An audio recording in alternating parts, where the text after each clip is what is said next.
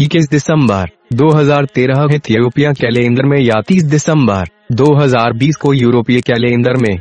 पिता के नाम पर, बेटा और पवित्र आत्मा, एक भगवान अमीन प्रशंसा हो, के का नाम अब्राहम ट्रिनिटी। प्रशंसा हो, के का नाम मेरी माँ कुंवारी मैरी। प्रशंसा हो, के का नाम पवित्र स्वर्गदूतों।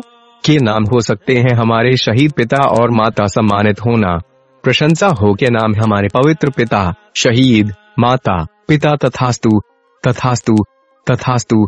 इथियोपिया एक ऐसी भूमि है जहाँ ट्रिनिटी की महिमा का पता चलता है और उसकी प्रशंसा की जाती है। इथियोपिया वर्जिन मैरी की विरासत है। इथियोपिया दुनिया की रोशनी है। इथियोपिया दुनिया का शासक है। आदम के सभी वंशजों को नवम संदेश से इथियोपिया वर्ल्ड लाइट सरकार, पिता, पुत्र और पवित्र आत्मा के नाम पर एक ईश्वर अमीन आप भगवान के परिवार कैसे हैं, जो इथियोपिया द वर्ल्ड लाइट के तहत इकट्ठा हुए थे? मेहनती परामर्श, पवित्र कप संघ और जो लोग समझने और में विश्वास से पश्चाताप की अपने संदेशों, और जो लोग प्रायश्चित किया है और इस दुनिया से गंदगी से अपने आप रखा है। पंजीकृत और अपंजीकृत दोनों, ईमानदार, कोमल, हमें इस मौसम में पहुँचने देने के लिए सर्वशक्तिमान ईश्वर की स्तुति की जाए। आदम के सभी वंशजों को सभी मानव जाति को सम्मान के साथ इस नौवे संदेश को पढ़ें। हो सकता है समय के अंत में भी। भगवान आपको दिल दे। कौन जानता है, लेकिन उसे अच्छी समझ है। तथास्तु, भजन सतानवे कहता है। यह राज करता है। पृथ्वी को आनंदित होने दो। आयल्स के मल्टीट्यूड को उसके बाद खुश होने दें। उसके बारे में बादल और अंधेरा गोल है। धार्मिकता और न्याय उसके सिंहासन की बस्ती है। उससे पहले एक अग्नि बकरी और उसके दुश्मनों के बारे में दौड़ जला। उसकी रोशनी ने वर्ल को घना कर दिया। पृथ्वी ने देखा और काम गया। सारी पृथ्वी के स्वामी की मौजूदगी में पहाड़ियों को मोम की तरह पिघलाया गया। आकाश उसकी धार्मिकता की घोषणा करता है। घर सभी लोग उसकी महिमा देखते हैं। उलझा हुआ वे सभी हैं जो गंभीर छवियों की सेवा करते हैं, जो खुद को आइडाल्स का घमंड करता है। उसकी पूजा करते हैं। सभी तो देवताओं सियोन ने सुना, और प्रसन्न था हे यहोवा, तेरा निर्णयों के कारण यहूदा की बेटियाँ आनंदित हुई। तो यहोवा, सारी पृथ्वी के ऊपर कला, तू सभी देवताओं से बहुत ऊपर है। ये कि आप यहोवा से प्यार करते हैं, बुराई से नफरत करते हैं, वे अपने संतों की आत्माओं को संरक्षित करता है, उसने उन्हें दुष्टों के हाथ से छुड़ाया। धर्मी के लिए प्रकाश बोया जाता है, और हृदय में ईमानदार के लिए ग्लादनेस यहोवा में आनंद करो। तुम धर्मी हो, और उसकी पवित्रता के स्मरण के लिए धन्यवाद।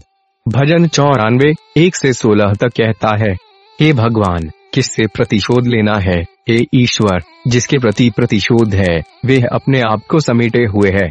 अपने आप को ऊपर उठाएँ। आप पृथ्वी के न्यायाधीश, गर्व करने वाले को इनाम प्रदान करें। यहोवा, दुष्ट कब तक, दुष्ट विजय कब तक करेगा? वे कितनी देर तक कठोर बातें करेंगे? और अधर्म के सभी कार्यकर्ता खुद पर गर्व करते हैं। वे आपके लोगों, ओ एलो आर डी और पीड़ित धरोहरों को तोड़ते हैं। वे विधवा और गला काटने वाले की हत्या करते हैं, और पिताहीन की हत्या करते हैं। फिर भी वे कहते हैं यह हुआ न तो देखेगा, न ही याकूब के सभी देवता इसे मानते हैं। समझो, तुम लोगों के बीच क्रूरता है, और तुम मूर्ख हो। तुम कब समझदार हो अगे उसने कान लगाया कि क्या वे नहीं सुनेगा? उन्होंने कहा कि है कि के लिए आंखमेद वह नहीं देखेगा। वह उस तपस्या का पीछा करता है। क्या वह सही नहीं होगा? वह उस आदमी को जानता है, जो उसे नहीं जानता। यह वह मनुष्य के विचार को जानता है कि वे घमंड में है। धन्य है वह मनुष्य जिसे तूने तान दिया है। हे यहोवा, तेरा कानून उसे सिखाता है कि तू उसे विपत्ति के दिनों से आराम दे, जब तक कि दुष्टों के लिए गड्ढा न खोदा जाए। क्योंकि यहोवा ने अपने लोगों को नहीं छोड़ा। न ही वे अपनी विरासत को छोड़ देगा, लेकिन न्याय धार्मिकता की ओर लौटेगा, और दिल में सभी सही इसका पालन करेंगे। अपवित्रों के खिलाफ मेरे लिए कौन उठेगा? या अधर्म के कार्यकर्ताओं के खिलाफ मेरे लिए कौन खड़ा होगा? राइट दो तातई उन्मारक भजन उनासी कहता है, हे भगवान, हित तेरा वंशानुक्रम में आया है। तेरे पवित्र मंदिर ने उन्हें अपवित्र किया है। ढेर पर यरूशलेम रखा है। तेरी सेवकों के शवों ने उन्हें स्वर्ग के मुहरे तक मांस दिया है। तेरा संत का मांस पृथ्वी के जानवरों के लिए है। उनके रक्त ने यरूशलेम के बारे में पानी की तरह बहाया। एक एंडी वहाँ उन्हें दफनाने के लिए कोई नहीं था। हम अपने पड़ोसियों के लिए एक भर्चना बन गए हैं। एक तिरस्कार और उपहास की उन्हें जो हमारे बारे में गोल है। कब तक? भगवान विल तुम हमेशा के लिए नाराज़ हो? क्या तेरी ईर्ष्या जलती रहेगी? तेरा प्रकोप उस प्यासे पर जो तुझे नहीं मालूम है, और उन राज्यों पर जिन्होंने तेरा नाम नहीं पुकारा है, क्योंकि उन्होंने याकूब को खा लिया है, और अपना निवास स्थान बर्बाद कर दिया है। हे हमारे पूर्व के अधर्मों को न याद रखना, तेरा कोमल दया भाव शीघ्रता से रोक दे, क्योंकि हम बहुत कम लाए गए हैं। तेरा नाम की महिमा के लिए, हमारे उधार के भगवान, हमारी मदद करो, और हमें उधार करो, और हमारे नाम की खातिर हमारे पापों को दूर करो। जहाँ हिथेन को कहना चाहिए, उनका भगवान कहाँ है? चलो उसे खून की रिवेंगिंग द्वारा हमारी दृष्टि में विधर्मी के बीच में जाना जाने सेवक जो बहाया है। तुमसे पहले कैदी के आँसू बहने दो। तेरी शक्ति की महानता के अनुसार तू मरने के लिए नियुक्त है। और हमारे पड़ोसियों को उनके पापों के बारे में सात बार बताएँ कि वे हैं यहोवा, जो तेरा तिरस्कार कर चुके हैं। इसलिए हम तेरे लोग और तेरे चरागाह के भेड़ बकरियाँ तुझे सदा धन्यवाद देंगे। हम तेरी स्तुति करेंगे। जैसा कि आपने सर्वशक्तिमान ईश्वर के उपरोक्त तीन शब्दों में सुना है, सभी शब्द हमें बताते हैं कि भगवान अपने लोगों के लिए न्याय लाएगा, और वह अपने लोगों के लिए न्याय के संकट को बर्दाश्त नहीं करेगा। ध्यान दें, ईश्वर सत्य है, और इसलिए धार्मिकता और न्याय उसके सिंहासन की नींव है। किसी भी तरह से नहीं, परमेश्वर की बुनियाद में एक फैसला है। आग उसके सामने जाती है। हाँ सर्वशक्तिमान ईश्वर, यह एक भस्म करने वाली अग्नि है। त्रिमूर्ति का विरोध करने वाले सभी लोग आग से भस्म हो जाएँगे। बिजली दुनिया को चमक देती है, और वे सूर्य की तरह चमकते हुए अगली क्रिया देखेंगे। ईश्वर की सच्चाई के लिए कौन बहस कर रहा है? हाँ बहुत कम लोग सर्वशक्तिमान ईश्वर की सच्चाई के बारे में बहस करेंगे। इथियोपिया के विश्व संदेश का प्रकाश मुख्य रूप से सत्य को व्यक्त करना था। ऐसा पंद्रह सालों से चल रहा है। ऊपर सर्वशक्तिमान ईश्वर के शब्दों में, प्रत्येक शब्द के महत्व पर ध्यान दें। उनका आपके उत्तराधिकार में प्रवेश का क्या अर्थ है? यह आप स्पष्ट देख रहे हैं। आज आपको यह संदेह नहीं होना चाहिए कि शैतान के वैश्विक योद्धाओं द्वारा इथियोपिया पर आक्रमण किया जा रहा है। आज हमारा नेता किसके एजेंडे पर चल रहा है? हाँ वे शैतान के वैश्विक अभियान के निष्पादक हैं। ब्रिटिश खुफिया एजेंसी, अमेरिका खुफिया एजेंसी संयुक्त अरब अमीरात, सऊदी खुफिया एजेंसी, वे अपना पैसा क्यों लगाते हैं? उनके जासूस सुबह और रात में क्यों चलते हैं? वास्तव में, आपने इथियोपिया में कई संप्रदायों को नरसंहार और निर्वासित होते देखा है। नस्लवादी तिगरियन बल उनतीस साल से इथियोपिया को खदेड़ रहा था, परेशान कर रहा था।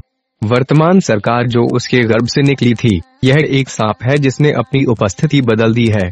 यह संदेश आठ में अच्छी तरह से सचित्र है। सरकार हमारे चर्च को नष्ट करने के लिए टीपीएलएफ के समन्वित अभियान को तेज कर रही है। उनके पिता का टीपीएलएफ।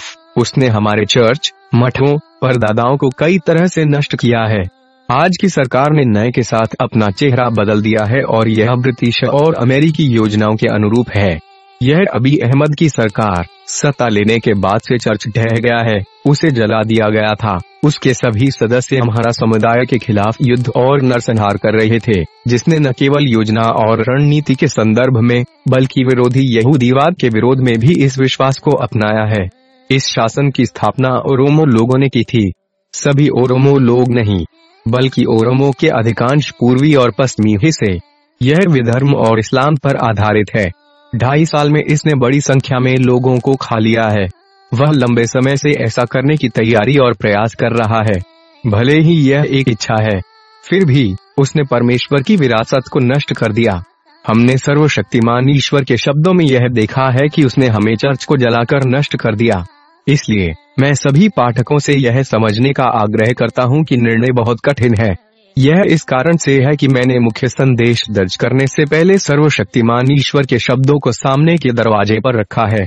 स्वच्छ झाड़ू जो नीचे आया है वह मानव इतिहास में अभूतपूर्व है। यह साबित करता है कि परमेश्वर का क्रोध कितना शक्तिशाली और अजय है। इस परिचय के बाद आप 16, 18, 19 जौन अध्याय के रहस्य उद्घाटन में पाएँगे जब शब्द व्यक्त किया जाता है यह क्रोध के प्रवाह का प्रतिनिधित्व करता है। यह उसका वज़न भी दर्शाता है।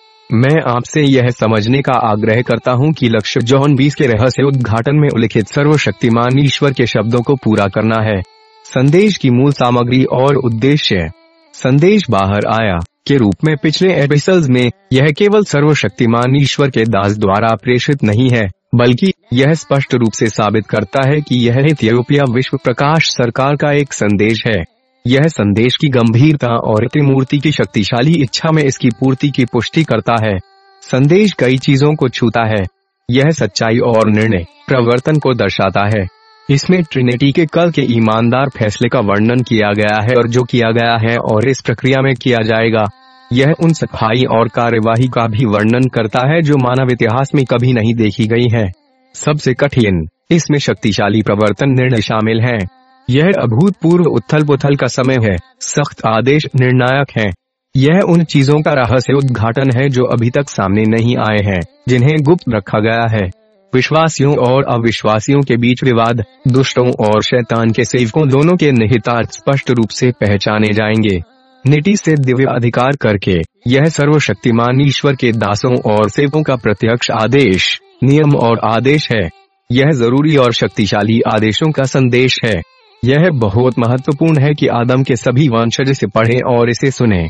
आदम के सभी वंशज, चाहे वे कहीं भी रहें, ट्रिनेटी द्वारा आंका जाएगा। तो सुनो, पुराने सांप, अजगर, झूठे नब्बी, सरकारों, संगठनों, धार्मिक संस्थानों, आधुनिक दिन राजनीतिक जुआरी, अमीर लोग सब जो पूजा की जाती है, शैतान, चाहे वे अपनी छाप प्राप्त हुआ है या नहीं, और जो के लिए अपनी आत्मा को बेच दिया उनके मांस की खातिर। धर्मी फैसले में शामिल किया जाएगा। वे इसे सुनते हैं या नहीं? हमारा मिशन इसे व्यक्त करना है। किसी बुरे व्यक्ति को बुरी खबर देना के लिए एक है जो आशीर्वाद दिया गया है। यह केवल अच्छी खबर यह है व्यक्त करने के लिए है। आज तक आदम के सभी वंशजों को कम से कम सात संदेश भेजे गए थे। इथियोपिया कैलेंडर में 2011 के बाद से मुख्य रूप से टेलीग्राम चैनल पर हमारे बेटे ब्रुक द्वारा लॉन्च किया गया एक चैनल जिसे बीस का रहस्योद्घाटन कहा जाता है। इस पृष्ठ पर Ethiopia light of the world लगातार आदम के सभी वंशजों को संदेश, बयान, शिक्षा, सलाह और आदेशों के साथ पहुँचने की कोशिश कर रहा है। यह हमारे उद्धारकर्ता यीशु मसीह और वर्जिन मैरी के पूर्ण समर्थन द्वारा भगवान की पारिवारिक कहानियों द्वारा विभिन्न भाषाओं में अनुवादित किया गया है और इसे सभी मानव जाति के लिए उपलब्ध कराया गया है। संदेश और सर्वशक्तिमान ईश्वर के निर्णय के अनुसार, हमें आज भी आपका निशान नहीं देखना चाहिए था।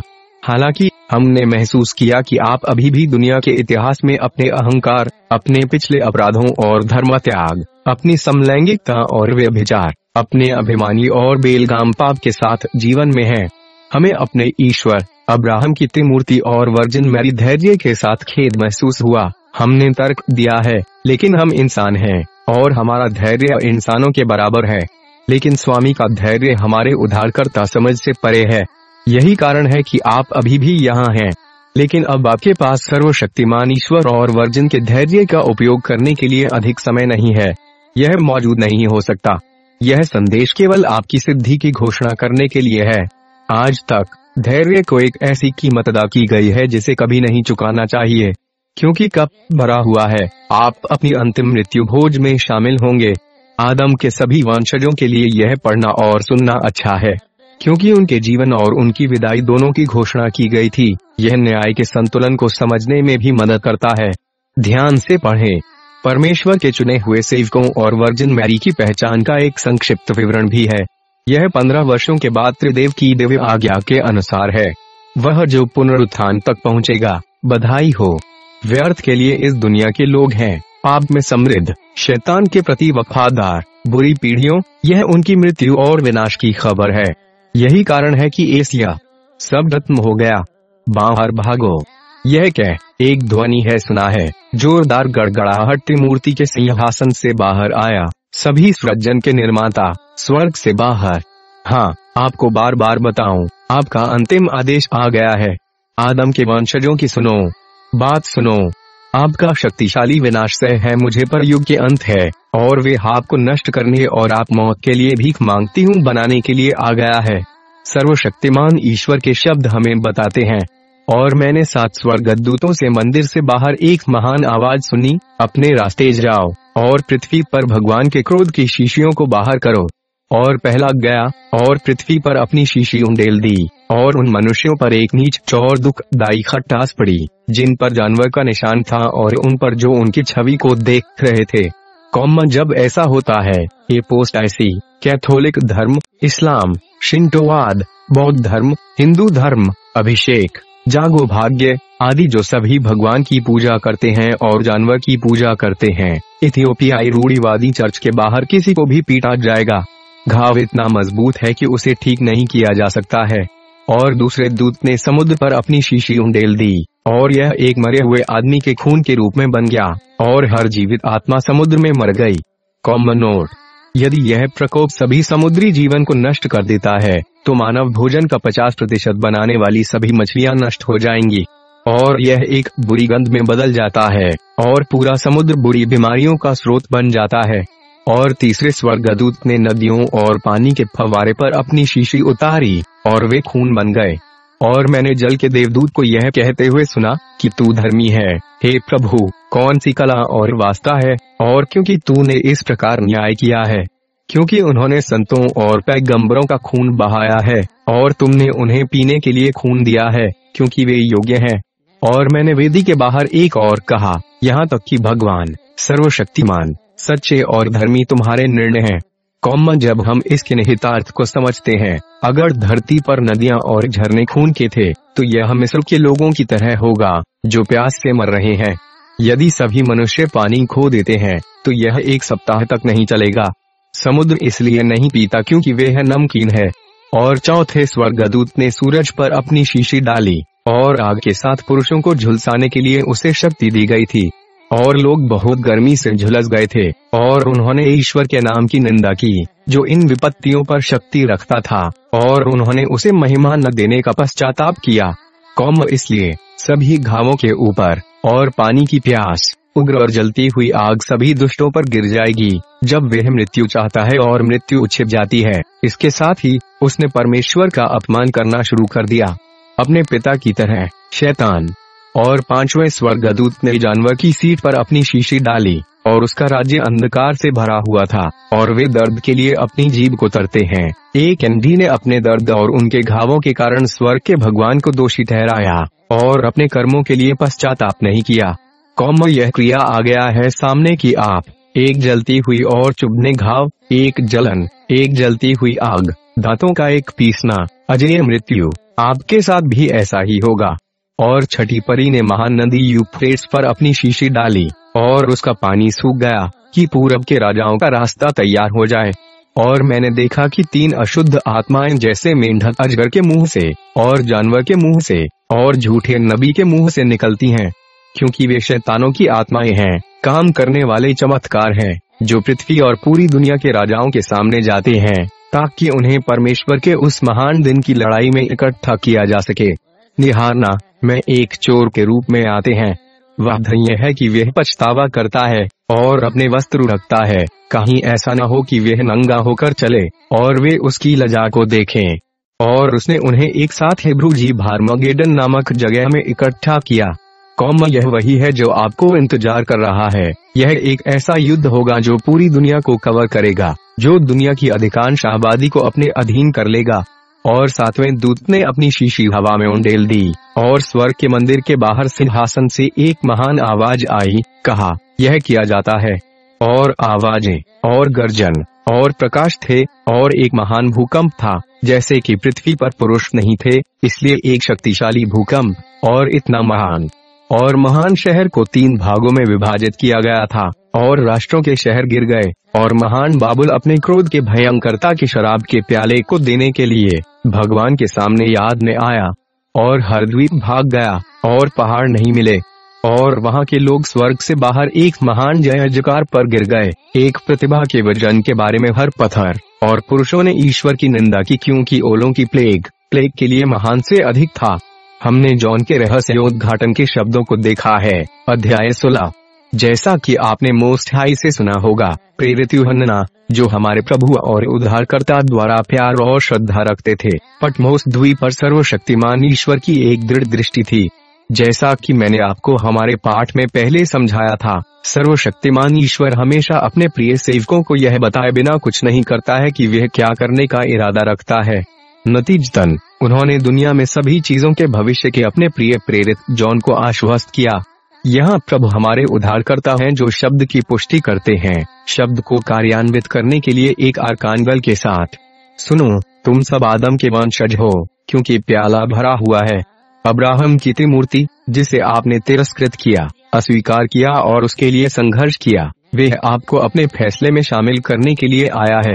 मेरी बात सुनो, मेरे लोग, अब तक आपने जो कुछ भी देखा है यह एक परामर्श सजा थी। शायद आपको वापस पाने का एक प्रयास था। यह नहीं हो सकता है। तुम बुरे से बुरे होते चले गए। आपके अभिमान और धर्म त्याग के कारण आपके लिए भागने का रास्ता खोजने के हमारे सारे प्रयास व्यर्थ हो गए। आपने इसे अपने विनाशकारी बल से धकेल दिया। आपने मर्सी के आउटस्ट्रेटेड हाथ के लिए एक छोटी सी कीमत भी नहीं दी। आपको दी गई उम्र पर पश्चाताप नहीं हुआ, लेकिन आपने पुरानी नाग पर भरोसा किया और झूठे नबी को अपना भगवान बना लिया। आप अपने विश्वासघात में आनंदित। आपको कुचल दिया है प्रभु और हमारे उद्धारकर्ता यीशु मसीह के अपने अहंकार और स्वधर्म त्याग के साथ धैर्य। यदि आप उथल पुथल और अकाल, बीमारी और युद्ध, नरसंहार और नरसंहार नस्लीय और धार्मिक युद्धों, प्राकृतिक आपदाओं, भूकंपों और निर्माता के जमावड़े से चिंतित नहीं है। तो यदि आप सभी सत्तात्मक दंड से घृणा करते हैं और कहते हैं कि आप नहीं जानते हैं आपकी दिव्यता, आप ईश्वर के दुश्मन हैं, शैतान की पूजा करने से क्या होगा? क्या उम्मीद? आपको बहुत समय दिया गया है, लेकिन आपने इसका इस्तेमाल शैतान की पूजा करने के लिए किया है। आप अपने सबसे खराब धर्म त्याग के साथ सर्वशक्तिमान ईश्वर के अपरिवर्तनीय क्रोध को ले आए हैं। यहाँ सर्वशक्तिमान ईश्वर के सिंहासन पर आपकी पूर्णता की आवाज़ है। सब खत्म हो गया। क्रोध के प्याले को बाहर निकालने के लिए सात स्वर्गदूत पृथ्वी पर पहुँचे। फिर, तुम कहाँ छिपा सकते हो? हम तुम्हारे लिए रोए, ताकि तुम इस भट्टी से न गिरो और अपनी जाति के साथ विलुप्त हो जाओ। यह नहीं हो सकता है। मैं व्यर्थ। ट्रिनिटी के भरोसेमंद नौकर, मैंने आपको पंद्रह साल के लिए सब कुछ बता दिया। मैं फिर से आप तक पहुँचने की कोशिश नहीं करना चाहता था, लेकिन क्योंकि यह ट्रिनिटी का एक मज़बूत आदेश था, मेरे पिता के प्रेम के बारे में, उनके पिता की आज्ञाओं के लिए, मेरी माँ वर्जन मेरी की खातिर, मैं तुम्हें अपनी बुरी खबर सुनाता हूँ क्या? सुनो, इसके लिए समाप्त हो गया है। बात सुनो। आपके पास केवल अलविदा कहने और कहने का समय है। आपके पास और समय नहीं है। सब खत्म हो गया। जानवर के उपासक कौन है? आपको यह स्पष्ट रूप से जानने की आवश्यकता है। अधिकांश ईसाइयों को रहस्योद्घाटन के भविष्यवाणी शब्द को समझना मुश्किल है। ऐसा इसलिए है क्योंकि हम सर्वशक्तिमान ईश्वर को पवित्र आत्मा के मार्गदर्शन में दृष्टि का अर्थ पढ़ने के लिए नहीं कहते हैं। कई तथाकथित आधुनिक काल के विद्वान अपने शैतानी चश्मे से प्रेरित हैं और इसे एक बुरे विचार के रूप में व्याख्या करते हैं। यहाँ हमारे देश में करने के लिए निर्भीकता संदेह का बीज बोने। वे आगे एक किताब है कि लोगों के मन पर भारी है डाल दिया। उन्होंने ऐसा किया।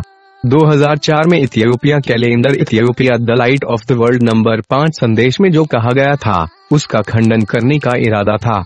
क्योंकि मुझे पता है कि ये लेखक क्या हैं, हम परिणाम देखेंगे क्योंकि उनके फैसले का पालन किया गया है। हमें अपने मुख्य बिंदु पर लौटते हैं। जानवर के उपासक और चिन्ह पाने वाले कौन होते हैं? डैश। पहली पंक्ति में हम जो वर्णन करते हैं वे धर्म है। अगला, उनकी माँ। कैथोलिक। इसके बाद, इस्लाम मुख्य है। एशिया। चीन। Thailand. Korea. Vietnam. Cambodia. Mongolia और दुनिया के अन्य हिस्सों जैसे कि शिंटो, बौद्ध बौद्ध, भारत। हिंदू धर्म। सिख धर्म जैसे धर्म दुनिया की आबादी का लगभग नब्बे प्रतिशत हिस्सा बनाते हैं। इन्हें छोड़कर ऐसे लोग हैं जो विभिन्न देवताओं द्वारा पूजे जाते हैं, और वे भी हैं जो नास्तिक हैं। कौन जानवर के निशान को नहीं पहचानता है और इसकी पूजा नहीं करता है? दाशा यह स्पष्ट है। सच्चा रूढ़ीवादी त्रिवेदो विश्वासियों, जो लोग सच्चाई में और आत्मा में त्रिमूर्ति की पूजा करते हैं, चालीस दिनों में बपतिस्मा लेते हैं और त्रिमूर्ति की महिमा प्राप्त करते हैं, जो अपने विश्वास में बुद्ध परस्ती का अभ्यास नहीं करते हैं, जो लोग अपने विश्वास को बनाए रखते हैं, जो सर्वशक्तिमान ईश्वर और वर्जिन मैरी के सामने पवित्रता से चलते हैं, ये वही लोग हैं जो जानवर की पूजा नहीं करते थे और निशान नहीं लेते थे। यह एक तथ्य है। फिर किसे बचाया जाए? पुनरुत्थान से कौन बचेगा? मैं दोहराता हूँ। वह उन लोगों को बदनाम करेगा जो जानवर की पूजा नहीं करते हैं और इसकी निशानी नहीं लेते हैं और इसकी पूजा करते हैं। हमें पता है कि पूजा करते हैं धन ज्ञान और शक्ति का अनत है उसके बारे में पूजा के लिए फार्म जानवर। नोट आज वर्तमान समय में जो जानवर के मुख्य प्रतिनिधि या कमांड स्टेशन हैं, आइए उनका उल्लेख उनके देश में करें। ब्रिटेन अमेरिका चीन फ्रांस जर्मनी इजराइल सऊदी अरब तुर्की Iran Korea Australia Brazil Bharat Spain Canada दक्षिण अफ्रीका जापान इटली आदि। ये और अन्य छोटे देशों, वे शैतान को एक आज्ञाकारी और एक सूत्रधार के रूप में सेवा देते हैं। बाबुल, अमेरिका, जानवर का प्रतीक है। उसने गरीबों के आँसू और खून की स्थापना की है। यह सर्वविदित है कि ब्रिटेन ने दुनिया का आधा हिस्सा उपनिवेशित किया, और जैसा कि उन्होंने इस विस्तार को अंजाम दिया, उन्होंने इसके निवासियों का नरसंहार किया और उनके हाथों में लाखों निर्दोष रक्त थे। ब्रिटिश, फ्रांसीसी, पुर्तगाली, स्पेनिश, इतालवी और जर्मन इंजीनियर इस धरती पर रक्तपात के मुख्य अभियंता हैं। एशिया में रूस और कोरिया, जापान, कोरिया और अन्य जानवर के निष्पादन में सहायक थे। आज उन्होंने अपनी पूजा को अद्यतन किया है और उसी रास्ते पर है। कोई सरकार या लोग नहीं हैं जो जानवर की पूजा नहीं करते हैं और इसके निशान को सहन नहीं करते हैं। हमारे देश के शासकों से शुरू, महान और छोटे देश, सभी शासक और उनकी मिलावट करने वाले जानवर की पूजा करते हैं और निशान को सहन करते हैं। हेरिटिक्स और कैथोलिक के आगे, जो जानवर की पूजा करते हैं और निशान होते हैं, निम्नलिखित हैं। दाइश इस्लाम यह धारणा एक पुराने नाग देवता की पुस्तक अंधेरे की किताब से ली गई एक मिथ्यापूर्ण गलत धारणा है। इस विश्वास ने 1400 से अधिक वर्षों से सभी को नष्ट कर दिया है और उन्हें जीवन के रास्ते से हटा दिया है। यह वे विश्वास है जिसने सच्चे नबियों और धर्मियों तिवेदो रूढ़ीवादी विश्वास के खून बहाए हैं। इस विश्वास का वास्तविकता से कोई लेना देना नहीं है, यह मिथकों और दृष्टांतों से भरा है। यह अब हम सऊदी अरब कहते हैं में उत्पन्न हुआ। आज एक अरब से अधिक मुसलमान राजधानी मक्का में हैं, जो शैतान के दायरे को सलाम करते हैं। वे झुक गए। नतीजतन उन्होंने जानवर की पूजा की और निशान प्राप्त किया। मुसलमानों के बीच एक कहावत या भविष्यवाणी है खासकर मक्का के आसपास जहाँ मुसलमान रहते हैं। यह इस प्रकार है। इथियोपिया में भविष्य में एक गंजे राजा को खड़ा किया जाएगा। यह आदमी इस्लाम के साथ साथ अपनी राजधानी मक्का को भी नष्ट कर देगा। कुछ ही लोग बचेंगे, उन्हें विश्वास है कि बाकी सब खो जाएगा। यह कथन पुराने मुसलमानों के लिए अच्छी तरह से जाना जाता है। युवा इस्लाम इस पर ज़्यादा ध्यान नहीं देता है, लेकिन यह सच है। ऐसे कुछ नम्र लोग हो सकते हैं जिन्हें परमेश्वर हर युग में प्यार करता है, और एक नम्र इस्लाम व्यक्ति के लिए भगवान ने उसे प्रकट किया हो सकता है। फिर भी वे निश्चित रूप से नष्ट हो जाएँगे क्योंकि इस्लाम ने इतना खून बहाया है। वे बह जाएँगे। जो राजा इथियोपिया में शासन करेगा, वे सम्राट टिवोड्रोस है। इसे समझिए टी आइम ऊपर है। वह उनके दरवाजे पर आ गया है। वह उन्हें नष्ट कर देगा। विश्वसनीय और से प्यार करता था सर्वशक्तिमान ईश्वर। सात की शक्ति का पूरा सर्वशक्तिमान ईश्वर। कोई सांसारिक शक्ति यह सामना कर सकते हैं। त्रिमूर्ति का वफादार सेवक। के लिए यह सच है। उसने पंद्रह साल के लिए इथियोपिया दुनिया संदेशों के प्रकाश का खुलासा किया गया। यह दुनिया और इसके निवासी इसे कभी स्वीकार नहीं करेंगे। इस पीढ़ी के लिए यह एल्कोहल पीने के समान है जैसा कि सच्चाई को प्राप्त करना है। इसे स्वीकार न करें। मरते समय आप इसे प्राप्त करेंगे।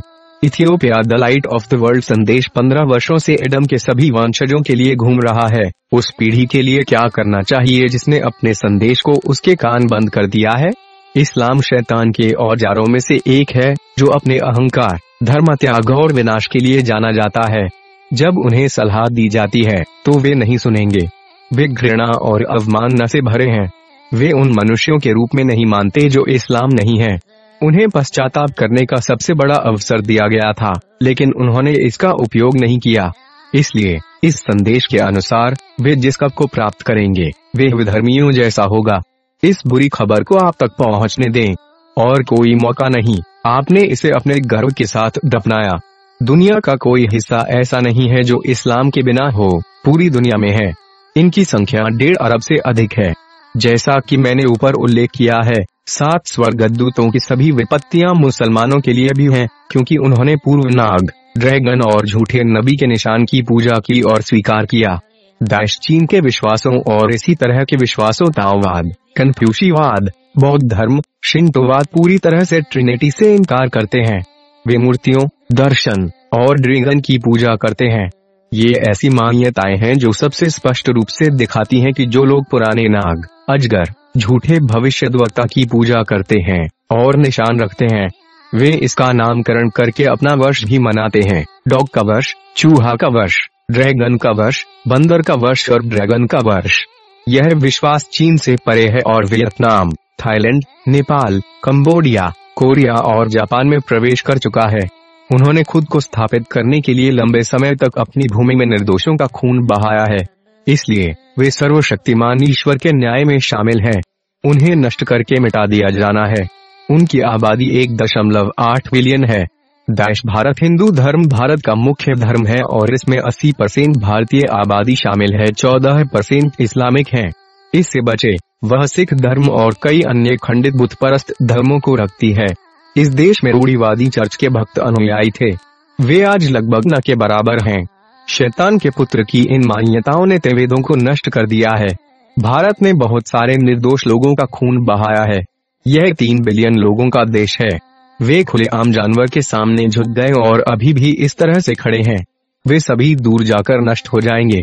जब हम संख्याओं में सूचीबद्ध होते हैं तो हम ऊपर सूचीबद्ध किए गए विश्वासों के प्रकार। विधर्म, विरोध करने वाले, कैथोलिक और अन्य ईसाई मान्यताएँ। दो बिंदु, दो अरब। शिंटोवाद, बौद्ध धर्म, ताओवाद। कन्फ्यूशीवाद, कुल मिलाकर, लगभग दो अरब। हिंदू धर्म, सिख धर्म और अन्य। एक बिंदु, तीन अरब। रूढ़ीवादी विश्वासियों, केवल नाम से, लगभग आधा अरब। तेवे दो रूढ़ीवादी विश्वासियों, वे 100 मिलियन तक पहुँचते हैं। नास्तिक, अविश्वासी, पारंपरिक उपासक, अनुमान है कि एक अरब। कुल मिलाकर, वहाँ रूढ़ीवादी तू अहिदों के बाहर के बारे में सात दशमलव पाँच बिलियन लोग हैं। इसलिए ऑर्थोडॉक्स डिवाइडो के बाहर हर कोई, उन्होंने पूजा की पूजा की, निशान लिया, और पैसे को जानवर बना दिया। पुराने नाग प्राचीन अजगर, झूठे नबी।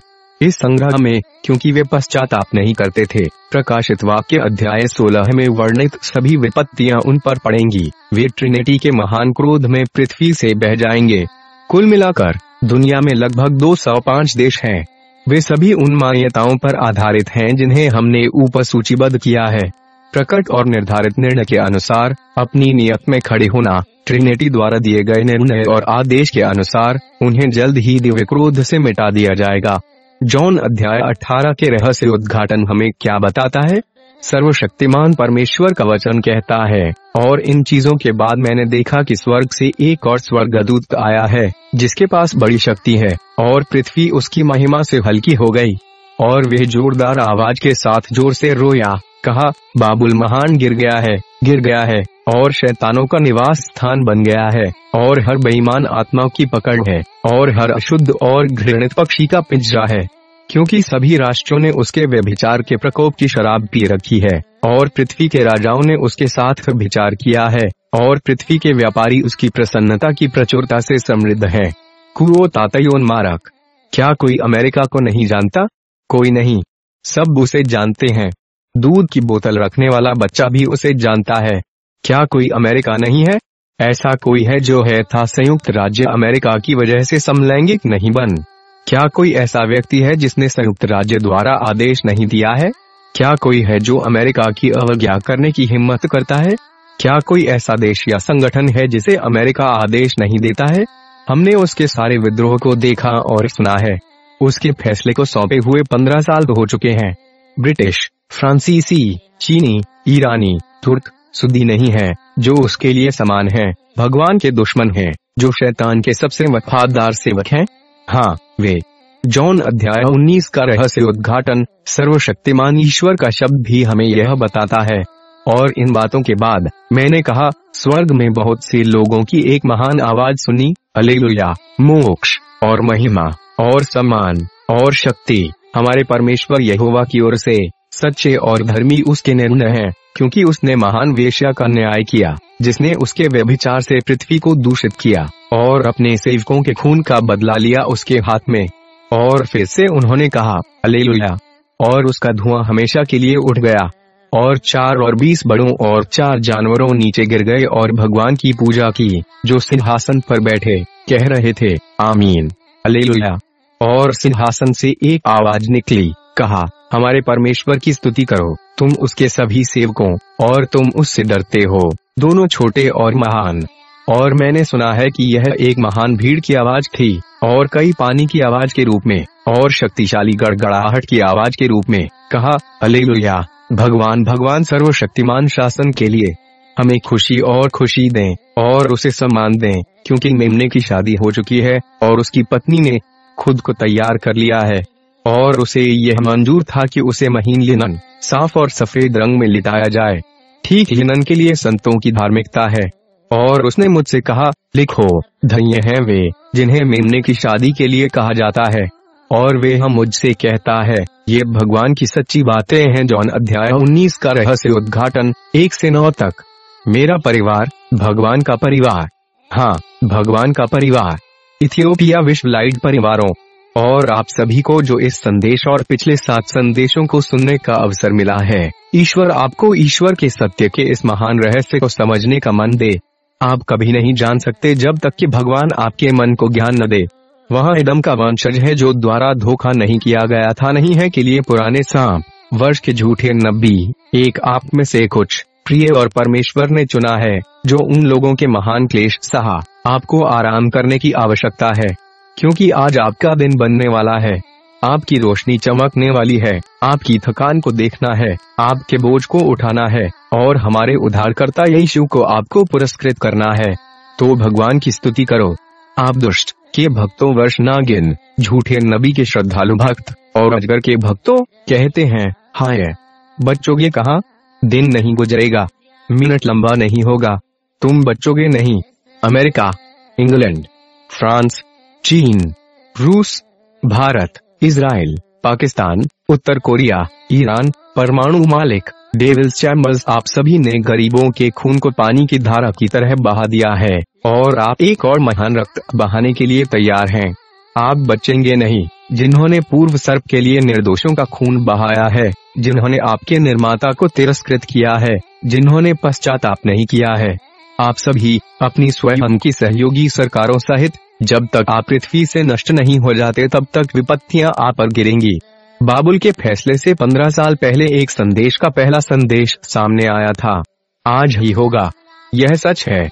सोलह, एक राय और एक नौ में प्रकाशित वाक्य में वर्णित सर्वशक्तिमान ईश्वर के वचन, ईश्वर की इच्छा और कार्य हैं जो लागू होने जा रहे हैं।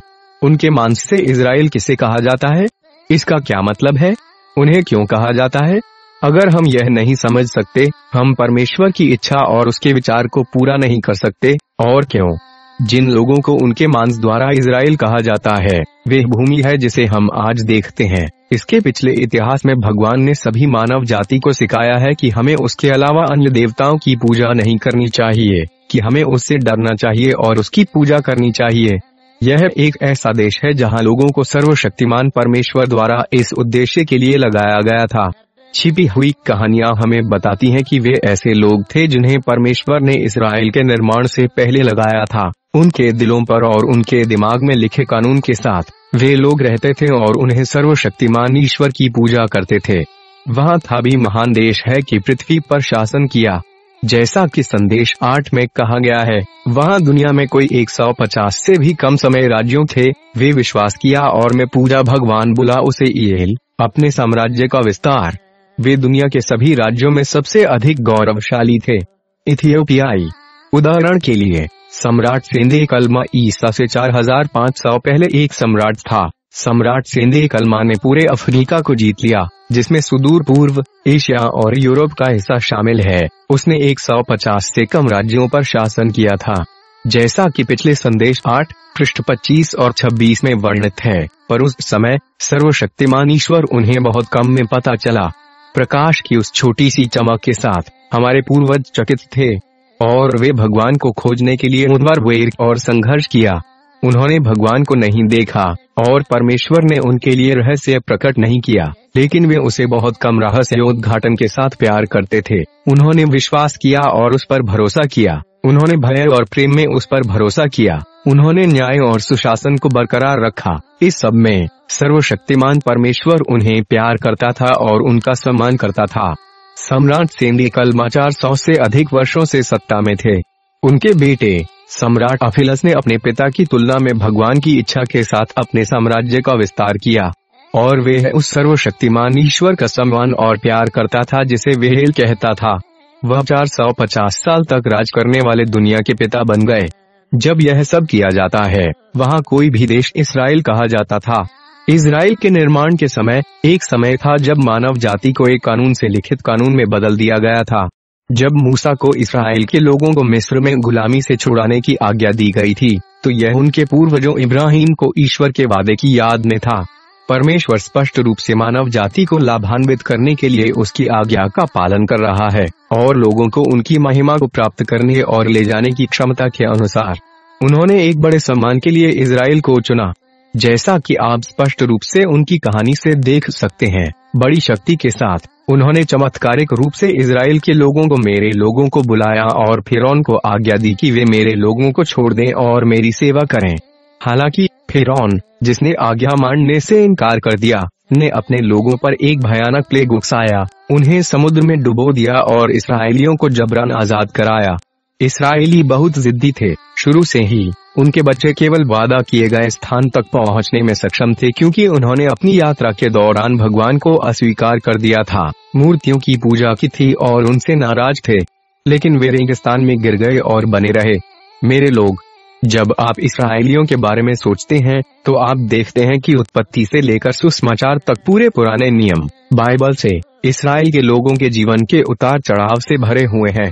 इस जीवन में, जहाँ तक ईश्वर से प्रेम नहीं है, उन्होंने समय की सबसे बड़ी परीक्षा बिताई, हिम्मत करना, इनकार करना और मूर्ति बनाना। यद्यपि सर्वशक्तिमान ईश्वर ने सबसे प्यारे और वफादार भविष्य वक्ताओं को उठाया, उन्होंने उनका उपयोग नहीं किया, उनका उपयोग राष्ट्रों द्वारा उनसे बेहतर किया गया। हमें यह समझना चाहिए कि एक पैगंबर अपने ही देश में सम्मानित नहीं है, कहावत इन विकृत इजराइल से आती है। भगवान ने पछतावा किया कि उन्होंने उन्हें मेरे लोगों को बुलाया था, और उन्होंने मूसा को सिनाई पर्वत पर बुलाया, और जब उन्होंने उन्हें दस आज्ञाएँ दी तो उन्होंने अपनी अवज्ञा पर क्रोध व्यक्त किया। हालाँकि मूसा चालीस दिनों तक वहाँ रहा। जब मूसा चालीस दिनों तक इसराइलियों के सामने नहीं आया तो इसराइलियों ने जल्दी से इनकार कर दिया। उन्होंने मूर्तियाँ बनाई और उनकी पूजा की। उन्होंने मिस्र को प्रतिष्ठित किया।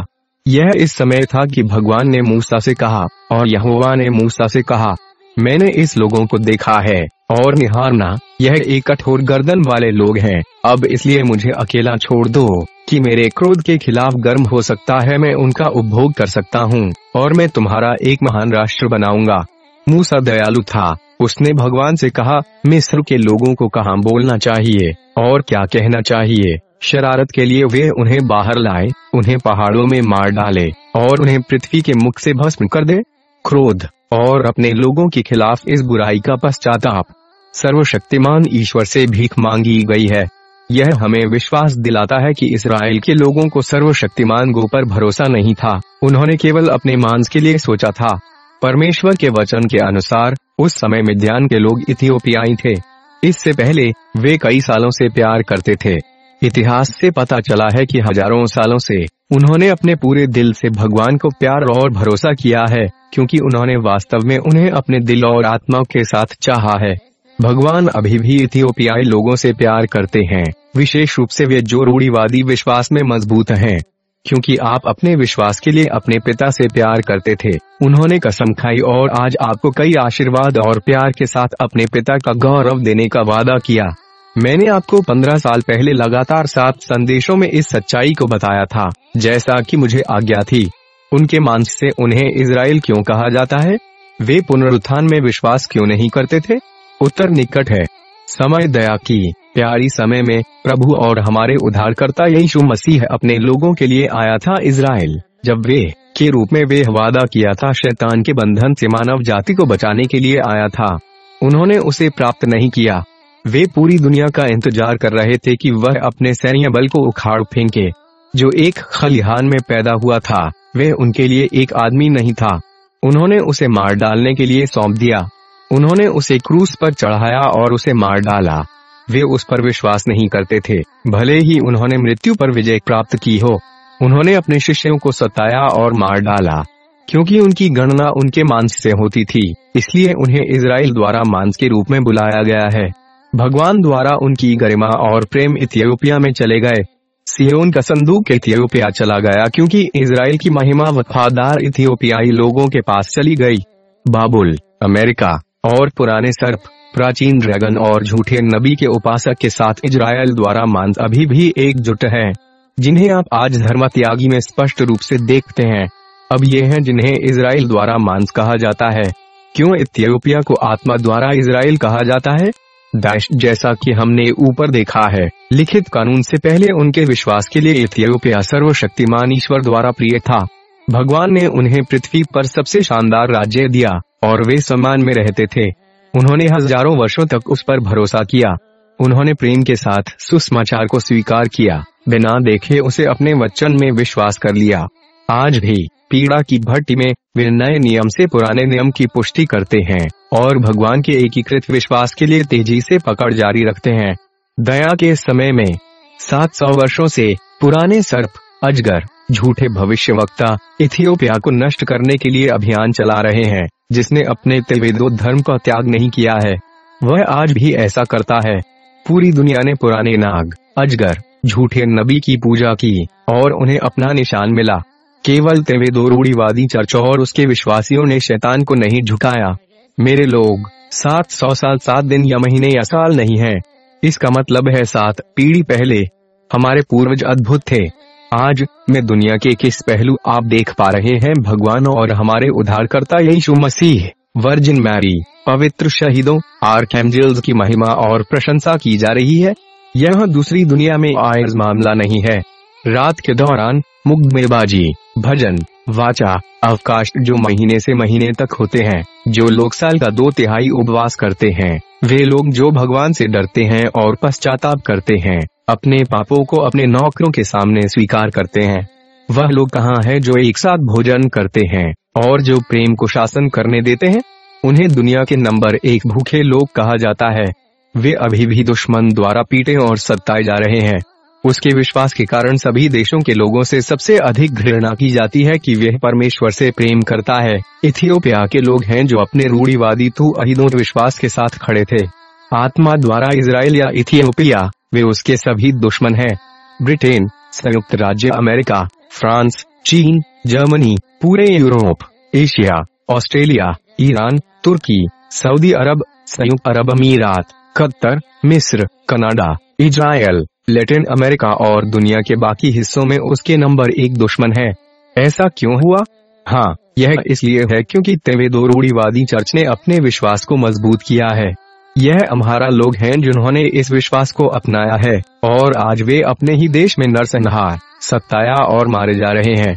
इसे फिर से कहने का कोई मतलब नहीं है क्योंकि आप इसे देख रहे हैं। दोनों दोस्तों और दुश्मनों को जागरूक होने की आवश्यकता है कि यह उनके विश्वास के लिए भुगतान करने की कीमत थी।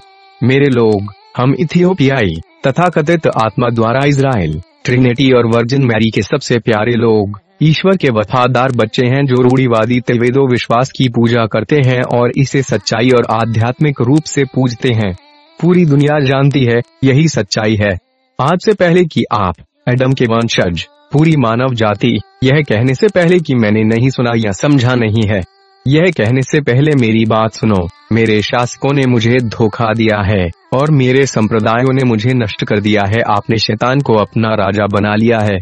आपने पुरानी नाग के साथ साथ अजगर की पूजा की। आपने झूठे नबी पर भरोसा किया है। आपने उसकी पूजा की है। आपको उसका निशान विरासत में मिला है, और आपको यह अपने पूर्वजों से विरासत में मिला है। यह सच है। यदि उन लोगों की संख्या गिना जाए जिन्होंने ईश्वर द्वारा प्रिय विश्वास को गले लगाया तो हर जगह इकट्ठा हुए रूढ़ीवादी तेवहेडो पचास मिलियन से कम है। आपने सात दशमलव पाँच बिलियन लोगों को बनाया है जो शैतान की पूजा करने के लिए पूरी पृथ्वी को कवर करते हैं और शैतान को आपका पैसा बनाते हैं। यह सच है। इतना ही। यह दोष देने का समय नहीं है। यह निर्णय का समय है।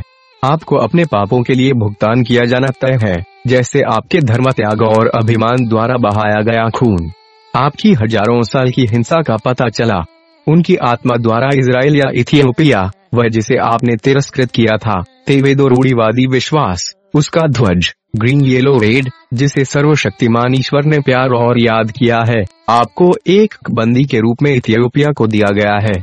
लेकिन पहले तुम्हें कुचल दिया जाएगा, क्योंकि यह तुम्हारा निर्णय है। तुम मृत्यु की भट्टी में भूनोगे। यह सच है।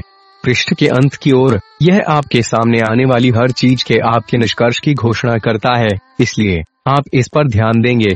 इथियोपिया के लोगों को आसानी से उनकी आत्मा में इसराइल नहीं कहा जाता है। उन्होंने अपने कई लोगों की कुर्बानी दी है। उन्होंने अपने विश्वास को मज़बूत किया है और अपने आचरण से सर्वशक्तिमान ईश्वर का प्यार जीता है। वे सचे हैं। इसराइल की तरह नहीं जो छाया की तरह गुजरे। उसके नाम के कारण वे थक गए, क्योंकि वे उससे प्यार करते थे और उसकी आज्ञा मानते थे। उसने उन्हें चुना, उन्हें प्यार किया, उन्हें मंजूरी दी और उन्हें सम्मानित किया। वह उनसे प्यार करता था क्योंकि वे उसकी इच्छा के अनुसार रहते थे, उसकी दया के दिनों को जन्म देते थे। विश्वास के वचन को सुनने और विश्वास करने के द्वारा आत्मा में दृढ़ रहना जारी रखते थे। अधिक से अधिक शुद्ध देशभक्त नायक बनने के लिए हमारे उद्धारकर्ता यीशु मसीह पर विश्वास करते हुए सात सौ साल के महान क्लेश और उत्पीड़न की उग्र भट्टी में सभी दुखों को सहन किया और व्यावहारिक विश्वास में जिया। इस प्रकार भगवान सभी चीज़ों के निर्माता ते वह दो, चिरनोडॉक्स विश्वासियों के नूह, हरे, पीले और लाल झंडे की वाचा का प्रतीक तेवहेडो इथियोपियाई, इथियोपियनेस ने अपना खून बहाया। उसने उन्हें चुना। पहले पुनरुत्थान में उन्हें लगाया और उनके भविष्य के पुनरुत्थान के लिए उन्हें सांत्वना दी। मैंने आपको दुनिया को बताया। मैंने अपने पहले संदेश में आपको बताया। तुमने सुना नहीं। आपने अपना कान संदेश के लिए नहीं दिया। तुमने इसका तिरस्कार किया है। तुम आज भी वही हो। पंद्रह साल हो गए। इसे पी लो, क्योंकि यह सच है। भले ही यह आपको आज कड़वा कर दे। कि वचन के लिए सर्वशक्तिमान ईश्वर व्यर्थ में नहीं है। यहाँ सच्चाई है। मेरे लोग, भगवान के लोग, जैसा कि मैंने आपको ऊपर बताया, सच्चाई आ चुकी है। परमेश्वर ने अपने वादे की पुष्टि करने का समय आ गया था, जो उसने सदियों पहले वादा किया था। जो पुराने नाग, अजगर, झूठे नबी, विधर्मी, कैथोलिक धर्म, इस्लाम, नस्लवाद, पाखंडी, शिंटोवाद, ताओवाद, कन्फ्यूशीवाद, हिंदू धर्म, सिख धर्म, मूर्ति पूजा, जादू टोना स्टार काउंटर्स, अभिषेक, अनुग्रह, समलैंगिकता से पहले खुद को साकार किया व्यभिचार और वे सभी जो शिक्षित होने का दावा करते हैं, जो लोग आपके ज्ञान, आपके कागज़ी काम, आपकी संपत्ति, आपके सभी कार्यों और आपके विश्वास की पूजा करते हैं, वे शैतान के रास्ते में हैं। जब आप यह सुनते हैं, जब आपको फटकार लगाई जाती है तो आप अपने पश्चाताप में लगे रहें, जैसे आप पछताते हैं आप अपने अपराध और अपने सबसे बुरे पाप में लगे रहे। आपने हमारे उद्धारकर्ता यीशु मसीह को अस्वीकार कर दिया, जो आपके पापों के लिए मर गया, जिसने अपना हाथ बढ़ाया और आपको प्यार से बाहर बुलाया। इसके बजाय, आप पुराने नाग, अजगर और झूठे नबी की पूजा करते हैं। तो भगवान, जो आपसे नाराज़ था, आपको भट्टी में जलाने आया था। मुझे याद दिलाएँ कि पहली आज्ञा ने क्या कहा था जब सर्वशक्तिमान ईश्वर ने आपको शुरू से ही मूसा द्वारा दस आज्ञाएँ दी थी, मेरे अलावा किसी भी देवता की पूजा न करें, और आसमान में या पृथ्वी पर किसी भी मूर्ति की पूजा न करें। तुमने ऐसा नहीं कहा? आप किससे डरते हैं? यदि केवल आपने ही इनकार किया था और पूजा की थी, आप अंत में उससे लड़े। आपने उनके नाम पर भरोसा करने वालों को मार डाला। तुमने उन्हें मार डाला। तुमने उनके खून को ढेर की तरह बहा दिया। आपने पुराने नाग, ड्रैगन, झूठे नबी को श्रद्धांजलि दी तो आपका फैसला आ गया। जॉन के अध्याय सोलह, अठारह, उन्नीस के रहस्य उद्घाटन में वर्णित प्रभु द्वारा किया गया फैसला, सर्वशक्तिमान परमेश्वर के सिंहासन से पूरा होने के लिए आया है। मैं आपको परिणाम बताता हूँ, आप पृथ्वी से बड़े क्रोध और प्लेग में बह जाएँगे, और आपके वंशजों का सफाया हो जाएगा। तुम आग से भस्म हो जाओगे। आपका चिन्ह हमेशा के लिए नहीं मिलेगा। यहाँ सच्चाई है। सब खत्म हो गया। समाप्त हो गया।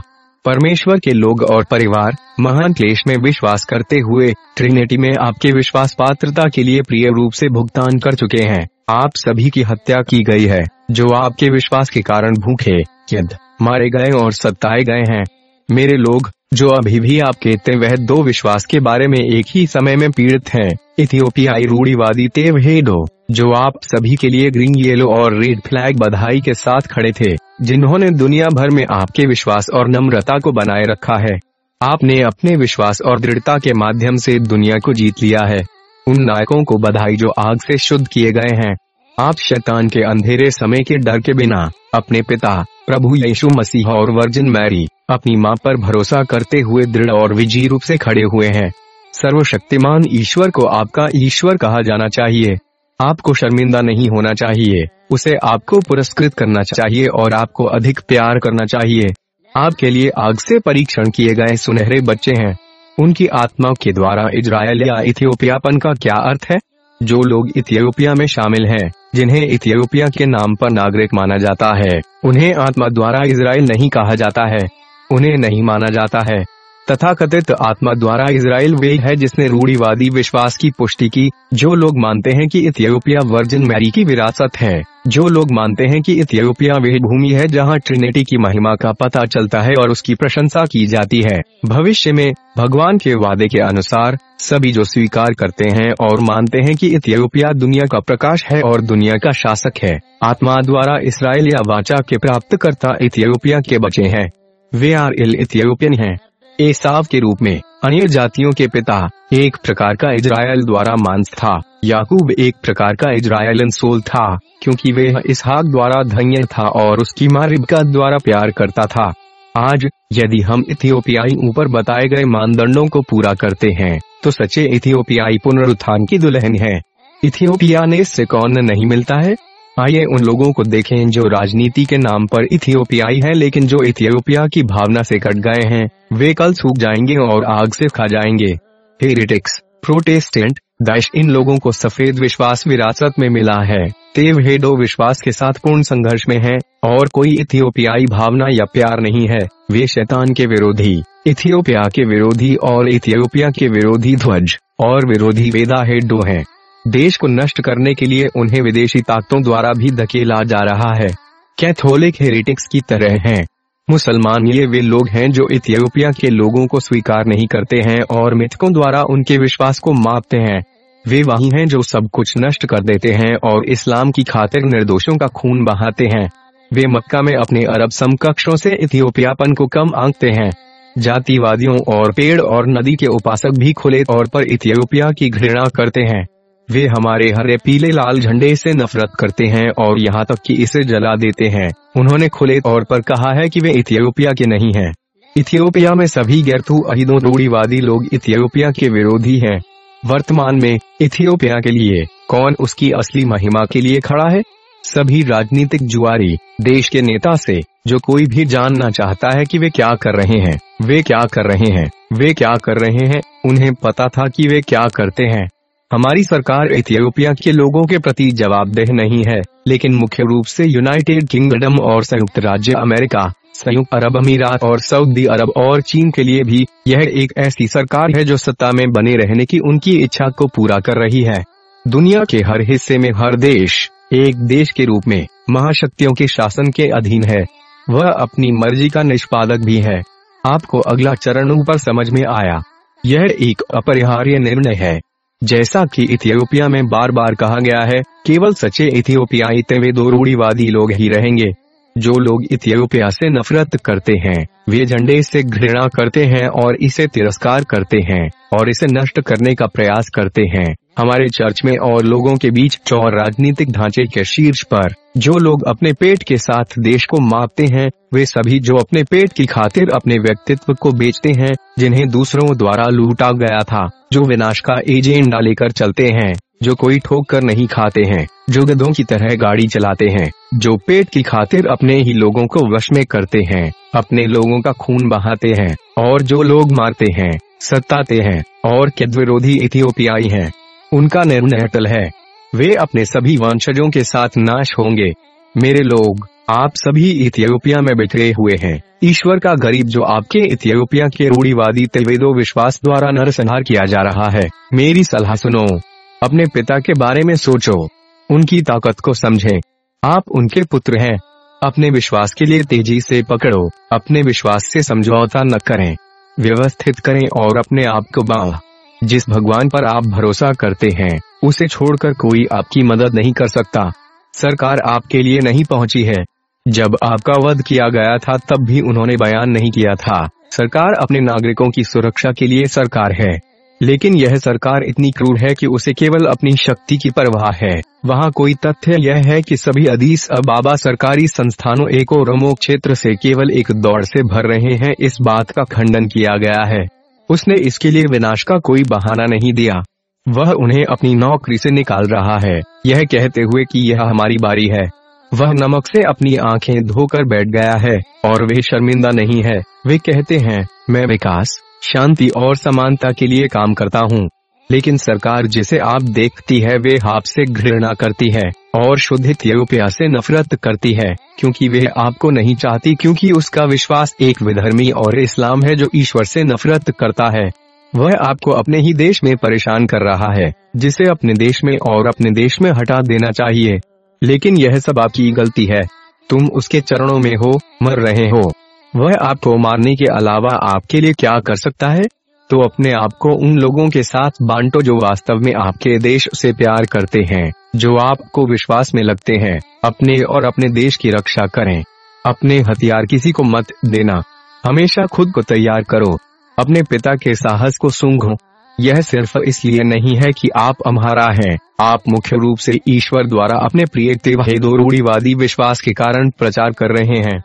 ध्यान दें पूरी दुनिया आपको नष्ट करने के लिए तेवेदो विश्वास के खिलाफ लड़ रही है। इसका कारण सभी गैरथु अहिदों मान्यताओं पुराने नाग, ड्रैगन और झूठे नबी की धर्मोपदेशक शिक्षाएँ हैं। वे सभी शैतान की पूजा करते हैं और उसका चिन्ह प्राप्त करते हैं। इसलिए वे जल्द ही महान क्रोध और प्लेग से बह जाएँगे। तो दोस्तों, भगवान के लोग, इसलिए मैं आपको अपनी एकता को मज़बूत करने के लिए कह रहा हूँ। पहले पुनरुत्थान के बारे में जॉन बीस के रहस्य उद्घाटन का क्या कहना है? इक्कीस सितंबर 2004 को इथियोपिया कैलेंडर में भेजे गए संदेश संख्या पाँच पर। यह स्पष्ट रूप से पूर्व नाग, अजगर, उस पर झूठे नबी के भाग्य के बारे में कहा गया है। मेरे लोग ऐसा कोई रहस्य नहीं है जो जॉन के सामने प्रकट नहीं हुआ था, क्योंकि प्रेरित यूहन्ना यीशु से सबसे अधिक प्रेम करते थे, और हमारे प्रभु और उद्धारकर्ता ईसा मसीह उन्हें किसी अन्य प्रेरित से अधिक प्यार करते थे।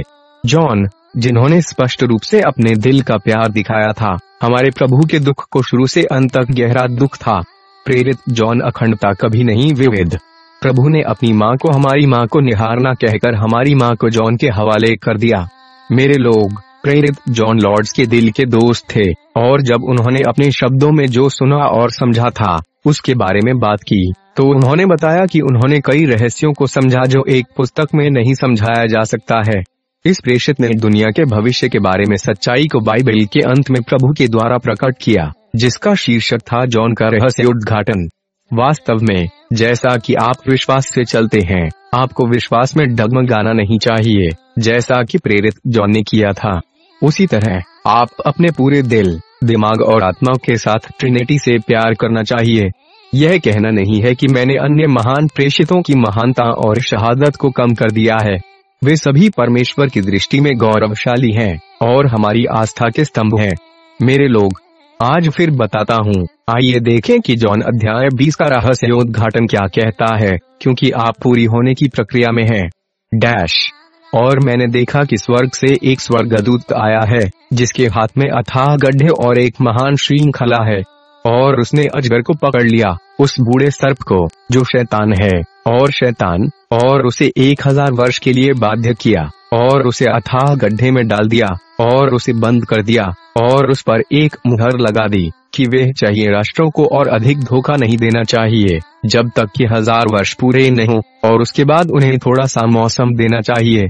और मैंने सिंहासन देखे, और वे उन पर बैठ गए, और उनके लिए न्याय दिया गया, और मैंने उन आत्माओं को देखा, जो यीशु की गवाही के लिए, और परमेश्वर के वचन के लिए मारी गई थी, और जिसने न तो जानवर की पूजा की थी, न तो उनकी छवि, न तो उनके माथे पर, न उनके हाथों में अपना निशान पा चुकी थी, और वे एक हज़ार वर्ष ईसा मसीह के साथ रहे और राज्य किया। लेकिन बाकी मृतक हज़ार साल पूरे होने तक फिर से नहीं रहे। यह प्रथम पुनर्जीवन है।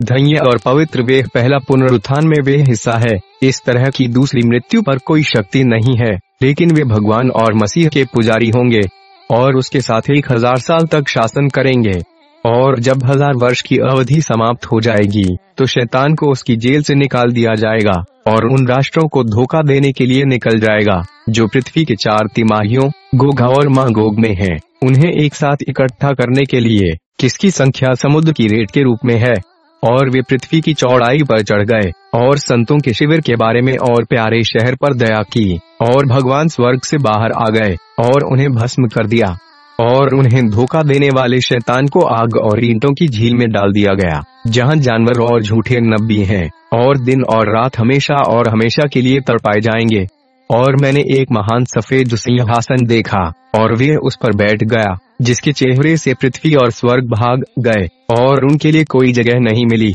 और मैंने देखा कि मरे हुए, छोटे और महान, भगवान के सामने खड़े हो जाओ, और पुस्तकें खोली गईं, और एक अन्य पुस्तक खोली गई, जो जीवन की पुस्तक है, और मृतकों को उन चीज़ों से आंका गया, जो पुस्तकों में लिखी गई थी, उनके कार्यों के अनुसार। और समुद्र ने मरे हुओं को छोड़ दिया जो उसमें थे, और मृत्यु और नरक ने उन मृतकों को जन्म दिया जो उनमें थे, और उन्हें उनके कार्यों के अनुसार हर आदमी का न्याय किया गया था। और मृत्यु और नरक को आग की झील में डाल दिया गया। यह दूसरी मौत है। और जिसको भी जीवन की पुस्तक में लिखा नहीं मिला, उसे आग की झील में डाल दिया गया। के रहस्य उद्घाटन जॉन अध्याय 20 पूरे हिस्सा। इक्कीस सितंबर 2004 को संदेश संख्या पाँच में, मैंने इसके निहितार्थ, जॉन बीस के रहस्य उद्घाटन को समझाने की कोशिश की है। कई विद्वानों ने जॉन के इस रहस्य उद्घाटन की विभिन्न तरीकों से व्याख्या की है। उनकी व्याख्या के अनुसार, लगभग सभी का कहना है कि कोई भी दो पुनरुत्थान देखते हैं। यह बत्तीस माह में पहला पुनरुत्थान है। दूसरा, वे कहते हैं, अंतिम निर्णय के बाद जी उठने हैं। दूसरा, वे यह निष्कर्ष निकालते हैं कि मसीह उनके साथ एक हज़ार वर्षो तक राज्य करेगा, कि ऐसा नहीं होगा, और वे अंतिम निर्णय में उनके साथ शासन करेगा। अब पूर्व नाग, अजगर। झूठे नबी ने पृथ्वी के सभी शासकों को नियंत्रित कर लिया है, इसलिए वे इसे इस ज्ञान के लेंस के साथ व्याख्या करते हैं, क्योंकि झूठे नबी का काम सत्य के रूप में झूठ फैलाना है। जैसा कि मैंने उल्लेख किया है कि महान धर्म शास्त्रीय महाविद्यालयों की शिक्षाएँ, क्योंकि झूठे भविष्य ने अपने सभी धर्मशास्त्रों में सत्य को विकृत कर दिया है। उन्होंने निष्कर्ष निकाला कि पृथ्वी पर कोई पुनरुत्थान नहीं होगा, कि दुनिया के अंत में केवल पुनरुत्थान होगा। तदनुसार, इथियोपिया का पुनरुत्थान उनके द्वारा मिथक बन गया है। ईश्वर की सच्चाई जो Ethiopia, the light of the world संदेश में सामने आई। हम इस नौवे संदेश को भी निम्नानुसार दोहराएँगे। परमेश्वर के पवित्र आत्मा के रहस्य उद्घाटन से हम सहस्त्राब्दी को कैसे समझें? जब हम सचमुच इसके लिए जाते हैं तो पहला शब्द कहता है, और मैंने एक स्वर्गदूत को स्वर्ग से नीचे आते देखा। जिसके हाथ में अथाह गड्ढे और एक महान श्रृंखला थी, इससे पहले कि हम इस शब्द को देखें, एक हज़ार साल से हमारा क्या मतलब है? प्रेरित पत्रस, जिसने परमेश्वर के समय के रहस्य को प्रकट किया था, हमें बताता है कि एक दिन ईश्वर द्वारा एक हज़ार वर्ष माना जाता है, और एक हज़ार वर्ष एक दिन माना जाता है। इसलिए, संख्या को मापने का समय किसी भी समय और अवधि में भगवान की इच्छा को सीमित नहीं करता है, बल्कि हमारे लिए है। इस प्रकार सहस्राब्दी को छोटा, बढ़ाया या आंशिक रूप से पूरा किया जा सकता है। भगवान ने कहा, मैं एक चोर के रूप में आऊँगा, लेकिन उन्होंने यह नहीं कहा कि मैं इस दिन, इस समय, इस मिनट में आऊँगा। इसलिए विवाद की कोई ज़रूरत नहीं है। जब परमेश्वर की इच्छा पूरी हो जाती है तो उसे छोटा या लंबा किया जा सकता है, क्योंकि यह कई बार वर्णित किया जा सकता है। इसलिए अपने विश्वास को बनाए रखना सबसे महत्वपूर्ण है। और उसने अजगर को पकड़ लिया। वह बूढ़ा नागिन, जो शैतान है, और शैतान है, और उसे एक हज़ार साल के लिए बाध्य किया, और उसे अथाह गड्ढे में डाल दिया, और उसे बंद कर दिया, और उस पर मुहर लगा दी कि वे राष्ट्रों को और अधिक धोखा नहीं देना चाहिए। जब तक कि तू रेत के वर्षों को पूरा न किया जाए, तब तक मेरे लोग स्वर्ग में महान श्रृंखला और रसातल की कुंजी के साथ स्वर्गदूत कहाँ आते हैं? पृथ्वी पर अपने कमीशन को ले जाने के लिए उसने किसे गिरफ़्तार किया? उसने किसको रसातल में फेंक दिया? यह पुरानी नागिन ड्रैगन, डेविल और शैतान है, जो लोग नहीं झुके और जानवर, अजगर और झूठे नबी की पूजा करते हैं, और जिन्हें निशान नहीं मिला वे भगवान के धर्मी फैसले से मुक्त हो जाएँगे और एक हज़ार साल तक आराम करेंगे। पुराने नाग, अजगर और झूठे नबी एक हज़ार साल के में बिताएँगे। इसके बाद एक इंडी एक छोटे से मौसम लगाया जाना चाहिए। यह निर्णय के अंतिम घंटे को इंगित करता है। तो पुराने नाग, अजगर और झूठे नबी को कैद करने के बाद क्या होगा? इसके बाद, मैंने देखा कि सिंहासन फैल गए थे, और मैंने देखा कि एक इंसान उन पर बैठा है, दृष्टि शब्द कहते हैं। इंसान यीशु है। यह कहता है कि एक से अधिक सिंहासन है। यह दिखाता है कि ट्रिनिटी के सभी तीन निकाय मौजूद हैं, और यह सब उनकी इच्छा से किया जाएगा। और फिर, उसने हमारे उद्धारकर्ता यीशु की खातिर और परमेश्वर के वचन के लिए मृतकों की आत्माओं को धार्मिक न्याय दिया। हाँ कई लोग नरसंहार कर चुके हैं। भगवान के शब्द के लिए शहीद हो गए। सत्य के लिए तेव हेदो के लिए। आज भी, हम साक्षी और सुनने के बाद की इथियोपिया के रूढ़ीवादी चर्च, विशेष रूप से कर रहे हैं। हमारा लोग है, योजना द्वारा हत्या की जा रही है कि दुनिया के साथ और समर्थन इससे सहमत हैं।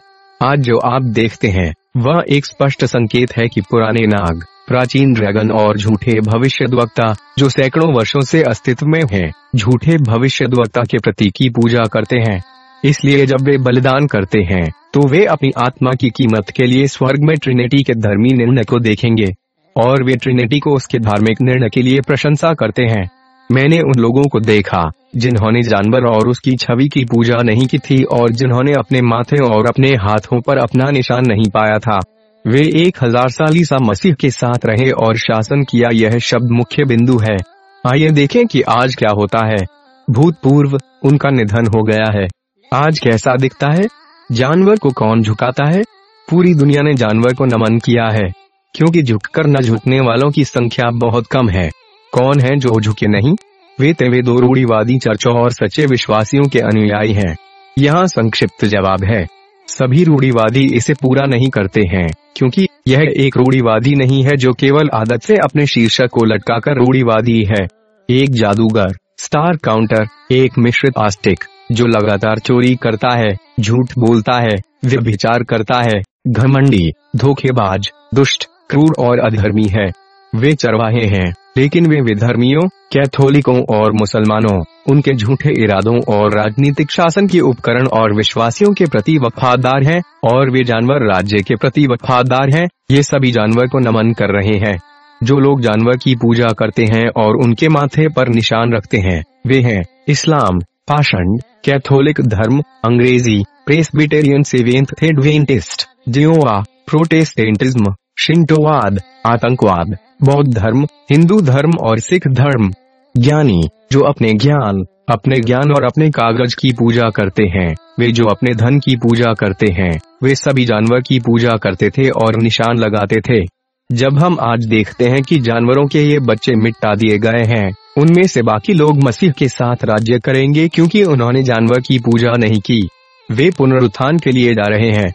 यह सच है। कैसे होगा मसीह? हाँ वह राज्य करेगा। परमेश्वर अपने चुने हुए सेवकों पर अपनी पवित्र आत्मा को विश्राम देगा। उनका चुना हुआ सेवक उनके सारे शरीर में मसीह को डाल देगा। उसने बाकी लोगों के लिए भी अपनी पवित्र आत्मा को आराम दिया और वह राज करेगा। यहाँ रहस्य है। वे वही करते हैं जो ईश्वर से प्यार करता है। वे जो नफरत करते हैं, उससे नफरत करते हैं। क्योंकि उनका अगुआ उनका शिक्षक है, क्योंकि परमेश्वर उनमें पवित्र आत्मा बसता है। लेकिन बाकी के मृतक हज़ार साल पूरे होने तक फिर से नहीं रहे दुनिया के निर्माण की शुरुआत से। सभी जो पृथ्वी पर आदम और हवा द्वारा बनाए गए हैं और इस पहले पुनरुत्थान पर पुनर्जीवित नहीं किए जाएँगे, वे अंतिम निर्णय के लिए दुनिया के अंत में ही उत्पन्न होंगे। धन्य और पवित्र वे पहला पुनरुत्थान में वे हिस्सा है। इस तरह की दूसरी मृत्यु पर कोई शक्ति नहीं है, लेकिन वे भगवान और मसीह के पुजारी होंगे, और उसके साथ एक हज़ार साल तक शासन करेंगे शब्द स्पष्ट है।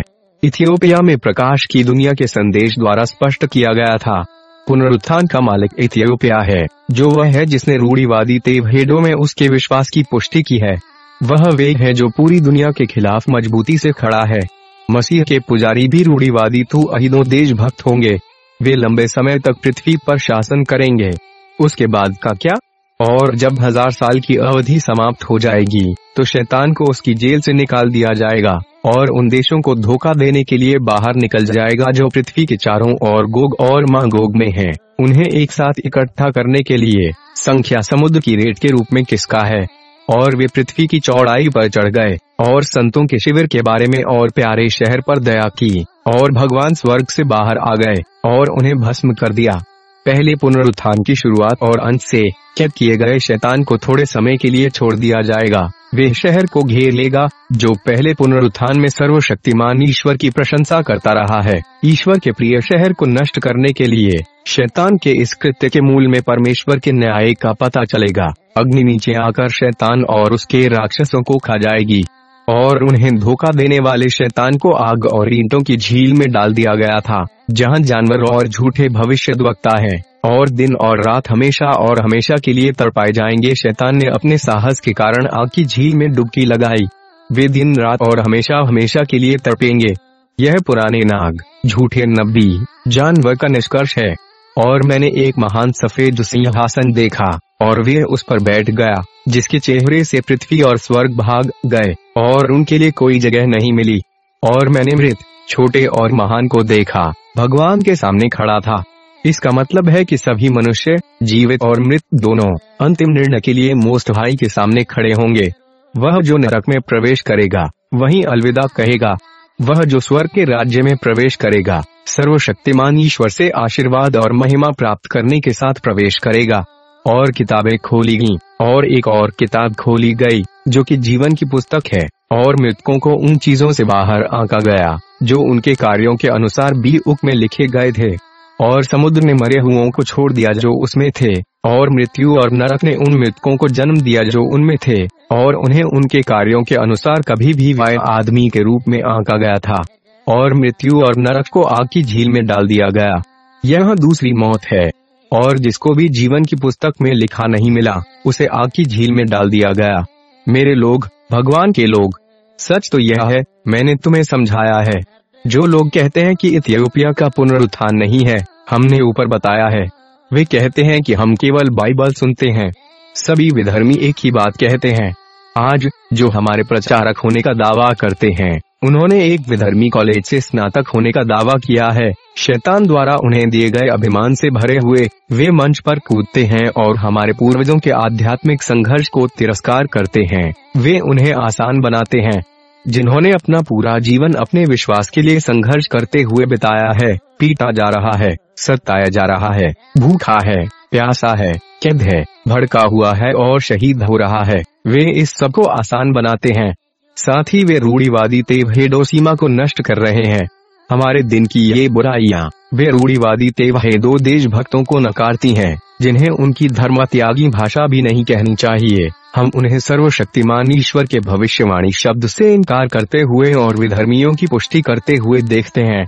हम तब देख रहे हैं जब वे शहीद फाय कटोर की पुस्तक से इनकार कर रहे हैं। जो उन्होंने इथियोपियाई पुनरुत्थान के बारे में लिखा था यहाँ हम उन्हें उनकी हर बात को मिटाते हुए सुन रहे हैं, जो उनकी पुस्तक के बारे में अर्खगेल सेंट ओरियल ने स्पष्ट रूप से कहा है। इनसे पैदा हुए सफ़ेद से स्वयं पूर्व सर्प, अजगर के झूठे भविष्य का शिष्य बन गया। हम उन्हें इथियोपिया दुनिया की रोशनी के संदेश की आलोचना करते हुए देखते हैं, जिसमें सच्चाई का पता चलता है। ये शैतान के चेले हैं। जब उन्हें बोलने की आज्ञा दी जाती है तो वे तोते की तरह गूंजते हैं। फिर भी उन्हें न्याय दिया जाएगा और हमारे निर्णय भविष्य में उन पर किए जाएँगे। हमें ऊपर उठाए गए मुद्दे पर वापस लौटे और संक्षेप में बताएँ। दश दश जैसा कि हमने विस्तार से समझाने की कोशिश की है। मैंने विस्तार से समझाने की कोशिश की है कि 16, 18, 19 का रहस्य उद्घाटन और प्रेरित जॉन के द्वारा वर्णित रहस्य उद्घाटन के अध्याय 20 का समापन और बंधन क्या है? मेरे लोगों भगवान के लोग परमेश्वर के वचन को समझने और समझाने के लिए हमें एक ऐसा जीवन जीना चाहिए जो पवित्र आत्मा के रहस्य के रहस्य उद्घाटन और उनकी इच्छा द्वारा निर्देशित, एक विश्वास द्वारा निर्देशित हो। कोई भी विधर्मी, एक कॉलेज स्नातक, भगवान के शब्द की व्याख्या नहीं कर सकता क्योंकि वे फिट देखता है। नोटिस, वह पहले से ही आध्यात्मिकता के लिए अंधा है, क्योंकि उन्होंने ज्ञान के लेंस के माध्यम से दुनिया को देखा है, वे इसे समझ नहीं सकते। मैं आज आपको बता देता हूँ, आज के आलोचकों को, उन सभी को जो साहस पूर्वक कहते हैं और सिखाते हैं कि इथियोपिया का पुनरुत्थान नहीं है, जब से यह संदेश आया है, आपको अपनी आलोचना के लिए दंडित किया गया है। सजा, आपको शैतान और उसकी सेनाओं को सौंप दिया गया है। हमने फैसला किया है कि आपके शरीर पर शासन करने के लिए शैतान, आपको इथियोपिया के पुनरुत्थान को देखे बिना मरने की सजा दी गई है। यह अपरिवर्तनीय होने का निर्णय लिया गया है। देखते हैं कि आप इस फैसले से कैसे बच सकते हैं। शैतान आपको बचा सकता है, जो आपको आलोचना करने के लिए चला रहा है। परमेश्वर के परिवार जिन्होंने सत्य के लिए उपवास रखा, जिन्होंने भगवान से पूछा और उत्तर प्राप्त किया, आप विजेता हैं। आप समझेंगे कि यह कितना हास्यास्पद होगा अगर एक अंधा आदमी उस आदमी को घृणा करे जो देख सकता है, और उसे नेतृत्व करने के लिए कहा, इसलिए अपने दिल को परेशान न होने दें, न ही डरने दें। आप जल्द ही देखेंगे कि जब वे सभी अलग हो जाएँगे। क्या आपने इथियोपिया की दुनिया की रोशनी में भगवान के न्याय के संदेश को पूरा होते नहीं देखा है? क्या आप यह नहीं समझते हैं कि आप शेष मानव जाति को परमेश्वर के निर्णय से संतुलन में तोलते हुए देखते हैं? यदि आपके पास कोई डी आउट है तो सर्वशक्तिमान ईश्वर से पूछें। एच ई सभी का सबसे बड़ा गवाह है। उससे पूछो, क्योंकि उससे पूछना तुम्हारा अधिकार है। तैयार कर। यह बात है। आप सभी यह देख सकते हैं कि जब अजगर, झूठे नबी, झूठे अजगर के सभी भाड़े के शिष्य जल्द ही दुख और पीड़ा से नष्ट हो जाते हैं। पूर्वजों के विश्वास और शिक्षाएँ। अतीत में, हमारे पूर्वजों के समय में, विश्वास विश्वास था। यह गैर पराक्रम्य था। आस्था जीवनादायनी थी। उपासना सत्य और आत्मा में, और विश्वास में है। वह आज मौजूद नहीं है। उन्होंने इसे पूजा करने की आदत ही बना लिया। वह इसे सत्य मानता है। इसमें नींव का अभाव था। जैसा कि आप देख सकते हैं अधिकांश युवा लोग जो आधुनिक ज्ञान के शिकार हैं, ने अपने पूर्वजों के विश्वास को त्याग दिया है और सफ़ेद विश्वास को विरासत में मिला है जिसके कारण हमारे देश और इसकी पीढ़ी का विनाश हुआ है। वह जो मर चुका था कमज़ोर शराबी नशे में और व्यभिचारी था और उसने अपने परिवार के रूढ़ीवादी विश्वास का तिरस्कार किया। वह अपने पिता से विश्वास के बारे में नहीं पूछता है। वे वास्तव में हेरिटेज का सिर का पीता है जो शहद से अभिषेक करता है, क्योंकि वह एक बार जा चुका था। जब आप उसे बुलाएँगे तो वह वापस नहीं आएगा। हमारे पूर्वज सच्चे लोग थे। सच बोलने वाले और झूठ को सच कहने वाले लोग थे। उनकी आराधना वास्तव में हार्दिक थी। इसके विपरीत, आज की पीढ़ी अपने मांस, स्वार्थी के लिए मर चुकी है। ज्ञान ज्ञान, सामग्री प्रगति ने पृथ्वी को ढक दिया है। सब कुछ अमूर्त हो रहा है। ऐसा कुछ भी नहीं है जो विज्ञान ने नहीं बनाया। सब कुछ मुँह से हाथ तक हो गया है। हथियार कई प्रकार के होते हैं। विमान, लड़ाकू विमान, मानव परिवहन, एक बार में जहाज़ की सामग्री की मात्रा, कार, वे कारखाना, आधुनिक भवन, संचार फ़ोन, टीवी, उपग्रह, अस्पताल, आधुनिक होटल, व्यभिचार स्थल, समलैंगिकों, पीने वाला। कृत्रिम भोजन। इन सब के कारण विज्ञान और उसका परिणाम उसका देवता बन गया। वह हंसता है जब हम आज विश्वास के बारे में बात करते हैं। उसका ईश्वर वे सामग्री है जो वह देखता है। जो भी व्यक्ति social media, Facebook, YouTube, Telegram, imo, WhatsApp आदि पर पोस्ट की गई कुछ भी देखता है, वे पूरी तरह से खो जाता है। जो संदेश हमने अपनी पीढ़ी के लिए लिखित रूप में तैयार किए हैं। उनमें से बहुत कम लोगों ने इसे पढ़ा था, लेकिन ज़्यादातर युवा और बुज़ुर्ग नहीं थे। परंतु भगवान की इच्छा से, हमारे मेहनती बच्चों के माध्यम से, इसे टेलीग्राम, फेसबुक आदि के माध्यम से आवाज़ द्वारा प्रसारित करने की कोशिश की गई है। इस तरह एक बेहतर व्यक्ति इसे सुनने में सक्षम था। जैसा कि मैंने ऊपर के पहले पृष्ठ से समझाने की कोशिश की, संदेशों में कई भाषाओं में अनुवाद किया गया है और पूरी दुनिया पर पहुँच गए हैं। यदि आप कहते हैं कि आपने आदम के बीज के बारे में नहीं सुना है तो आपको सुना नहीं जाएगा। आपने इसे नजरअंदाज कर दिया। आप जो सुन रहे हैं, वह आपके विधर्मियों का उपदेश है। आप कैथोलिक मूर्ति पूजक शिंतोवाद, ताओवाद, कन्फ्यूशीवाद, हिंदू धर्म, सिख धर्म, और अन्य की आवाज़ सुन रहे हैं। आप धोखेबाज विचार, नृत्य, राजनीतिक झूठ, धोखे, विश्वासघाती सुन रहे हैं। देश दुनिया की आबादी आठ बिलियन के करीब है। निन्यानबे प्रतिशत आबादी शैतान के मार्ग का अनुसरण करती है। व्यापक तरीके से, बिना किसी समस्या के, आराम से धर्म त्यागी में, मूर्तियों की पूजा करने में यह वह रास्ता है, जहाँ आप गए हैं। शैतानी लेखन जो ईसाई प्रतीत होता है, विधर्मी, कैथोलिक और विधर्मी है। इसलिए, आप रूढ़ीवादी तू अहिदों देशभक्तों की आवाज़ नहीं सुनते हैं। वास्तव में, आपने उपहास भी किया। जब हम धर्म त्यागी लोगों को देखते हैं, हम कह सकते हैं कि वे दुनिया के सभी लोग हैं। आपको अभी भी समझने की आवश्यकता है। हेरिटिक्स कैथोलिक धर्म, इस्लाम और सुदूर पूर्व के धर्मों को जोड़ें। पुराने नागों के लेखन, ड्रैगन के झूठे नब्बी धर्म त्यागी जोड़े। समलैंगिक ज्योतिषी जोड़े। अपने पेट के बाहर ईश्वर को न जानने वाले को जोड़ दें। मुझे जो कुछ भी याद नहीं है, उसे जोड़ो। आप कितने लोगों को भगवान के लिए वास्तव में समर्पित पाते हैं? मैं आपको आश्वासन दे सकता हूँ कि कोई भी नहीं है। जो लोग ईश्वर की कृपा से इथियोपिया में महान क्लेश से बच गए, मैं विश्वास दिलाता हूँ कि अगर आप सही मायने में ईश्वर से प्रेम करने वाले और कमज़ोर, बलवान और चुने हुए लोगों की संख्या बताएँगे तो आप चौंक जाएँगे, जो सत्य और आत्मा में ईश्वर की पूजा करते हैं। सच्चाई यह है कि यह स्पष्ट है कि इथियोपिया में 10 मिलियन से अधिक लोगों के बचने की उम्मीद नहीं है। मैं इसे मेरे लिए एक जीत मानता हूँ कि अगर ईश्वर उनकी दया में कुछ को माफ़ कर दे और उनकी कमियों को माफ़ कर दे और उनकी इच्छा शक्ति को बढ़ा दे, बाकी अफ्रीका के तीन मिलियन से अधिक जीवित नहीं है। उनके सभी विश्वास मूर्ति पूजा, इस्लाम, कैथोलिक और विधर्मी हैं, और कोई भी जीवित नहीं है क्योंकि उनका कोई अन्य विश्वास नहीं है। यूरोप एक पूरे के रूप में, विशेष रूप से ब्रिटेन, फ्रांस, जर्मनी, उत्तरी अमेरिका, कनाडा, ऑस्ट्रेलिया चीन और बहुत कम जो रूढ़ीवादी चर्च के सामने आत्मसमर्पण करेगा और जो बच जाएगा, परमेश्वर के सेवा के धर्मी निर्णय के मामले में न्याय करने वालों को छोड़कर सभी को निर्वासित किया जाएगा। इथियोपिया के रूढ़ीवादी बच्चे वहाँ रहते हैं। इथियोपियाई विश्व प्रकाश परिवार, जिनके पास प्रतीक हैं, मेहंती काउंसिल के सदस्य, पवित्र कप एसोसिएशन के सदस्य, जिन्हें पहले दौर में भी पंजीकृत किया गया था, और जिन्हें उनके द्वारा आश्रय दिया जा रहा था। इसके अलावा दूसरे दौर में पंजीकृत अपने परिवारों के साथ की उनके नीचे आश्रय। इनके अलावा बाकी सभी विपत्तियों से नष्ट हो जाएगा। मध्य पूर्व देश सऊदी अरब, संयुक्त अरब अमीरात, Kuwait, Bahrain, Oman, Qatar, Iraq, Iran, Yemen, Lebanon, Israel, Jordan, Syria, तुर्की और इस क्षेत्र के कई अन्य अरब देशों का सफाया हो जाएगा। शायद एक छोटी संख्या, शायद केवल एक हज़ार बचाया जा सकता है। Asia Japan Korea Vietnam Philippines Indonesia Nepal Myanmar Kyrgyzstan Uzbekistan Turkmenistan Azerbaijan Macedonia Croatia Latvia Estonia Norway Finland Sweden Ireland Scotland Greenland दोनों कुछ क्षुद्ध हृदय वाले दयालु भगवान को छोड़कर वे सब मिटा दिए जाएँगे।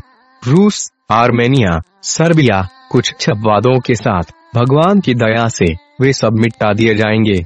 विशेष रूप से रूस, वे संदेश टीम में जानती थी कि उसे थोड़ी कम सजा दी जाएगी, लेकिन क्योंकि वे उसे आवंटित समय का उपयोग नहीं करती थी, उसे दूसरों की तरह टोला गया।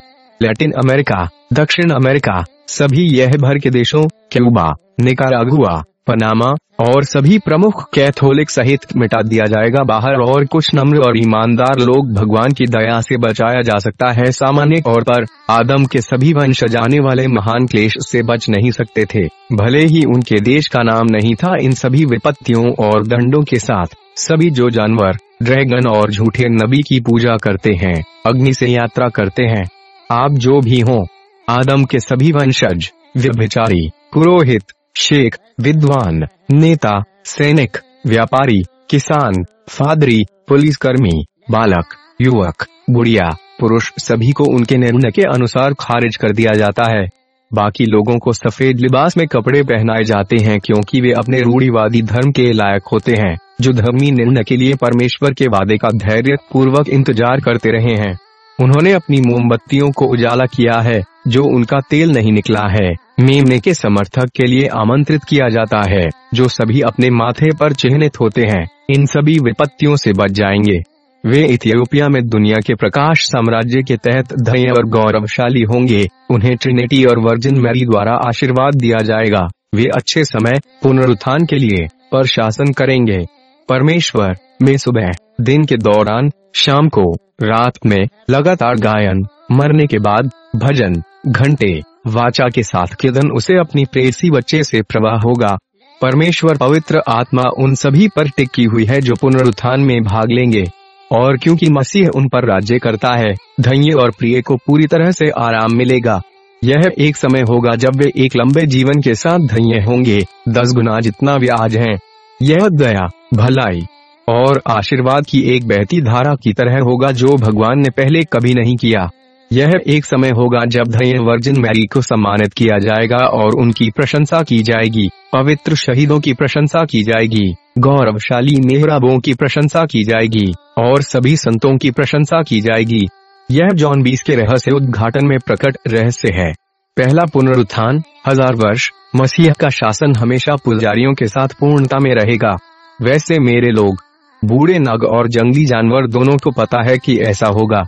वे जानते हैं कि उन्हें महान आग में फेंक दिया जाएगा जो लोग उनके सामने घुटने नहीं टेकते हैं। पुनरुत्थान की दुल्हन जिनके पास प्रतीक हैं, ट्रिनिटी और वर्जिन मैरी के सर्वश्रेष्ठ जहाँ चुने गए वे जहाँ जाएँगे और वे सब परमेश्वर के धर्मी न्याय और सामर्थ्य से पूरा होगा। शैतान यह सब अच्छी तरह से जानता है। हैरानी की बात है। हालाँकि आज जो भी आप इस सत्य को नकारते हैं वे शैतान द्वारा सम्मानित होते हैं। शैतान ने उन्हें बौद्धिक पित सत्तात्मक पुरोहिती और बौद्धिक शक्तियों के साथ संपन्न किया। वाकपटुता ने उन्हें बनाया। सम्मान, धन, संपत्ति, उन्हें हर जगह दिया गया। इन सभी को मिटा दिया जाना है। मुझे आश्चर्य होता है जब मैं उन्हें वसा वाले बैलों की तरह अत्यधिक चुभता हुआ देखता हूँ। प्रेषित पॉलुस हमें बताता है कि जो लोग परमेश्वर को नहीं जानते हैं और उसे ईश्वर के रूप में सम्मान नहीं देते हैं, वे वही हैं जो महान शब्दों से भरे हुए हैं, अपने ज्ञान पर भरोसा करते हैं और मूर्ख मन को दिया जाता है। वे वही हैं जिन्होंने हमारे चर्च को बांधा है, द्वारा पहने एक लबादा वे विद्वानों, शिक्षकों और मरीजीत बुलाया गया है, जो लोग कहते हैं, कोई भी हमसे बड़ा नहीं है, गर्व से भरा हुआ जिन्होंने अपने पेट के लिए भगवान का सच बेच दिया। फरीसियों की तरह, उन्होंने मसीह को अस्वीकार कर दिया और मार डाला। जो लोग कहते हैं कि जो हम कहते हैं, उसके अलावा शब्द नहीं बोला जाएगा। जो लोग कहते हैं कि अगर हम मंजूर नहीं करेंगे तो यह नहीं सुना जाएगा। जो इथियोपिया के पुनरुत्थान से इनकार करते हैं, जो विभिन्न समाजों के कफन में फेंक दिया, जो भगवान के लोगों की आशा को काला कर देता है। जब उनकी आँखों के सामने न्याय देखा जा रहा है, जबकि भगवान अपना काम कर रहे हैं, क्योंकि उन्हें इथियोपिया में दुनिया की रोशनी में बताया गया था, लगातार बात की जा रही है और सक्षम पिता द्वारा देखा जाता है। एक गुप्त एजेंडे के साथ, शैतान के साथ रात बिताओ, जो संस्थान में संतों के संग या महबरे के दूसरों और रविवार के स्कूल में दृढ़ होते हैं, जो विधर्मियों को बढ़ावा देते हैं। वे सफ़ेद कैथोलिक पाषंडों से कैसे भिन्न हैं जो इससे इनकार करते हैं? हाँ वे ही हैं जिन्हें सबसे पहले सजा दी जाती है। संक्षेप में, हमारे पूर्वजों का धर्म क्या था? क्योंकि यह विषय इतना व्यापक है, हम इसे कुछ हालिया पिताओं के साथ तुलना करने और वर्तमान पिताओं के साथ तुलना करने का प्रयास करेंगे। प्रेरित, जिन्होंने ट्रिनिटी के रहस्य के बारे में सच्चाई सिखाई, दिस्कीलियस में बारह प्रेरित, पॉल, जेम्स, जिन्हें हमारे भगवान का भाई कहा गया है। सात बहनों, सत्तर दो चेलों ने कहा कि, भगवान के सेवक, शांति के बचे, हम हम उन लोगों को यह कीमती सबक सिखाते हैं जो वास्तव में आज्ञाकारी हैं।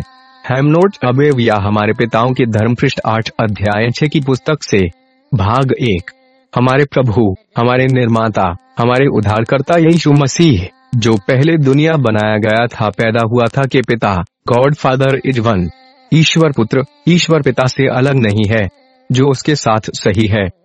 उसने सभी प्रकार की शक्तियाँ बनाई, और वे भविष्य में मानव बनना चाहता था। उसने वर्जिन मैरी से अपना शरीर लिया, जो वे कुंवारी है। पुरुष बीज के बिना। आइए हम इस तथ्य को कभी न खोएँ कि मांस के साथ कमर, अपरिवर्तनीय और अविनाशी आत्मा है। धर्म को अस्वीकार करने वाले विधर्मियों का कार्य सर्वशक्तिमान ईश्वर के नियम का विरोध और परिवर्तन करना है, इसलिए वे हमसे नफरत करते हैं। हमारे पूर्वजों ने उपरयुक्त उनके शब्दों में गवाही दी है कि विधर्मी और धर्म त्याग भगवान के शब्द को बदल देंगे और अपमानित करेंगे। उन विधर्मियों के बचे, जो अधिक से अधिक अप टू डेट प्रतीत होते हैं, ने आज खुले तौर पर शैतान को भगवान के रूप में उतारा और पूरी दुनिया को नष्ट कर दिया और आज अंतिम निर्णय पर पहुँच गया। फिर, हमारे पूर्वजों ने कहा, फिर से, हम मृतकों और धर्मियों के पुनरुत्थान में विश्वास करते हैं। फिर से क्योंकि यीशु मसीह एक इंसान बन गया था। हम मानते हैं कि उस पर कोई पाप नहीं है। वह जो वास्तव में मानव है, वे एक परमेश्वर है जो वचन है। उन्होंने कहा, उच्च पुजारी, आदमी को भगवान से मिलाता है। वह एक है जिसने शरीर को धन्य वर्जिन मैरी से बनाया और इसे विलय कर दिया। वह वे है जिसने सभी चीज़ों को बनाया है। वह वही है जिसे मरे हुओं में से पाला गया था। और वे केवल एक ही है जो मृतकों को उठा सकता है। बिशप हैरनी अस ने कहा, तोरा, नबियों और इंजील सिकाया मसीह। उन्होंने यह भी कहा, एक वर्जिन मैरी से के रूप में वे पैदा हुआ था, के रूप में वे क्रूस पर का सामना करना पड़ा, के रूप में वे मर गया, के रूप में वे दफनाया गया था, के रूप में वे मृतकों में से उठा, जब वे स्वर्ग में चढ़ा, जैसा कि वह परमेश्वर पिता की गवाही में दिखाई दिया, और जैसे ही उसने हमेशा के लिए शासन किया पिता और पवित्र आत्मा के साथ वे जिसने सभी चीज़ों का निर्माण किया, जिसने मनुष्य का निर्माण किया, जो सभी कार्यों में शासकों की उपस्थिति में वे पिताओं के प्रमुख हैं। वह वही है जिसने कानून बनाया है। वह महायाजक है जो याजकों की नियुक्ति करता है। उसने राजाओं पर शासन किया। वह वे है जो नबियों के माध्यम से बोलता है। वह एक है जो मानव बन गया। गॉड फादर से पैदा हुआ। वह व्यवहार भगवान है। जो चरित्र के भगवान से पैदा हुआ है, वे अनंत काल के लिए राजा है। वह वे है जिसने नूह की रक्षा की।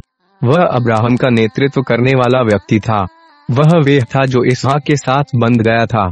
वह वही था जो याकूब के साथ अजनबी था। वह वे था जो यूसुफ के साथ बेचा गया था। हमारे दूसरे बिशप डायोनिसियस ने कहा, आइए हम त्रिमूर्ति की प्रशंसा करें कि उन्होंने सभी एंजल्स के लिए ज्ञान दिया है। क्योंकि वे स्वर्ग और पृथ्वी के सभी प्राणियों को जीवित कर चुके हैं। विज्ञान की रोशनी है। वे ही हैं जो भगवान के साथ आस्तिक के मिलन को परिपूर्ण बनाते हैं। वे सभी स्वर्ग दूतों की नियुक्ति करते हैं। वे ही हैं जो उस व्यक्ति के लिए सार गर्भित अनुग्रह देते हैं जो उसके योग्य है। यह हमारे पूर्वजों ने त्रिमूर्ति के रहस्य का वर्णन किया है। यह हमने उन किताबों से सीखा है जो दिव्यता बोलती हैं। एक बार फिर। हमने विश्वासियों को पाया, जो सर्वशक्तिमान ईश्वर की प्रशंसा करते हैं, उन्हें देवत्व भाषण में देवता कहा जा रहा था। आप देवता सभी उच्च के बच्चे हैं जैसा लिखा है, इसलिए ट्रिनिटी के चरित्र को भगवान कहा जाता है, इसलिए, जो देवत्व में बोलते हैं वे इन तीन निकायों की प्रशंसा करते हैं। वे केवल ट्रिनिटी की सेवा करते हैं, ट्रिनिटी की अथाह और अवर्णनीय एकता की घोषणा करते हैं। वह सभी प्राणियों में सबसे ऊँचा है, क्योंकि वे एक शक्ति हैं। क्योंकि त्रिमूर्ति चरित्र में एक हैं, उन्हें एक में कहा जाता है। त्रिदेवों के पहलू उनके शरीर में अद्वितीय दिव्य एकता में रहते हैं। जब वे एक होते हैं तो वे तीन व्यक्ति बन जाते हैं। इस प्रकार पिता पुत्र और पवित्र आत्मा के रहस्योद्घाटन के लिए प्रशंसा करें। पिता हल्का है। यह शब्द पिता से भीख माँगता था और पुत्र प्रकाश से प्राप्त प्रकाश है। और पवित्र आत्मा जो पिता से निकला है प्रकाश से प्रकाश प्राप्त हुआ है। हम सिर्फ़ यह मानते हैं कि पुत्र का जन्म पिता से भी होता है, पवित्र आत्मा का जन्म पिता से होता है, लेकिन हम इसकी जाँच करते हैं, क्योंकि यह सभी विवेक से ऊपर है, इसकी जाँच नहीं की जा सकती। इस दुनिया में, हर तथाकथित शासक उसके द्वारा नियुक्त किया जाता है, क्योंकि वे सारी सृष्टि के स्रोत हैं। उन सभी के लिए उनकी अच्छाई द्वारा बनाई गई है। उनके शरीर से उन्होंने मानव बनना पसंद किया। क्योंकि उनका एक शरीर वास्तव में हमसे संबंधित था। पिता और पवित्र आत्मा की इच्छा से परमेश्वर का पुत्र यीशु मसीह मनुष्य बन गया। वह वर्जिन मैरी के गर्भ में सोया था। उनका जन्म भी एक अद्भुत रहस्य के साथ हुआ था। वह जिसकी कोई शुरुआत नहीं है, जो हमेशा के लिए रहता है, जो सभी श्रेणियों से ऊपर है, और सभी प्राणियों से ऊपर है, वे हमारे चरित्र के साथ हमारे साथ विलीन हो गया, और समय उसके लिए गिना जाता है। बदले और मिश्रित हुए बिना, वे वास्तव में एक इंसान बन गया। उनके दिव्य चरित्र का कोई दोष नहीं है। हमें जो ट्रिनिटी में विश्वास करते हैं, ईश्वर ने जो कुछ किया, उससे हमें जाना। हमने यह रहस्य सबक परमेश्वर द्वारा नियुक्त शिक्षकों से सीखा है। उन्होंने हमें सिखाया, यह शिक्षा अविश्वासियों से छिपी हुई है। लेकिन यह उन लोगों के लिए स्पष्ट है जो विश्वास करते हैं। धर्मी उसे जानते हैं, लेकिन दुष्टों को इसका पता नहीं है। हमने यह सबक सीखा है। जैसा कि हम पुजारी कहलाते हैं, हमारे पुरोहिती के शीर्षक से, यह हमारे मन के अनुसार हमें पता चलता है, स्वीकार कर सकते हैं। हमारे दूसरे पिता, अपने पत्र में, अंताकिया की आर्च बिशप शहीद इग्नाटियस, जिन्हें सेंट पीटर द अपोस्टल का तीसरा उत्तराधिकारी नियुक्त किया गया था, ने कहा, भगवान, जिसने सभी चीज़ों को बनाया, वे है जो अपनी सारी रचना के लिए नियुक्ति और उपाधि दे सकता है। वे तीन शरीरों में महामहिम के सिंहासन पर बैठता है, जो दिखने में परिपूर्ण है, और सभी पर शासन करता है। धन्य वर्जन मैरी के गर्भ में तीन शरीरों में से एक की कल्पना की गई थी। दिव्यता के साथ मांस विलीन हो गया, और यहाँ, हम परमेश्वर के पुत्र के बारे में बात कर रहे हैं। पिता और पवित्र आत्मा के बारे में नहीं। पूर्ण रूप से, हम यह नहीं कहते कि पिता और पवित्र आत्मा की कल्पना एक वारी के गर्भ में की गई थी। हम कहते हैं कि केवल तीन शरीरों में से एक, पुत्र, उससे उत्पन्न हुआ था। हम मानते हैं कि पिता पुत्र में और पवित्र आत्मा में मौजूद है, कि पुत्र पिता में और पवित्र आत्मा में मौजूद है, और है कि पवित्र आत्मा पिता और पुत्र में मौजूद है। यह त्रिमूर्ति, तीन शरीरों में अविभाज्य और अपरिवर्तनशील और एक देवत्व में समान। ट्रिनिटी के लिए एक सरकार, एक इच्छा शक्ति एक शक्ति, एक सरकार। एक पूजा आई एक प्रशंसा, एक सम्मान आई सलाह का एक टुकड़ा, एक अधिकार, एक सम्मान, एक दृढ़ता, जीवन का एक तरीका, और एक पवित्र ट्रिनिटी के लिए होगा। और पिता पिता है, पुत्र और पवित्र आत्मा नहीं। पुत्र ही पुत्र है, पिता और पवित्र आत्मा नहीं। पवित्र आत्मा पवित्र आत्मा है, पिता और पुत्र नहीं। पिता पुत्र या पवित्र आत्मा में परिवर्तित नहीं होता है। पुत्र पिता या पवित्र आत्मा में परिवर्तित नहीं होता है। पवित्र आत्मा पिता या पुत्र में परिवर्तित नहीं होता है। ये तीनों शरीर आधिपत्य और महिमा में परिपूर्ण हैं। वे एक ही ईश्वरीय एकता में एक हैं। यह त्रिमूर्ति क्या उससे एक प्रकाश मिला है? यह पूरी दुनिया में भरा हुआ है। और यह उन लोगों पर चमकता है जो पृथ्वी के नीचे हैं। जैसा लिखा है, मैं स्वर्ग में और पृथ्वी पर पूर्ण हूँ। नरक में उसके आधिपत्य को भी देखो।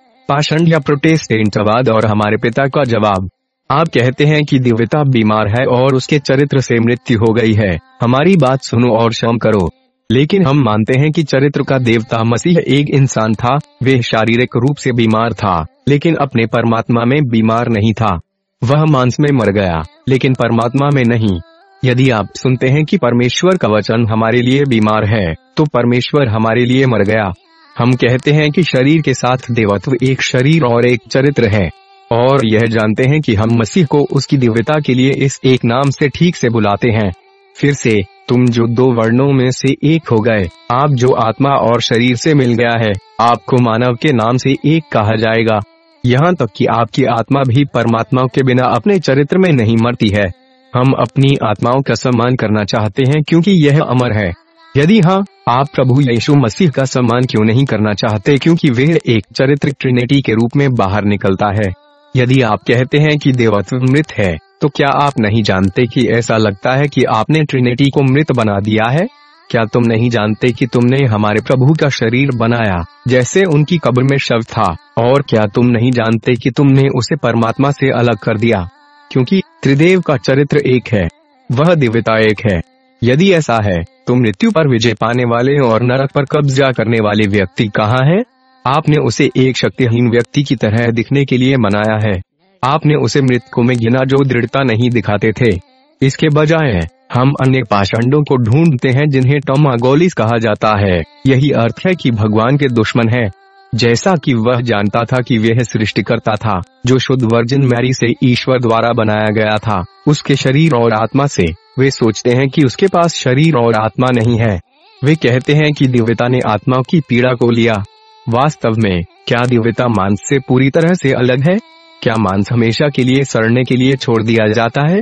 जो कोई भी कहता है कि आत्मा जीवित नहीं है, और उसने कहा कि जब वे हमारे प्रभु यीशु मसीह के शब्दों को यह कहते हुए शर्मिंदा होने देगा कि मेरी आत्मा दुख से बढ़कर है। हे भगवान, यह कहते हुए, किस पर? यह उन लोगों के लिए है जो हारने की तरफ़ हैं। अपने तेरहवें संदेश में आर कबिशप इग्नाटियस दशहीर ने कहा, हमारे प्रभु यीशु मसीह वास्तव में पैदा हुए थे। वह सचमुच बड़ा हो गया। उसने वास्तव में खाया और पिया। वह वास्तव में क्रूस पर चढ़ाया गया था। वह वास्तव में बीमार हो गया, मर गया, दफन हो गया और मृतकों में से गुलाब, जो इस पर विश्वास करता है, वह धन्य है। वह जो इससे इनकार करता है, वे उस धन्य जीवन से अलग है जिसकी हम आशा करते हैं, जो लोग परमेश्वर और यीशु मसीह के पुत्र को विभाजित करते हैं। एक शरीर के बाद एक चरित्र बन जाता है। उन जो दो शरीर, दो चरित्र बनाते हैं, उन्हें उन यहूदियों में गिना जाता है जिन्होंने अपने विद्रोही भाषण के लिए भगवान को सूली पर चढ़ाया। उनका भाषण यह था, एक अच्छे काम के लिए हम आपको पत्थर मारते हैं, लेकिन निंदा के लिए नहीं, और क्योंकि आप एक आदमी होने के नाते अपने आप को भगवान बनाते हैं। परमेश्वर के पुत्र की कमज़ोरी में, जो कहते हैं कि उसे कोई समस्या है, जो उसे दो शरीर और दो चरित्र बनाते हैं, उनका भाग्य वही है जो प्रेरित यहूदियों का है। लेकिन बेटे का शरीर हमसे संबंधित है। एक एकीकृत देवत्व और मांस से। वे दोनों में से एक हो गया, क्योंकि उसने दोनों को एकजुट किया। परमात्मा में, शरीर के चौथे और चरित्र के दूसरे तत्व के रूप में नहीं जोड़ा जाता है। वे शरीर में तीन हैं। उनके त्रिमूर्ति निकाय उनके नाम से पहले नहीं थे, उनके शरीर के बाद उनके नाम नहीं मिलते हैं। वे कौन से समय उन्हें पसंद नहीं करते हैं, लेकिन वे दुनिया से पहले थे। हालाँकि, पृथ्वी पर कोई भी उन्हें नहीं जानता था। ईश्वर का पुत्र, जब वे एक इंसान के रूप में थे तो वे कहते हैं, पिता, निहारना, मैंने तेरा नाम सभी पुरुषों के लिए जाना है, ताकि वे जान सके कि मैं आपका पुत्र हूँ। मुझे अपने प्रभुत्व से प्रकट करें। यह दुनिया बनने से पहले था। यह समझाने के बाद, दुनिया उसे जानना शुरू कर देती है। God the father. Debre Tabor पर्वत में गवाही देने के बाद, यह मेरा प्रिय पुत्र है। हमें यह समझाने के लिए कि तीन पहले थे और समानता है, उसने जॉर्डन में पवित्र आत्मा भेजा। पिता से परमेश्वर का पुत्र का जन्म दूसरों के लिए बताने योग्य और असंभव है, क्योंकि यह एक अब्राप्य मसौदा है। विशाल काय मसौदे की जाँच करना असंभव है। वह उनकी जाँच नहीं कर सकता, क्योंकि उनका जन्म मानव जन्म जैसा नहीं है। उसका जन्म, यह एक रहस्य है। इसकी जाँच नहीं की जा सकती है। इसलिए, परमेश्वर के परिवार को आपके तेवेदो विश्वास के आधार को ध्यान से समझना और समझना चाहिए। अपनी समझ बढ़ाने के लिए, यह साक्ष्य का एक छोटा सा टुकड़ा है जिसे मैंने आपको समझने में मदद करने का प्रयास किया है कि हमारे पूर्वजों द्वारा पवित्र ट्रिनिटी और ट्रिनिटी के रहस्य को कैसे प्रकट किया जाता है। मैं आपसे हम नोट अबे या हमारे पिताओं के धर्म की पुस्तक पढ़ने का आग्रह करता हूँ। यह आपको अपने विश्वास की नींव के बारे में और जानने में मदद करता है, जिसमें बताया गया है कि किस तरह हमारे प्राचीन पितृसत्ता ने हमारे टीडो वेडो विश्वास की नींव रखी। उसी पितृसत्तात्मक पुस्तकों में सबसे अधिक पूजनीय, प्रिय, हमारी एकता और आध्यात्मिक सेनानियों की नींव यहाँ कुछ इस पुस्तक में आपको मिलेंगे, सेंट अथानासियस बेसिलियस। ग्रेगोरी अबुलिडिस एप्रेम एराक्लीस एप्रोडाइट John Theodotus Epiphanius the great John अफेवेकर केरलोस Theodosius Severus किलोकोस डायोनिसियस अबा गेब्रियल अबा मेकर और अन्य। सीमित स्थान के कारण उल्लेख, आप उन सभी को इस हेमन्नत अबू या हमारे पिताओं के धर्म की पुस्तक में पाएँगे। मेरे लोग भगवान के परिवार, जब आपने इन पिताओं के संघर्ष को समझा, हमारे इथियोपियाई रूढ़ीवादी चर्च के नेता, चरवाहे, आज अपनी भेड़ों के बारे में क्या कर रहे हैं, जिन्हें पाटीदारों के नाम विरासत में मिले हैं? आप समझ सकते हैं कि वे क्या कर रहे हैं। यह संदेश आज जारी किया गया था। सलाह के लिए नहीं। भगवान का निर्णय और चेतावनी, जो सात समय के लिए प्रेषित किया गया था और आस्तिक और आदम के सभी वंशजों के ऊपर द चर्च तक पहुँच गया। लेकिन वे अपने विद्रोह के कारण उनके खिलाफ निर्णय सुनने और पश्चाताप करने में असमर्थ थे। अवमानना से, इसके बजाय वे पुराने नाग, अजगर, झूठे भविष्य शैतान का अनुसरण करते थे। अंत में, यह संदेश एक शक्तिशाली आग के आने का वर्णन करने के लिए जारी किया गया है। इतना ही नहीं, यह बताने के लिए कि भगवान का धैर्य समाप्त हो गया। अतिव्यापी और श्रृंखला जो पृथ्वी ने अपनी रचना के बाद से नहीं देखी है। महामारी, भूकंप ज्वालामुखी विस्फोट, नरसंहार, भारी हिमपात, बाढ़। यह संदेश यह घोषणा करने के लिए आया था कि उपरोक्त सभी आ चुके हैं, और वे इस खोई हुई पीढ़ी पर कार्य करेंगे। सच्ची और आध्यात्मिक उपासना और आध्यात्मिक मार्गदर्शन करने से रूढ़ीवादी तेव हे दो विश्वास कैसा दिखता है? भगवान के परिवार और वर्जिन मैरी के बचे, हमें यह समझने की आवश्यकता है कि भगवान के पवित्र आत्मा द्वारा निर्देशित होने और आराम करने का क्या मतलब है। यही शु मसीह हमारे प्रभु और उद्धारकर्ता हमारे पिता। इससे पहले कि उसने प्रेरितों की अंतिम आज्ञा दी, उसने एक बड़ी आज्ञा दी कि वे यरूशलेम को तब तक न छोड़ें जब तक कि उन्हें सत्ता प्राप्त न हो। उन्होंने कहा, मैं अपने पिता के पास जा रहा हूँ और मैं आपको पवित्र आत्मा, दिलासा देने वाले को भेजूँगा। उसने ऐसा क्यों कहा? जी हाँ उसके वफादार बचे, उसके वफादार बचे, जिनके लिए वह सब कुछ चुकाता था। अपने शत्रु शैतान से उनकी रक्षा करेगा। और वे उन्हें अपनी सबसे शानदार सड़क द्वारा निर्देशित करता है। शब्द को समझने के लिए, वे उन्हें उनकी अच्छाई के अनुसार सभी समझ और आध्यात्मिक समझ देता है। आखिरकार, परमेश्वर के बोलने के कई तरीके हैं। आज के कई लोगों के लिए यह सवाल है कि वे यह न समझें कि ईश्वर से कैसे जुड़ें और उनसे आध्यात्मिक मार्गदर्शन प्राप्त करें। इस तरह, आधुनिक प्रचारक यह कहते हुए विश्वासियों के सवालों का जवाब देते हैं कि हम केवल शब्द द्वारा निर्देशित हैं। बेशक उसका वचन वह आधार है जिस पर हमारा विश्वास आधारित है। यह हमारे विश्वास का केंद्रीय स्तंभ है। लेकिन हमारे दैनिक जीवन के दौरान हमें भगवान की आवाज़, भगवान की आवाज़ की तलाश करने की ज़रूरत है, जो हमारे जीवन के पाठ्यक्रम में हमारा मार्गदर्शन करेगी। केवल इस तरह से हम ईश्वर के वचन को बिना दोष के रख सकते हैं। नौकरी अध्याय तैतीस की पुस्तक में परमेश्वर के वचन में छंद बारह से तैतीस हमें बताए, दश निहारना इस तु कला में न सिर्फ़, मैं तुम्हें जवाब देंगे, कि भगवान मनुष्य से बड़ा है। क्यों तुम उसके खिलाफ प्रयास करते हो? क्योंकि वह अपने किसी भी मामले का हिसाब नहीं देता। क्योंकि परमेश्वर एक बार बोलता है, दो बार हाँ फिर भी मनुष्य यह नहीं समझता है। एक सपने में, रात की दृष्टि में, जब पुरुषों पर गहरी नींद सोती है, बिस्तर पर नींद में, तब वे पुरुषों के कान खोल देता है, और उनकी हिदायत पर पानी फेर देता है, कि वे मनुष्य को उसके उद्देश्य से हटा दे, और मनुष्य से अभिमान छिपा ले। वह अपनी आत्मा को गड्ढे से, और अपने जीवन को तलवार से नष्ट करने से पीछे रखता है। वह अपने बिस्तर पर दर्द के साथ और मज़बूत दर्द के साथ अपनी हड्डियों की भीड़ के साथ जकड़ा हुआ है, ताकि उसका जीवन रोटी और उसकी आत्मा के मांस से घृणा करे। उसका मांस भस्म हो जाता है, जिसे देखा नहीं जा सकता, और उसकी हड्डियों को देखा नहीं गया था।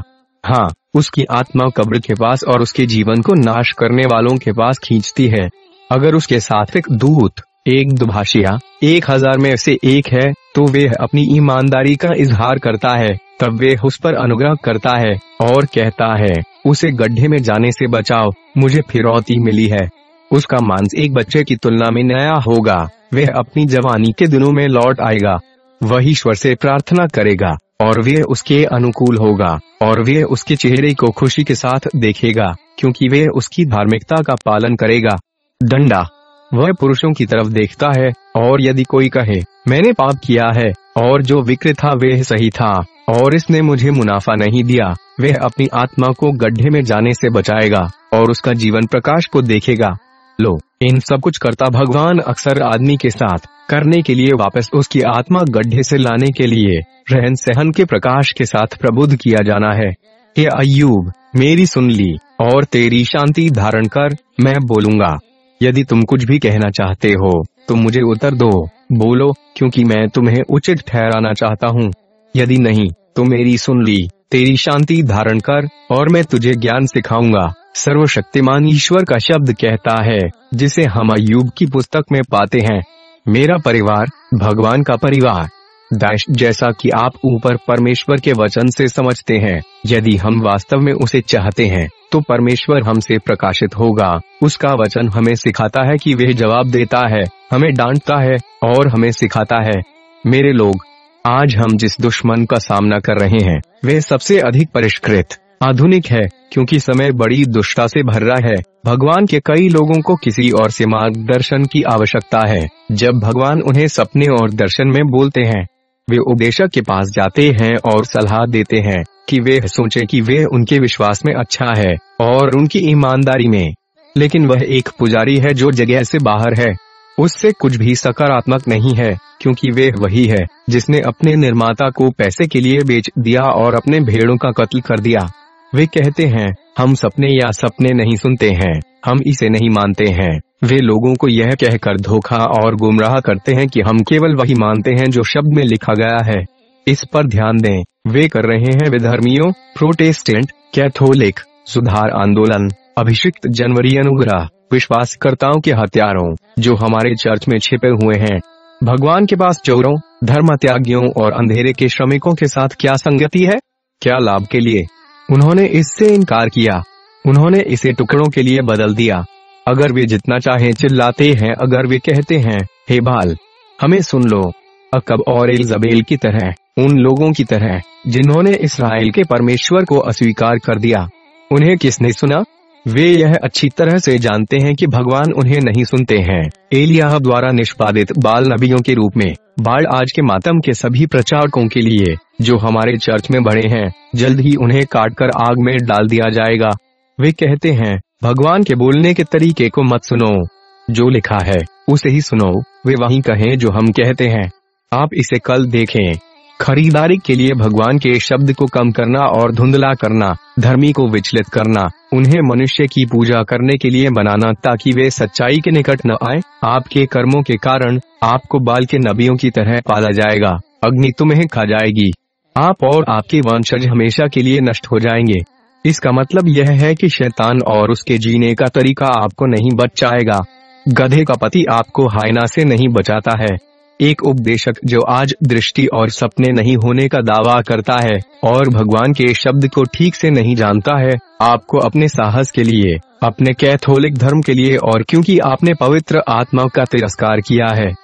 यदि आप कहते हैं कि आप एक सपने द्वारा निर्देशित नहीं है, यदि आप उन विश्वासियों से ईर्ष्या करते हैं जिन्हें दृष्टि, स्वप्न, समझ, प्रार्थना, उनके प्रश्न के लिए उपवास द्वारा उत्तर मिला है। यदि आप भगवान के बोलने का तरीका चुनते हैं, तब आपने अपने आप को परमेश्वर, पवित्र आत्मा से ऊपर रखा है।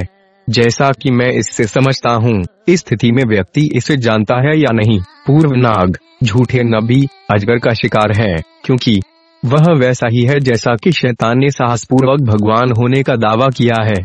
इसने शैतान की इच्छा पूरी की थी। जैसा कि मैंने ऊपर उल्लेख किया है, उन सभी मसीहियों से सावधान रहें, जो सच्चाई नहीं जानते हैं। विश्वास के व्यापारी, कैथोलिक, विधर्मी, सुधार, अभिषेक, जो अपने पेट के लिए रहते हैं, प्रभु को क्रूस पर चढ़ाने वाले फरीसियों की तुलना में अधिक नष्ट कर रहे हैं। निंदा नहीं लौटेगी तो उन लोगों से सावधान रहना। आज यह उन लोगों से भर रहा है जो अभी भी पश्चाताप नहीं करते हैं, जो अधिक प्रतिबद्ध अपराध करते हैं, जो वास्तव में शैतान द्वारा नहीं किए जाते हैं। बहुत सावधान रहें। उन्होंने पूरे रास्ते को कवर किया, क्योंकि जो भी कहता है कि मैं एक शिक्षक हूँ और स्नातक हूँ, वे शैतान से ज़्यादा कर रहा है। यद्यपि उनकी सभा भंग कर दी गई थी, वे संतों की संस्था या मेहबरे के दूसर नामक संस्था के चंगुल में आने में सक्षम थे। इसलिए, हम युवा महिलाओं से विशेष रूप से सावधान रहने का आग्रह करते हैं। एक अवसर में, मूसा ने परमेश्वर के लोगों के साथ लाल सागर को पार किया। जब वह लोगों को सलाह दे रहा था और नेतृत्व कर रहा था, उसकी बहन मरियम ने उसका विरोध किया और कहा, हम भी भविष्य वक्ता है। तुम कौन हो जो तुम हमसे बेहतर हो? भगवान उन दोनों को आज्ञा देते हैं कि वे मंदिर में, झांकी में आए। उन्होंने संपर्क किया और प्रभु ने मंदिर से कहा, मैरी तुम एक नबी की तरह हो, लेकिन मैं तुमसे एक सपने में बात करता हूँ। यह एक सीमा है, लेकिन मेरा नौकर मूसा तुम्हारे जैसा नहीं है।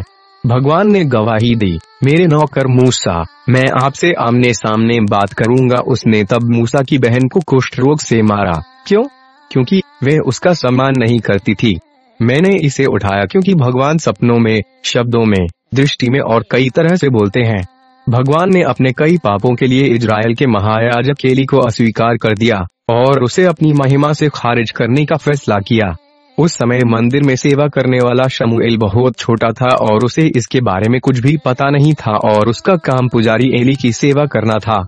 जब वह मंदिर में लेटा हुआ था, रात में उसने एक आवाज़ सुनी, शमुएल शमुएल चौंक गया। उसने सोचा कि उसे पुजारी एली ने बुलाया था।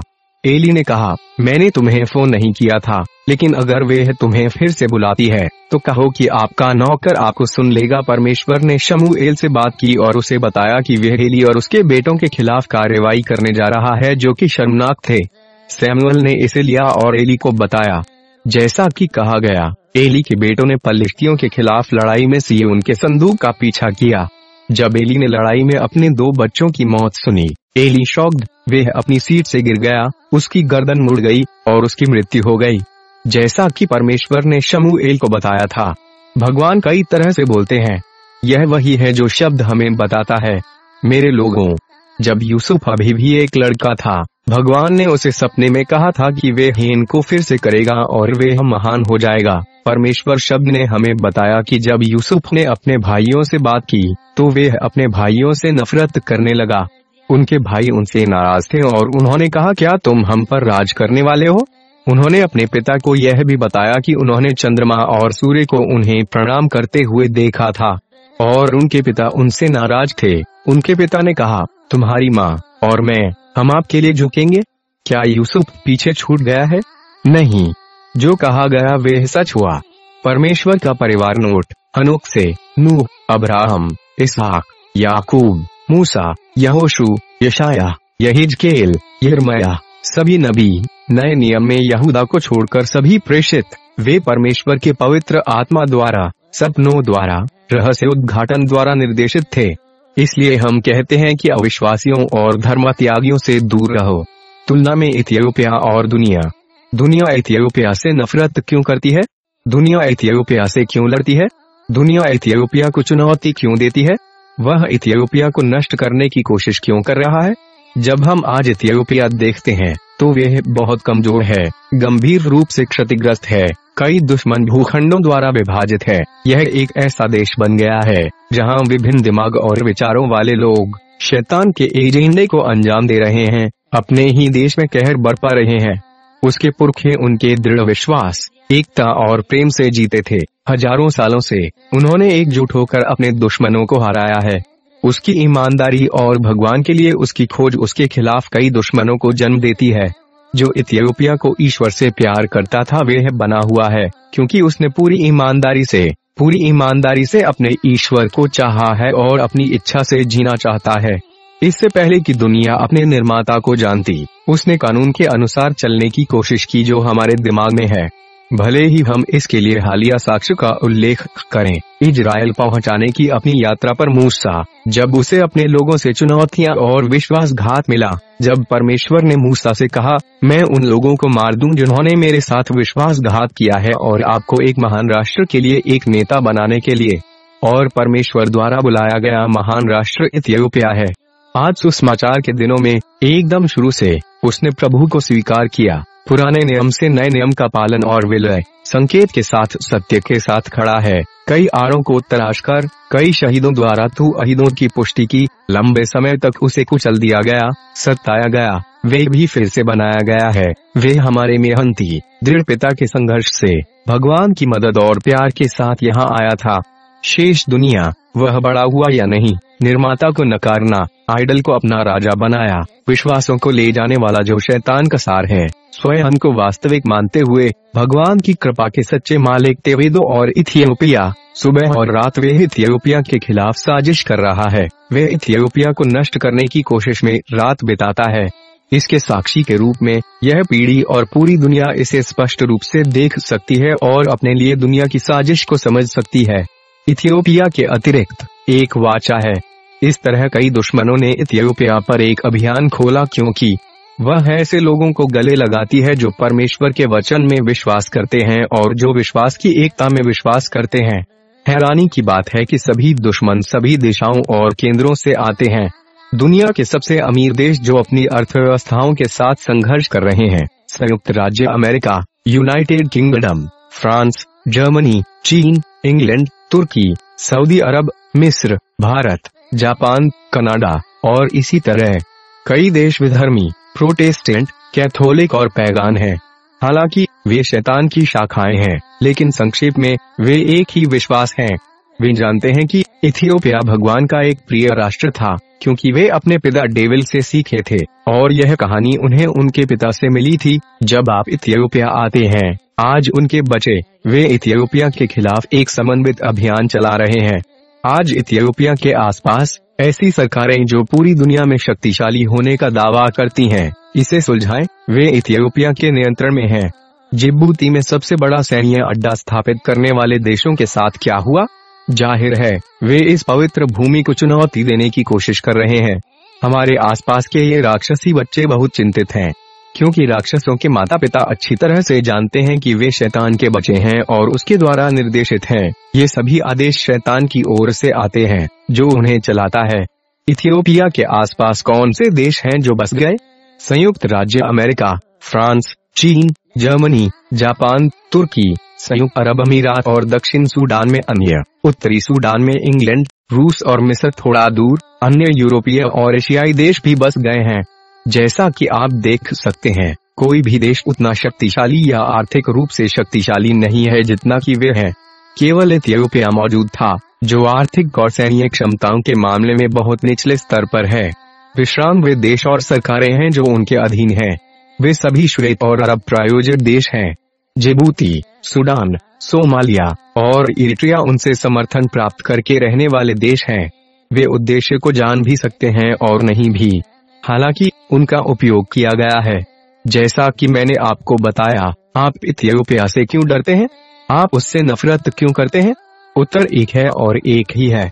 क्योंकि शैतान जानता है कि इथियोपिया के लिए अब्राहम की त्रिमूर्ति ने क्या तैयार किया और इथियोपिया के लिए उसका प्यार इतना ही नहीं। वह जानता था कि परमेश्वर के अभिषिक्त दास, जो उन्हें पृथ्वी के चेहरे से नष्ट कर सकते हैं, इथियोपिया से आएँगे। उन्हें लगता है कि वे इसे संभाल सकते हैं और वे इसे सहज रूप से करते हैं। उन्हें और क्या करना है? उन्हें क्या लाना है? काम करता है या नहीं? उन्होंने अपने जेट मिसाइल, जहाज़, टैंक और बंदूकों के साथ लाइन में खड़ा किया है। यही उन्होंने किया। Ethiopia, the light of the world के नाम से सात संदेश, दुनिया और हमारे देश इथियोपिया को वितरित किए गए। दुनिया के महाशक्तियों द्वारा उठाया गया पहला कदम लोगों और मीडिया के बीच इस संदेश को फैलने से रोकना था। विशेष रूप से, बीबीसी समाचार सेवा को ईमेल द्वारा तीसरा संदेश, अंग्रेज़ी में लिखा गया, प्राप्त हुआ। उनका तत्काल उत्तर यह है कि वे इसे जनता को नहीं समझा सकते हैं। उन्होंने मुझे बताया कि बोर्ड के सदस्य हैं, और उन्होंने मुझसे कहा कि मैं उन्हें ईमेल करूँ, और उन्होंने मुझे अपना ईमेल पता भेजा। मैंने तुरंत बोर्ड के सदस्यों को भेजा, लेकिन कोई जवाब नहीं है। दूसरा, मैंने इसे the Economist international media company के संपादक को ईमेल से भी भेजा है। उन्होंने यह भी घोषणा की कि यह आ गया था, लेकिन उन्होंने इसे संपादित करने के लिए कहा। इसे और इसके बाद इसे सार्वजनिक करने के लिए मैंने कहा कि नहीं, इसे कम नहीं किया जाएगा, इसे जोड़ा नहीं जाएगा। यदि आप कर सकते हैं तो इसे संपादित किए बिना बाहर निकालें या इसे छोड़ दें, जैसा कि यह है। फिर उन्होंने इसे छोड़ दिया। सफ़ेद दुनिया तब परमेश्वर के आने के फैसले से अनभिज्ञ नहीं है, वे अच्छी तरह जानता है। नेताओं ने विशेष रूप से इसे हल्के में नहीं लिया, क्योंकि उन्होंने अपने नेता, डेविल से उन्हें सच बताने के लिए और कार्रवाई करने के लिए कहा कि उन्हें लगा कि उन्हें लाभ होगा, क्योंकि वे पहले से ही अपने पिता, शैतान से इथियोपिया के बारे में जानते थे। वे लोगों और तेवेदों के विश्वास के खिलाफ अभियान चला रहे हैं। वे सात सौ वर्षो से एक समन्वित अभियान चला रहे हैं। लेकिन हमारा ईसाई समुदाय सामान्य जीवन जीना जारी रखेगा, चाहे जो भी हो। समझने और सावधान रहने के लिए कि इथियोपिया कौन है, और वे हर धर्मी पश्चाताप करे और इधर उधर घूमे, और संसार के कोप से बच सके। जैसा कि हमारे पिता नूह ने पुकारा, उन्हें इथियोपिया में लाइट ऑफ़ द वर्ल्ड के साथ संदेश सुनने के लिए मनाया गया था। इसके अलावा, सोशल मीडिया में रहस्य उद्घाटन जॉन बीस नाम से एक टेलीग्राम पेज लॉन्च किया और इस टेलीग्राम पेज पर कम से कम दो साल के लिए सभी संदेश प्रसारित किए गए थे। इतना ही नहीं, लेकिन एडम के वंशजों के सभी बिलाइनों को Facebook, YouTube I M O WhatsApp और अन्य पर विभिन्न भाषाओं में व्यापक रूप से वितरित किया गया है। किसने सुना? यह बहुत दुखद और अद्भुत है। मनुष्य सबसे अधिक विद्रोही, अभिमानी, धर्मद्रोही, अभिमानी और अपने ज्ञान पर गर्व करता है। हम इथियोपिया और दुनिया भर में एक लाख सोलह हज़ार टेलीग्राम उपयोगकर्ताओं को देखते हैं। आप आश्चर्यचकित होंगे यदि हम आपको बता सकते हैं कि विश्वास में कितने नामांकित हैं। हमने इसे इतिहास के लिए सहेज कर रखा है। यह पंजीकृत होने का अवसर था, इसलिए पंजीकृत जीत गए हैं। जैसा कि हमने देखा है, दुनिया की सरकारें बेकार नहीं बैठती हैं। वे इथियोपिया के खिलाफ विनाश के अपने अभियान को जारी रखते हैं। वे आज थक नहीं रहे हैं, लेकिन शैतान उन्हें अंत तक चला रहा है। यही कारण है कि वे इथियोपिया के कठपुतली सरकारों को यथासंभव रोपण और बदल रहे हैं। करने के लिए इथियोपियाई तू अहिदो चर्च के साथ ही आस्तिक नियंत्रित करते हैं। वे अपने विभिन्न अंधेरे विश्वासों को फंसाने द्वारा इसे नियंत्रित करने की कोशिश कर रहे हैं। विधर्मियों का प्रसार। प्रोटेस्टेंट का प्रसार, इस्लाम का प्रसार, नस्लवाद का प्रसार धर्म त्यागों की संख्या, लोलुपों की संख्या, उपासकों की संख्या और यह सारा अभियान गोरों के लिए एक बहुप्रचारित हमला है। मेरे लोग, वे जानते हैं कि इथियोपिया दुनिया में एकता में वृद्धि और नेतृत्व करेगा। वे अच्छी तरह जानते हैं कि इथियोपिया की विश्व प्रकाश सरकार शासन करेगी। उनकी एकमात्र चिंता यह है कि इससे कैसे निपटा जाए। शैतान बहुत अच्छी तरह से जानता है कि भगवान वे कहते हैं, क्या वे क्या करेंगे? करेंगे। लेकिन एकमात्र तरीका वे इथियोपिया को कमज़ोर कर सकता है, आस्तिक को नष्ट कर सकता है, विश्वासियों को इथियोपिया के पुनरुत्थान से इनकार कर सकता है, और एक राष्ट्र के रूप में खड़े होने में असमर्थ होने का काम करता है। यदि वह यहाँ से कूदता है और अंतिम लड़ाई का सामना करता है, उन्होंने सभी महान राष्ट्रों, नौसेना, जेट मिसाइलों को हमें घेर लिया। मैं इस अवसर पर घोषणा करना चाहूँगा कि उनकी कब्र और कब्र इथियोपिया में यहाँ पर होगी। यहाँ तक कि इथियोपिया में, जो आपके मूल देश में आपको इंतज़ार कर रहा है, वे बस धूल में बदलने की बात है। हमारी ऊर्जा त्रिदेव की दिव्यता से आती है। हमारी ऊर्जा और शक्ति सर्वशक्तिमान ईश्वर और वर्जिन मैरी है। यह त्रिमूर्ति है जिसने आपको बनाया है। अंधेरे की शक्ति और संपूर्ण सृष्टि।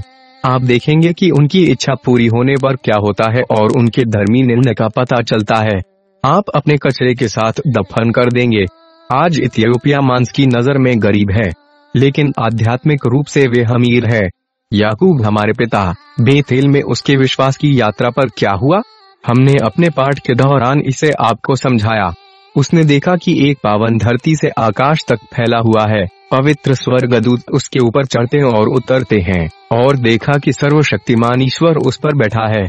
वह इतना प्रभावित हुआ। यह भगवान की सबसे शानदार जगह है। उन्होंने कहा, इससे पहले कि वे अपनी माँ के परिवार के लिए चले गए थे, उन्होंने एक पत्थर का स्मारक बनाया और उस पर तेल डाला। यह वहाँ था कि भगवान ने यह स्पष्ट कर दिया कि वह इब्राहिम से अपना वादा रखेगा। जब वह लौटा तो उसने अपने चाचा के घर में बीस साल बिताए, और परमेश्वर ने उसे नहीं छोड़ा। जब समय आया, भगवान ने कहा, अपने पिता और अपनी माँ के पास वापस जाओ। जब वे अपने वचन को ध्यान में रखते हुए वहाँ पहुँचा तो बेथेल में परमेश्वर ने उसे फिर से दर्शन दिए और उसके वचन की पुष्टि की। उसने अब्राहम और इसहाक से जो वादे किए थे, उसने उसे आश्वासन दिया कि वह अपनी बात रखेगा। बेथेल में याकूब को पता चला कि सीढ़ी कहाँ है। इस दिन और उम्र में परमेश्वर ने किसके साथ अपने वचन की पुष्टि की? जैसा कि हमने पहले ही कहा है, जिन्हें उनके शरीर से इसराइल कहा जाता है और जिन्हें उनकी आत्मा द्वारा इसराइल कहा जाता है। आज, सर्वशक्तिमान ईश्वर ने इथियोपिया के रूढ़ीवादी तेवेदो विश्वास के लिए अपनी वाचा की पुष्टि की। वह जिस देश से प्यार करता है वे इथियोपिया है। उसने अपनी माँ और हमारी माँ वर्जिन मैरी को इथियोपिया की विरासत के रूप में दिया।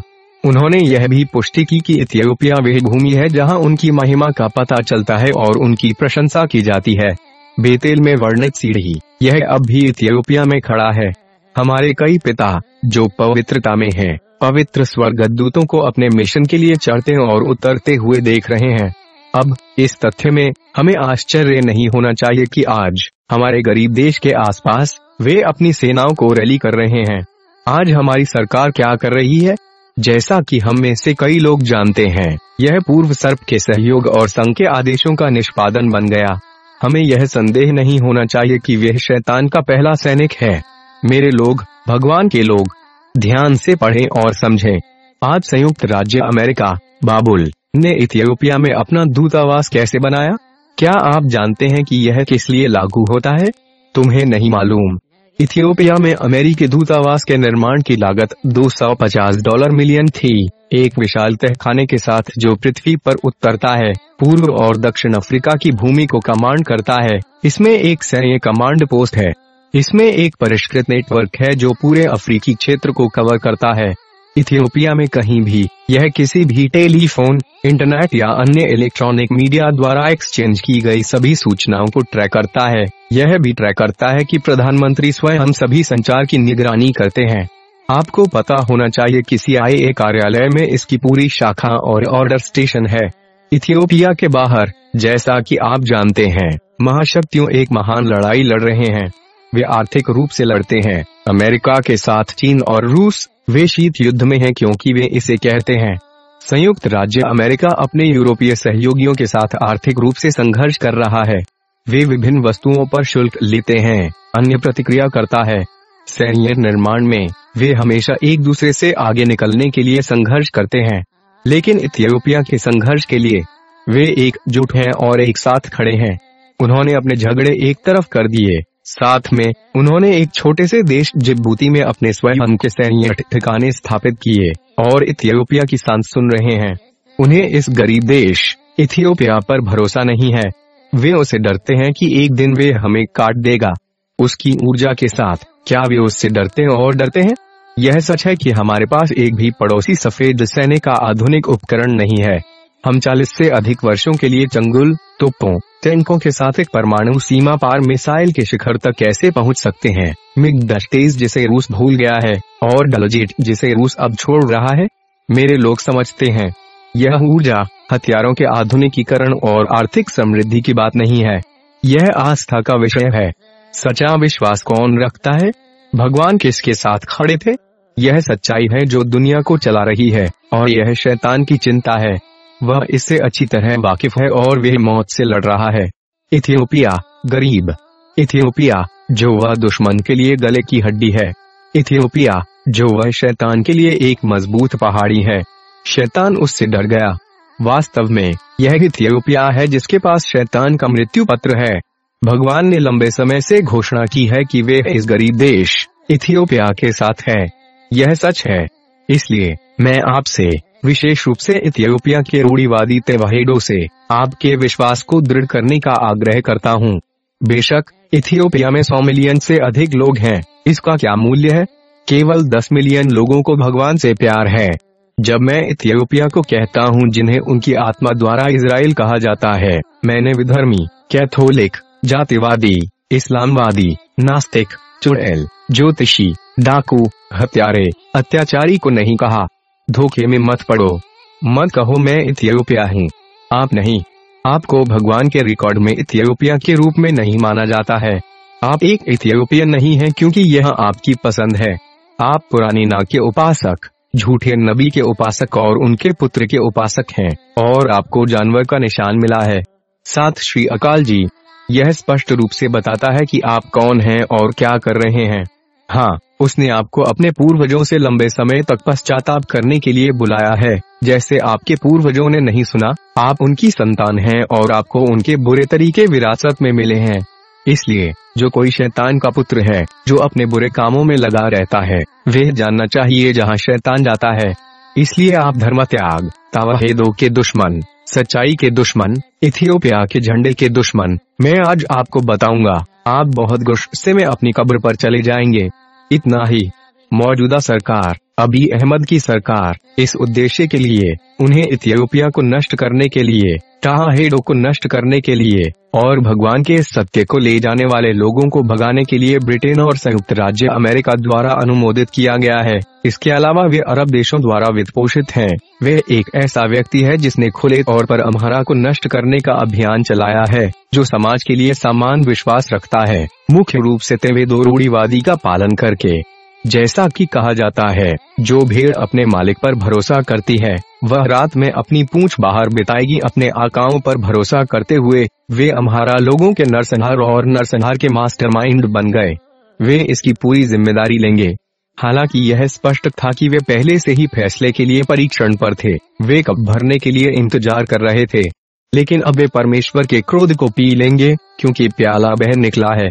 सामान्य तौर पर, मैंने आपको कुछ समझने की कोशिश की है कि इथियोपिया कौन है। ध्यान दे, मेरे लोग, जैसे ही यह संदेश सामने आता है, मैं आपको पहले से बता दूँ कि जब यह शैतान के सभी विरोधी आएँगे तो वे क्या करेंगे। इस संदेश में जो कहा गया है वे सत्य नहीं है। विभिन्न विचारधाराओं के अजनबी, अपने हाथों में शैतान के सभी सर्वश्रेष्ठ सेवकों के साथ, पूरे मीडिया में गलत प्रचार करना शुरू कर देते हैं। फिर, भ्रामक धार्मिक विश्लेषण और शैतानी रणनीति को विकसित करके, वे अपने लोगों को मज़बूत करने के लिए काम करते हैं, व्यक्तिगत और सामूहिक रूप से। साथ ही साथ दुनिया भर में सरकार, शायद, उन्होंने जितना अब हम कल्पना कर सकते हैं उससे अधिक नष्ट करने की साजिश रची है। वे ऐसा इसलिए करते हैं क्योंकि उन्होंने हमेशा हमें जीवित रखने का सपना देखा है। ऐसा ही होता है। लेकिन समय नहीं है। समय नहीं है। आपको बार बार कहने का समय नहीं है।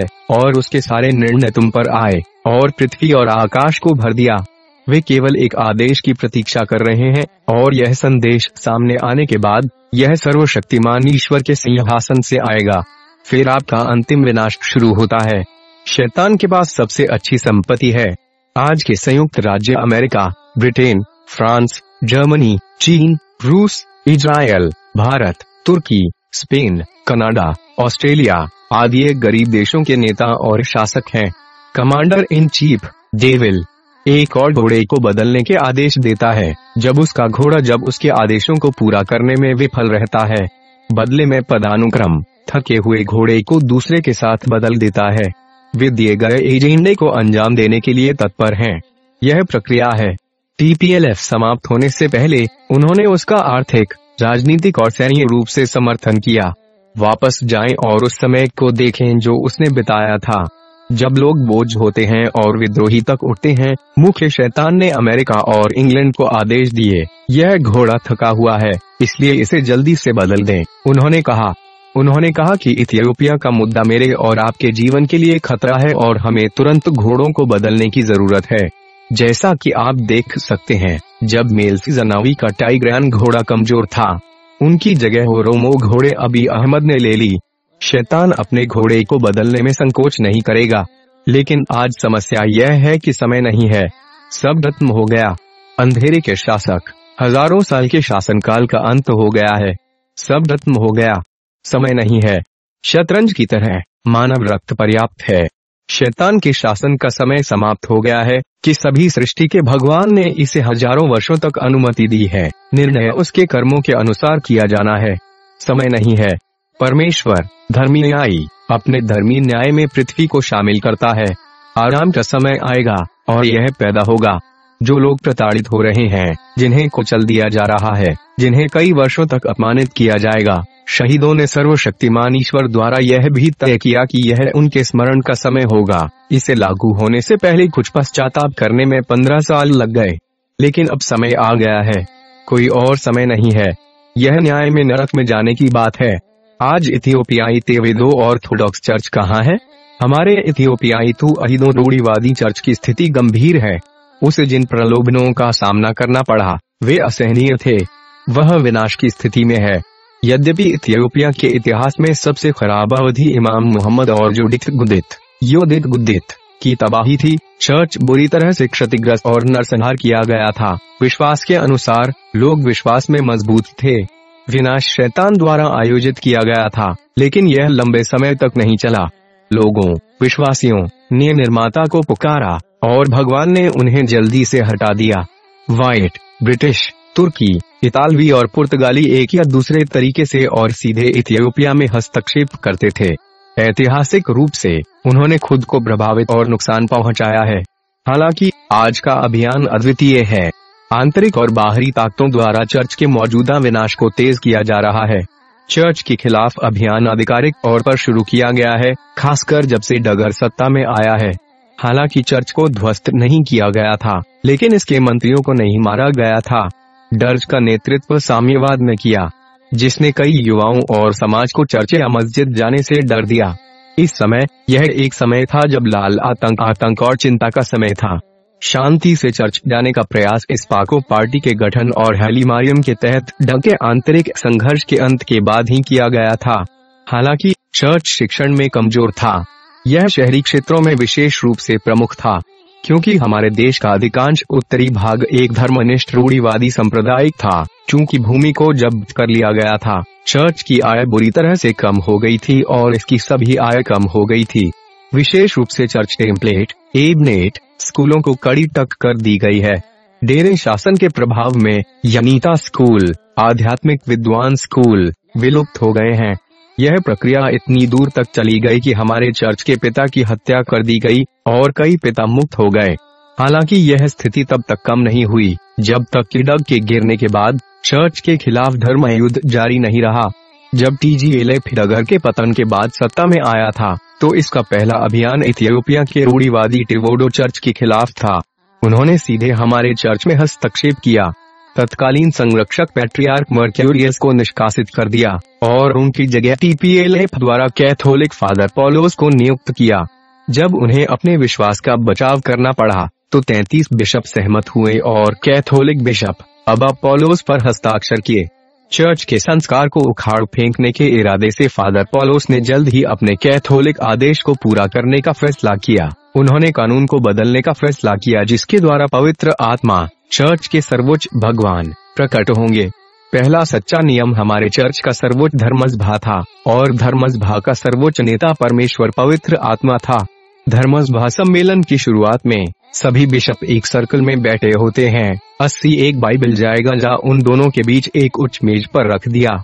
जब सम्मेलन खुलता है, प्रार्थना में परमेश्वर पवित्र आत्मा मंडली को संभालेगा। उसके बाद बैठक आयोजित की जाएगी।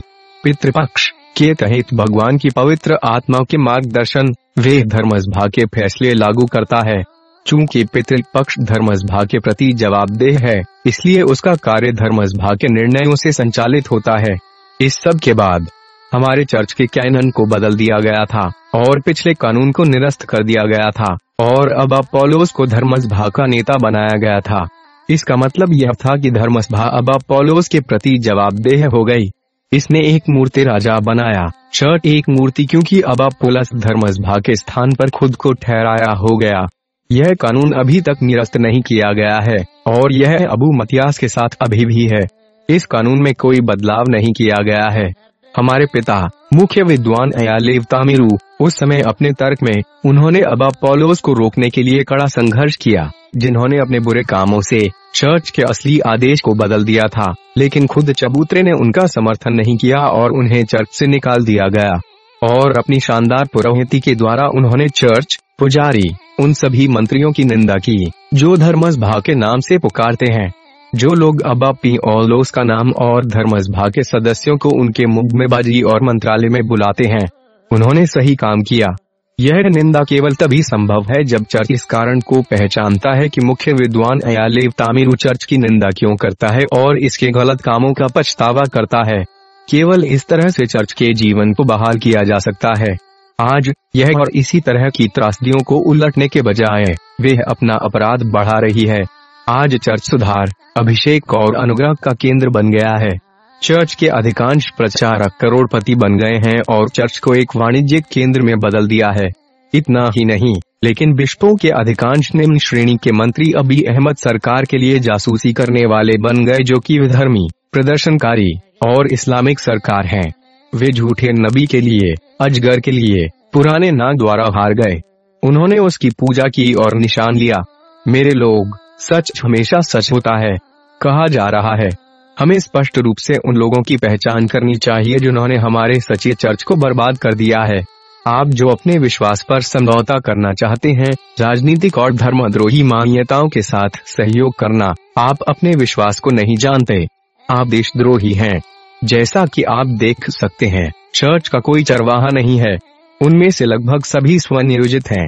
वे धर्मत्यागी और विधर्मी बन गए हैं। इसलिए, फैसला उन लोगों को शुद्ध करने के लिए आया है जो चर्च के अंदर बैठे हैं और तेवेदो विश्वास को नष्ट कर रहे हैं। मौखिक रूप से, वे एक धर्मनिष्ठ विश्वासी होने का दावा करते हैं, लेकिन व्यवहार में वे अभिषेक्त, विधर्मी, सुधारक, जासूस होते हैं। यदि कोई भी अपनी जीव का उपयोग अपने प्रचार में करता है तो वे उनका समर्थन कर सकता है। लेकिन भगवान के साथ, यह कोई फ़र्क नहीं पड़ता कि वे कौन हैं। वे शैतान के बचे हैं, और उनका फैसला खुले में चलेगा। रूढ़ीवादी तेवाहेडो चर्च न केवल इससे प्रभावित हो रहा है, सफ़ेद दुनिया एक लंबे समय के लिए सत्य के इस घर पर चुनाव प्रचार कर दिया गया है, लेकिन जैसा कि अभी है यह खुला के रूप में कभी नहीं रहा। इसका मुख्य कारण यह है कि सच्चाई, जो पिछले पंद्रह वर्षों से सामने आ रही है, इसने उन्हें परीक्षा में डाल दिया है। इसीलिए जो लोग छिप रहे थे, जो गुप्त रूप से चर्च पर हमला कर रहे थे, खुले तौर पर नष्ट होने लगे। Ethiopia is the light of the world शीर्षक के साथ आया संदेश, हमने सत्य को जनता तक पहुँचाया है। सर्वशक्तिमान ईश्वर द्वारा हमें दी गई कल्पना का उपयोग करते हुए, क्योंकि उनके पास कमर विधि का अभाव था, इसलिए, हम उन्हें हर जगह आँख बंद करके निंदा करते हुए सुनते हैं। हमारे निर्माता सर्वशक्तिमान ईश्वर अपने चरित्र से सत्य हैं। इसलिए वह केवल सच्चाई को सही ठहराता है। झूठे शैतान हैं, भूतपूर्व सर्प हैं, झूठे भविष्य हैं। हम यह कैसे कह सकते हैं कि हम भगवान की पूजा कर रहे हैं यदि हम चुपचाप अपने चर्च के धर्म त्याग को देख रहे हैं जिसके कारण झूठी धर्म त्याग और विधर्मियों का सामना करना पड़ा है? हम कैसे कह सकते हैं कि हमने सच्चाई पर राज किया है? इसलिए हम कह सकते हैं कि उन्होंने हमारे चर्च को उस तरीके और चीज़ों के कारण नष्ट कर दिया है जो वे कर रहे हैं। एक संस्था जिसे संतों का संघ या महबरे के दूषण कहा जाता था, जिसे कभी अच्छे ऑर्थोडॉक्स डिवाइडो बच्चों द्वारा अच्छे उद्देश्य के लिए स्थापित किया गया था, ने उस समय अच्छा काम किया। लेकिन धीरे धीरे सरकारी जासूसों ने इस इलाके में घुसपैठ कर ली, जिससे उन्हें अपना चरित्र खोना पड़ा। हमने सुना है कि यह संगठन इथियोपिया की दुनिया की रोशनी के संदेशों का खुलकर विरोध कर रहा है। उन्होंने अपने माहिबर के दूसरे टेलीविज़न प्रसारण पर दो साक्षात्कार में मेहमानों द्वारा किया। मेहमान उपदेशक हेली मारियम जेडू और उपदेशक गिब्रमे वो हैं। यद्यपि प्रोग्रामर और साक्षात्कारकर्ता ने अपना नाम नहीं दिया, लेकिन हमने सीखा कि वे इस कार्यक्रम के मुख्य आयोजक थे। इस घटना में दो शिक्षक विशेषज्ञ होने का दावा करते हैं। हमने सुना है कि जब वे कहते हैं कि इथियोपिया का पुनरुत्थान नहीं हुआ है, वास्तव में हम सुना है कि जब वे कहते हैं कि हम केवल स्वीकार बाइबल और तथाकथित मनगणित संतों व्यर्थ कर रहे हैं, हम ध्यान में रखना चाहिए तो हमने सुना है उन्हें खुले तौर पर बात करते हैं। प्रोटेस्टेंट तरह हम कितने संघों को साकार कर रहे हैं, चर्चों और रूढ़ीवादी तू अहिदों चर्च के नेताओं को हमारे चर्च को नष्ट करने और धर्म में शासन करने के लिए बेच दिया गया है। हालाँकि, जो कमज़ोर हैं, वे खुद को विधर्मियों और इस्लाम के गठबंधन के लिए बेच रहे हैं। वे अपने भीतर को कवर करने और दावा करने के लिए अपने लबादे और पगड़ी का उपयोग करते हैं।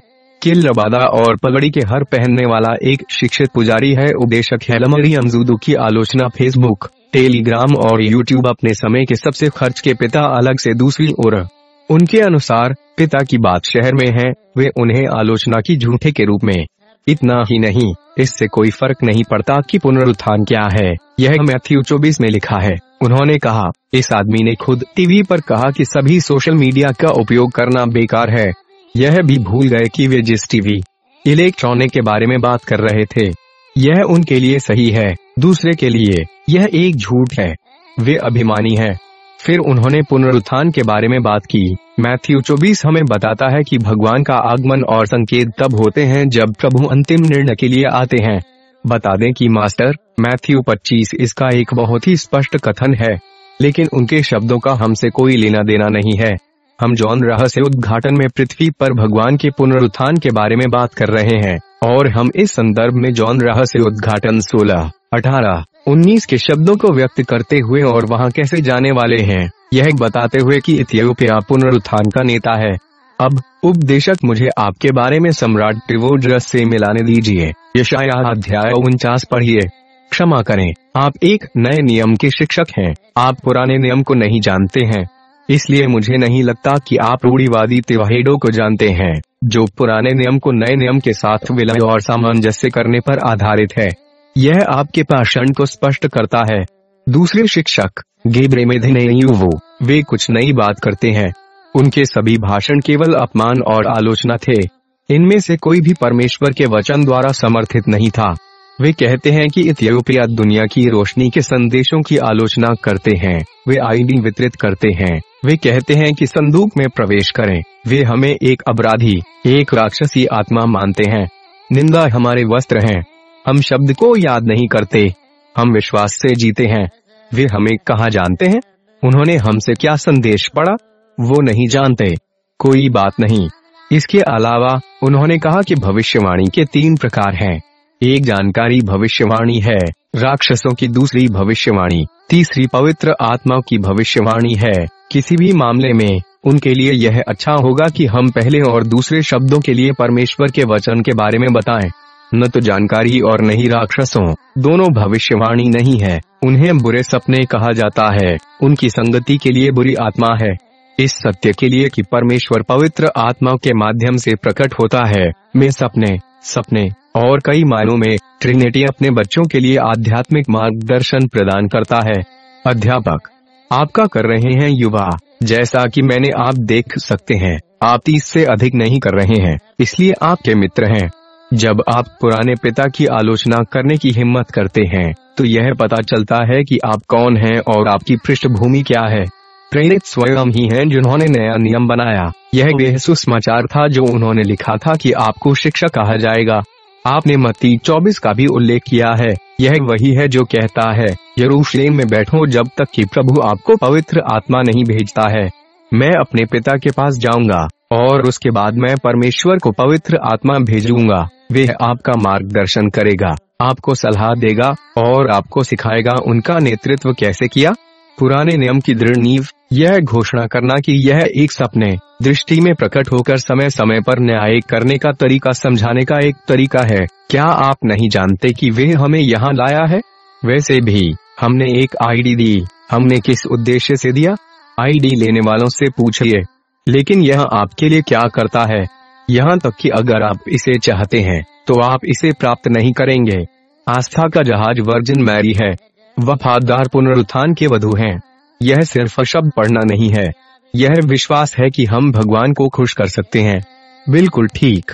आप शिक्षकों, हमारे दिन के बुद्धिमान फरीसी, कहा गया स्वामी, जिसने कहा, मास्टर मास्टर मत कहो। मैं तुम्हारा मास्टर हूँ, तुम आज के फरीसी हो। तुम पार नहीं करोगे। आग जो पहले आती है वे उन लोगों को साफ़ कर देगी जो रास्ते को अवरुद्ध करते हैं। विनाशकारी चरवाहे। आप बेहतर है कि आप जो नहीं जानते उसके बारे में बात करें। आपके बारे में पूरा यह स्केल अध्याय चौतीस पढ़े। क्योंकि आप निर्णय के लिए संरक्षित हैं, लेकिन हमने तुम्हारा मांस शैतान को दे दिया है ताकि तुम्हारी आत्मा बच जाए। क्योंकि आपने इथियोपिया के पुनरुत्थान से इनकार किया था और आप पूर्व संध्या पर नहीं पहुँचेंगे। इस सत्य को आप तक पहुँचने दें। मौत आपसे आगे निकल जाएगी। संक्षेप में, यह समझना महत्वपूर्ण है कि हमारा चर्च गंभीर खतरे में है। उसके सभी नौकर पिति सत्तात्मक कानून को तोड़ने और अब अपोलोस, धमकाने वाले बिशप, द्वारा लगाए गए मूर्ति पूजा के कानून को सही नहीं करने के लिए निंदा में है। उनके द्वारा आशीर्वाद प्राप्त करना और कोई सेवा प्राप्त करना असंभव है। ऐसा करने वाले की निंदा की जाएगी, क्योंकि वे उनकी गतिविधियों में हिस्सा लेंगे। इसलिए, हमारी सलाह है कि भगवान की कार्यवाही के लिए धैर्य पूर्वक प्रतीक्षा करें। इथियोपिया के चर्चों के रूप में दुनिया की रोशनी भविष्य में इकट्ठा होती है, अधिक से अधिक।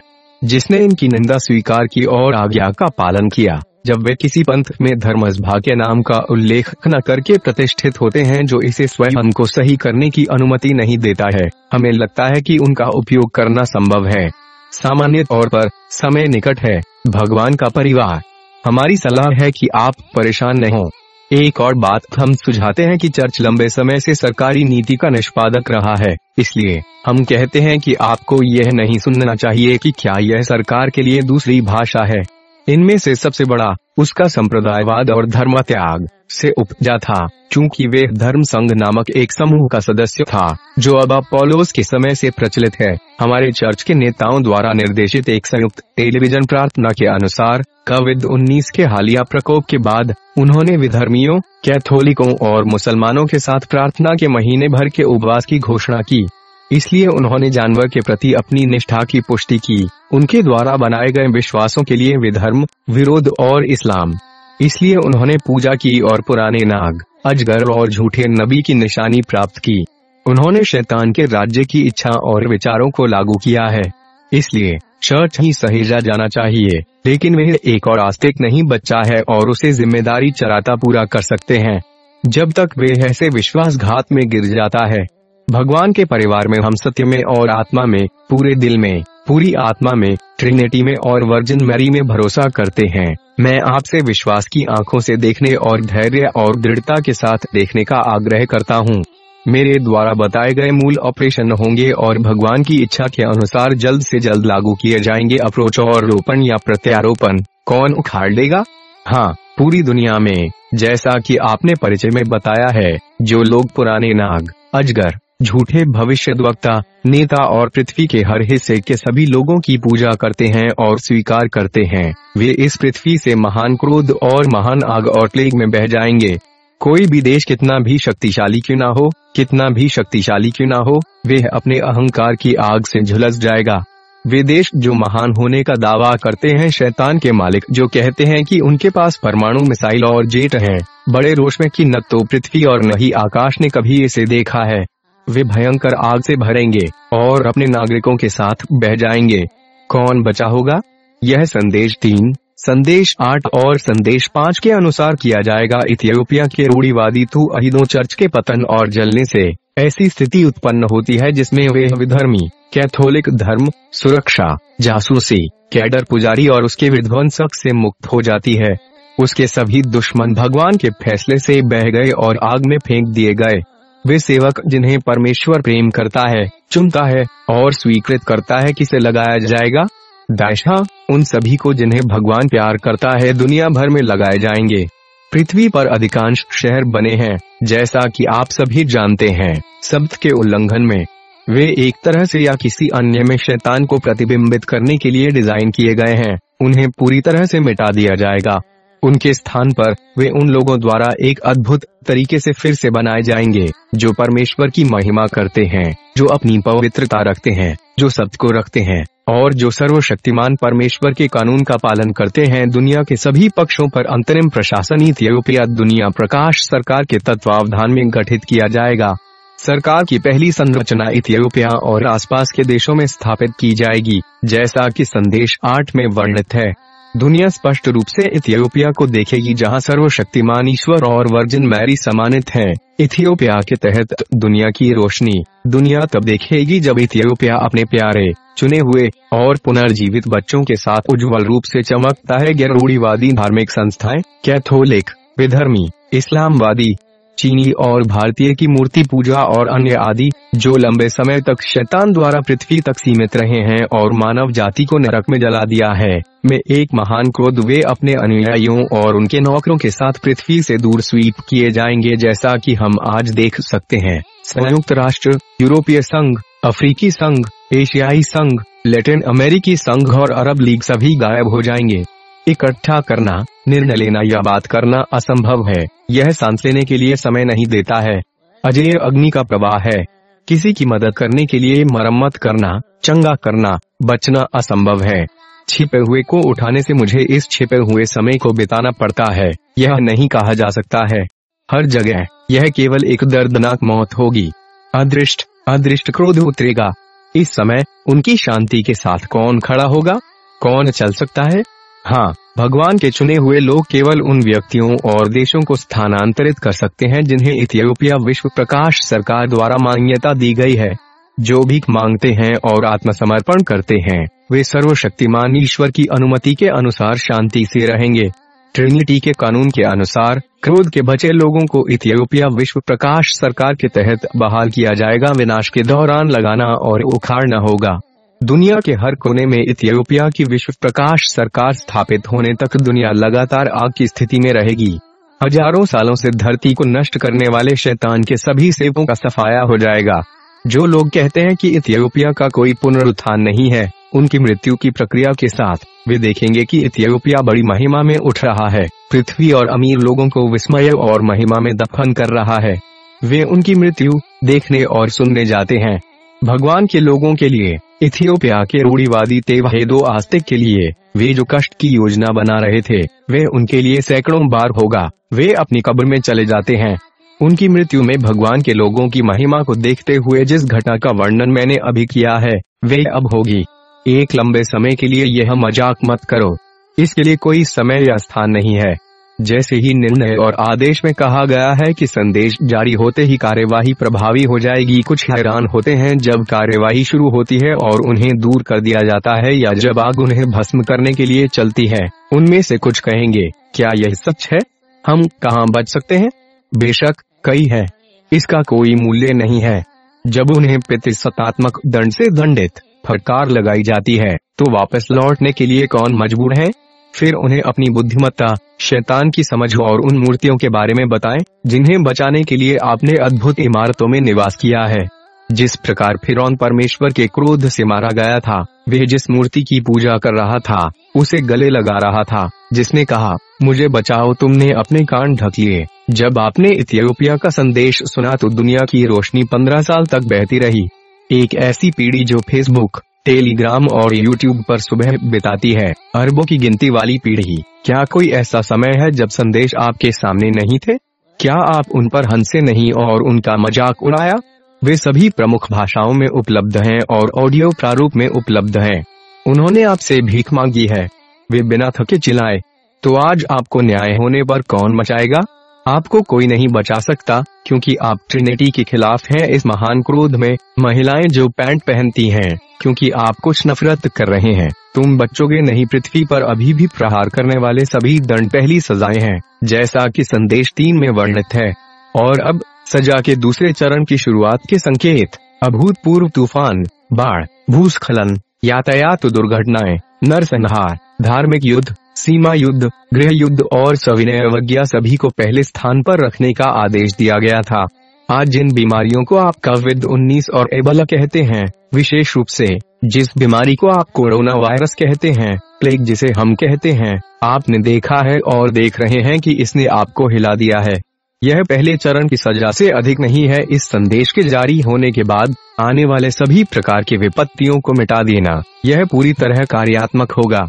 इसकी शक्ति वह शक्ति है जिसे पृथ्वी या आकाश ने पहले कभी नहीं देखा था। सात बार सात, उनचास बार, तब आप एक बड़ा विनाश देखेंगे। पूरी दुनिया में, जब कोरोना आता है तो आप अपने आप को एक घर में बंद कर लेते हैं। अपने हाथों को सैनिटाइजर से धोते हैं, और अपने आप को सुरक्षित रखते हैं। यह आसान है। आपको कितना दुख हुआ? तुम उसे जानते हो। जैसा कि हम देख सकते हैं। बजाय अपने निर्माता को सदमे में लौटने के, कहते हुए मैंने आपके लिए वैक्सीन पहुंचाई। मनुष्य के बजाय सृष्टिकर्ता के पास लौटकर, आप अभी भी उसे एक तारणहार की तरह बना रहे हैं। आपको लोगों को पश्चाताप करने और उनके निर्माता की ओर मुड़ने के लिए संघर्ष करना पड़ता है। अपने पिछले काम के अनुसार, आज तुम कह रहे हो, मेरी पूजा करो। तुम कहते हो, मैं तुम्हारा हल हूँ। इसलिए फिर की तरह, आप गर्वित हो गए हैं। जिस तरह मौत सारे मिस्र में बह गई फिर ने कई विपत्तियों के सामने अपना दिल कठोर कर लिया, जब मिस्र के सारे देश में उनके घर में मृत्यु का शासन था, फिर वह कहा जा सकता है? अहंकार और अवमानना के बारे में क्या? आलोचना का क्या? अभिमानी फिर मूसा के चरणों में गिर गया और कहा, कृपया जाओ, आज भी यही होगा। आप इसे देखेंगे, दुनिया के हर देश में मौत हर घर में राज करती है, इसे कोई रोक नहीं सकता। यह आपके घर में एक त्रासदी होगी। यदि आप बाहर जाते हैं तो यह बदतर है। कहा चली जाती हो तुम? ऐसा ही होगा। ध्यान दें, हम भगवान के लोग हैं। Ethiopia the world light families हम चिंता या विचारों के बिना अपना स्वतंत्रता दिवस मनाते हैं, क्योंकि हम आग से घिरे हैं। अब्राहम की ट्रिनिटी हम पर भरोसा करते हैं और वर्जिन मैरी हम पर भरोसा करते हैं। हम भी उन्हें धन्यवाद देते हैं। हम आनंद से गाते हैं।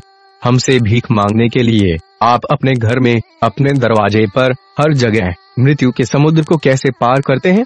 आप पुनरुत्थान के दूल्हे को देखेंगे, जिसे परमेश्वर प्यार करता है, बचाता है, और उसकी महिमा करता है, लेकिन आप उन तक नहीं पहुँच सकते। बीच में, मौत ने आप सभी पर शासन किया। ऐसा ही होगा। आज की पीढ़ी आपके लिए क्या अच्छा है?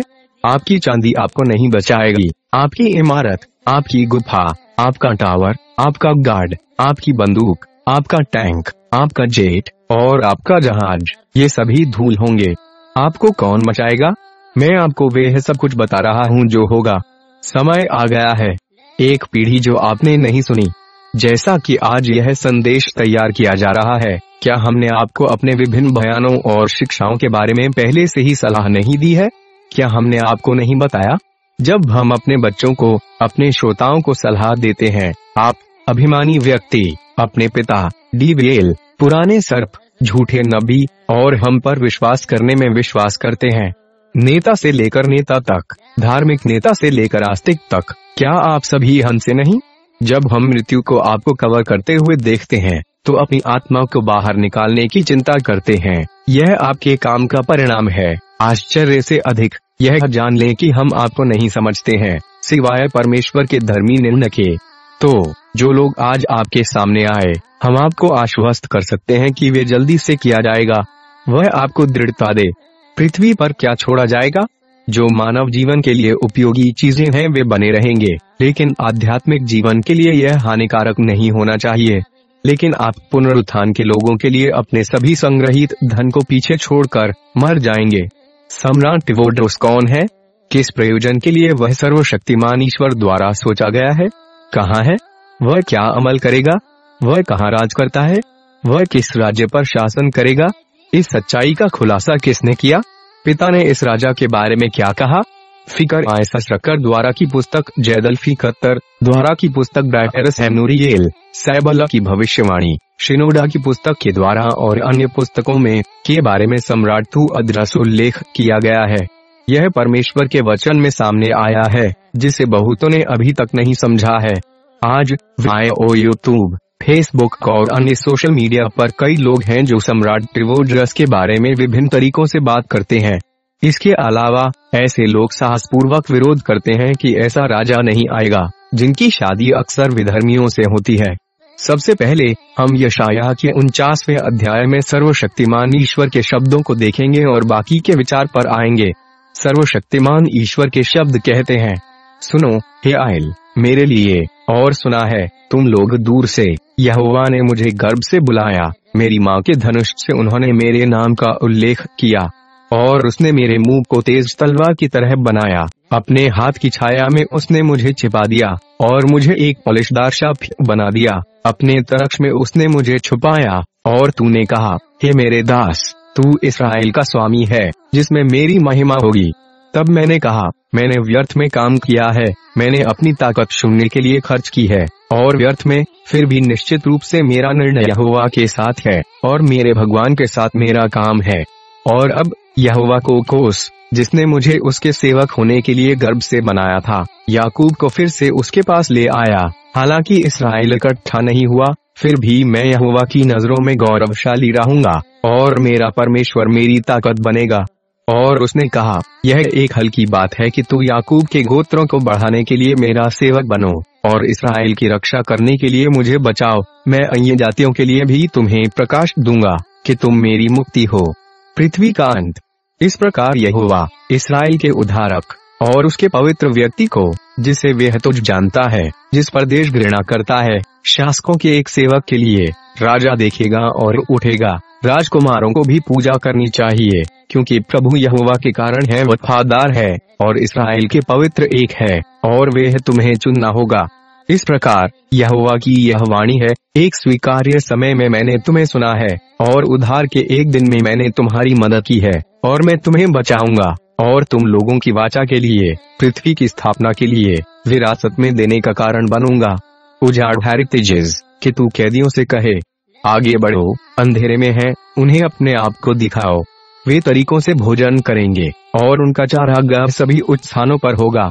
उन्हें न भूख लगेगी और न ही प्यास। न तो गर्मी और न ही सूरज उन्हें उकसाएगा, क्योंकि वे उन पर दया करता है, उनका नेतृत्व करेगा। यहाँ तक कि पानी के झरनों से भी वे उनका मार्गदर्शन करेगा, और मैं अपने सभी पहाड़ों को रास्ता बना दूँगा, और मेरे राजमार्ग ऊँचे किए जाएँगे। निहारना, ये दूर से आएँगे, और लो, ये उत्तर से और पश्चिम से, और ये सिनिम देश से हैं। गाओ, हे आकाश, और हर्षित हो, हे पृथ्वी, और हे सिंगारों में टूट। हे पहाड़ों, क्योंकि यहवा ने अपने लोगों को शांति दी है, और अपने पीड़ितों पर दया करेगा। लेकिन सियोन ने कहा यहुआ ने मुझे छोड़ दिया, और मेरा प्रभु मुझे भूल गया। क्या एक महिला अपने चूसने वाले बच्चे को भूल सकती है, कि उसे अपने बेटे के बेटे पर दया नहीं करनी चाहिए? हाँ वे भूल सकते हैं, फिर भी मैं तुम्हें नहीं भूलूँगा। निहारना, मैं तुम्हें अपने हाथों की हथेलियों पर पकड़ लिया है, तुम्हारी दीवारें मेरे सामने नृत्य हैं। तेरे बच्चे जल्दबाजी करेंगे। तेरा सर्वनाश और वे जो तुझे बर्बाद कर दिया है तुझसे आगे निकल जाएगा। अपनी आँखों को गोल गोल घुमाएँ और निहारें। ये सभी खुद को एक साथ इकट्ठा करते हैं और आपके पास आते हैं। जैसा कि मैं रहता हूँ यह हुआ की यह वाणी है कि तुम उन सभी के साथ का भूषण के रूप में और एक दुल्हन के रूप में उन्हें तुम पर बांधो तेरी बर्बादी और तेरे उजाड़ स्थानों और तेरे विनाश की भूमि के लिए, यहाँ तक कि निवासियों के कारण अब भी बहुत संकीर्ण हो जाएगा, और वे जो आपको निगल गए थे, वे दूर होगा। जिन बच्चों ने तुम्हें पाला है, तुम दूसरे को खो देने के बाद फिर से अपने कानों में कहोगे, मेरे लिए यह जगह बहुत ही कठोर है, मुझे वे स्थान दो, जहाँ मैं निवास कर सकूँ। तब तुम मेरे हृदय में कहो, किसने मुझे इनसे भीख मांगी है? यह देखकर कि मैं अपने बच्चों को खो चुका हूँ, और एक बंदी, और हताश हूँ। और किसने इनको पाला?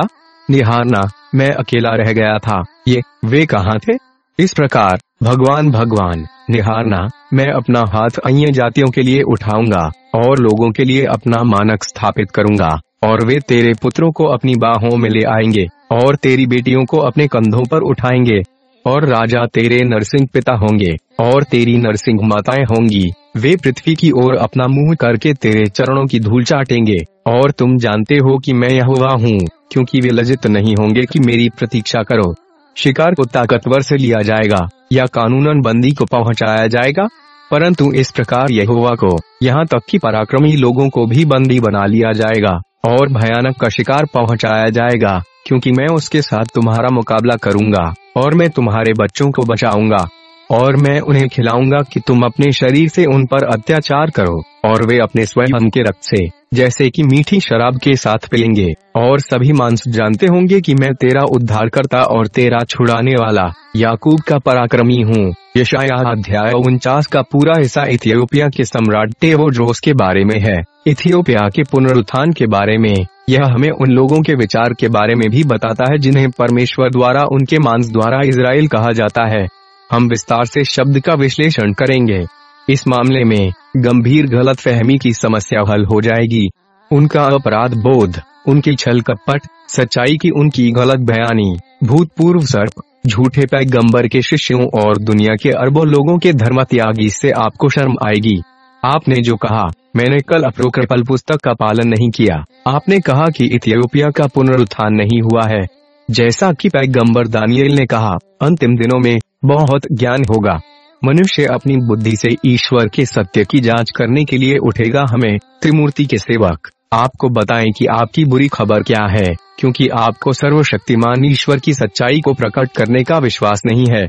आपकी एक गामक भाषा कहती है कि हम बाइबल के बाहर विश्वास नहीं करते हैं, क्योंकि आप झूठे नबी के प्राणी हैं इसलिए मैंने आपको बाइबल से भविष्यवाणी का एक स्पष्ट और अप्रतिम शब्द दिया है, जिसे आप मानते हैं आपके द्वारा अस्वीकार किए गए पितृपुरुषों की भविष्यवाणियाँ अभी भी मान्य हैं।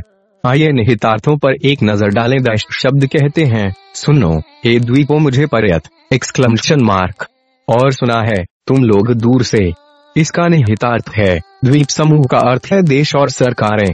परमेश्वर आपको बताता है कि आप आदम के सभी वंशजों को सुने, जो पूरी पृथ्वी पर बिखरे हुए थे शब्द कहते हैं, प्रभु, हाथ मुझे गर्भ से कहा जाता है। मेरी माँ के धनुष से उन्होंने मेरे नाम का उल्लेख किया, और उसने मेरे मुँह को एक तेज तलवार की तरह बनाया।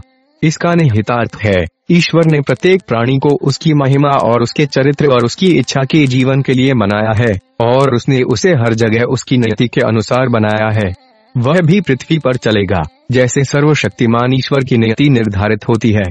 जब हम बनाए जाते हैं, जब वह हमें अपनी इच्छा से प्रस्तुत करने और अपनी भूमि में रहने की अनुमति देता है तो उसने हमारे सामने अंधेरा और प्रकाश निर्धारित किया है, ताकि हम जहाँ चाहे वहाँ जा सकें। जब हम अच्छे विकल्प बनाते हैं तो हमें मार्गदर्शन करने के लिए एक अच्छी परी दी जाती है। यह हमें उस तरीके को सीखने में सक्षम करता है जिस तरह से परमेश्वर हमें चाहता है, क्योंकि हमने अच्छे को चुना है। वह जो ईश्वर की इच्छा से चलता है, उसे ईश्वर द्वारा सिखाया जाता है। अपने उद्देश्यों और वसीयत के लिए, परमेश्वर अपनी सेवा के लिए मानव जाति के लोगों को चुनता है। राजा दाऊद को परमेश्वर द्वारा चुना गया था और उसका उद्देश्य पूरा करना था। राजा डेविड, जो समझते थे कि ईश्वर की इच्छा और उद्देश्य क्या है, ने कहा, जब मैं अपनी माँ के गर्भ में था, तब मैं तुम्हारे द्वारा जाना जाता था। इससे पहले कि मैं हड्डी और खून में मिलाया जाऊँ, भगवान ने उसे एक विशेष उद्देश्य के लिए गर्भ से बाहर बुलाया। इस प्रकार, राजा दाऊद के बनाए जाने से पहले परमेश्वर की पसंद बनी थी। इससे पहले कि सभी पैगंबर और प्रेरित अपनी माँ के गर्भ में एक जुट होते, उन्होंने उन्हें अपनी योजना के लिए चुना। उन्होंने अपने चुने हुए को एक तेज तलवार की तरह बनाया। उन्होंने अपने शब्दों से दुनिया को हिला दिया, क्योंकि परमेश्वर पवित्र आत्मा है जो अपने शरीर में, अपनी जीभ में काम करता है। यह शब्द कहता है, अपने हाथ की छाया में उसने मुझे छुपाया, और मुझे एक पॉलिशदार शब्द बनाया। अपने तरक्ष में उसने मुझे छुपाया। इसका निहितार्थ है आज आप ईश्वर के शब्द सुन रहे हैं। Ethiopia is the light of the world के संदेशों के माध्यम से। लेकिन आपने मुझे व्यक्ति में भगवान का सेवक नहीं देखा। क्यों? क्योंकि उसने मुझे तब तक छुपाया जब तक कि घंटा नहीं आ गया। वह मुझे पंद्रह साल से छिपा रहा है।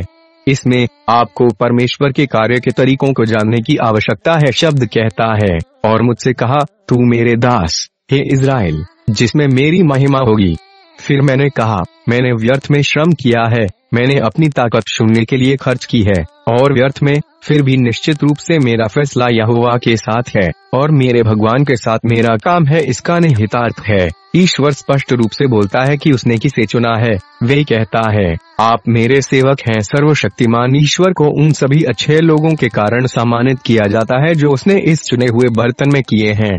मेरे लोग जब मैं इस शब्द को कहता हूँ तो मैं वास्तव में आश्चर्यचकित होता हूँ। यह शब्द मेरे दिल में था। यह वह शब्द है जो मैंने अपने दिमाग में व्यक्त किया था। मैंने व्यर्थ में काम किया है। मैंने अपनी ताकत सुनने के लिए खर्च की है। और व्यर्थ में, फिर भी निश्चित रूप से मेरा फैसला यहुआ के साथ है। और मेरे भगवान के साथ मेरा काम है जब मैंने इस सच्चाई को व्यक्त किया। तो मुझे लगा कि मैं इस शब्द का लेखक हूँ। इस संदेश में मैं अपने जीवन और पीड़ा के बारे में बात नहीं करना चाहता हूँ, जो कोई जानना चाहता है। वे सर्वशक्तिमान ईश्वर से पूछ सकता है, यदि आप जल्दी नहीं करते हैं तो यह सब प्रकट हो जाएगा। आप इसे सुनेंगे क्योंकि प्रकाश से बाहर जाने से कुछ नहीं होगा। निजी तौर पर, मैं यह नहीं सोचना चाहता कि मैं कहाँ से आया हूँ। जब मैं इसके बारे में सोचता हूँ तो मुझे इतनी घबराहट होती है कि मैं इसे संभाल नहीं पाता, इसलिए मुझे इसे कूदना पड़ता है। मेरा प्रतिफल और निर्णय अभी भी ईश्वर के हाथ में है। जैसा कि आप सभी जानते हैं कि झूठे भविष्य वक्ता पुराने सर्प के साथ लड़ाई, जिसने दुनिया पर शासन किया और दुनिया को प्रसन्न करते हुए शासन किया, मेरे बचपन में शुरू हुआ। अपनी आत्मा को महसूस किए बिना, शैतान को इतने तरीकों से मुझे नष्ट करने की कोशिश की गई। मैं अपनी इच्छा से पीड़ित नहीं था।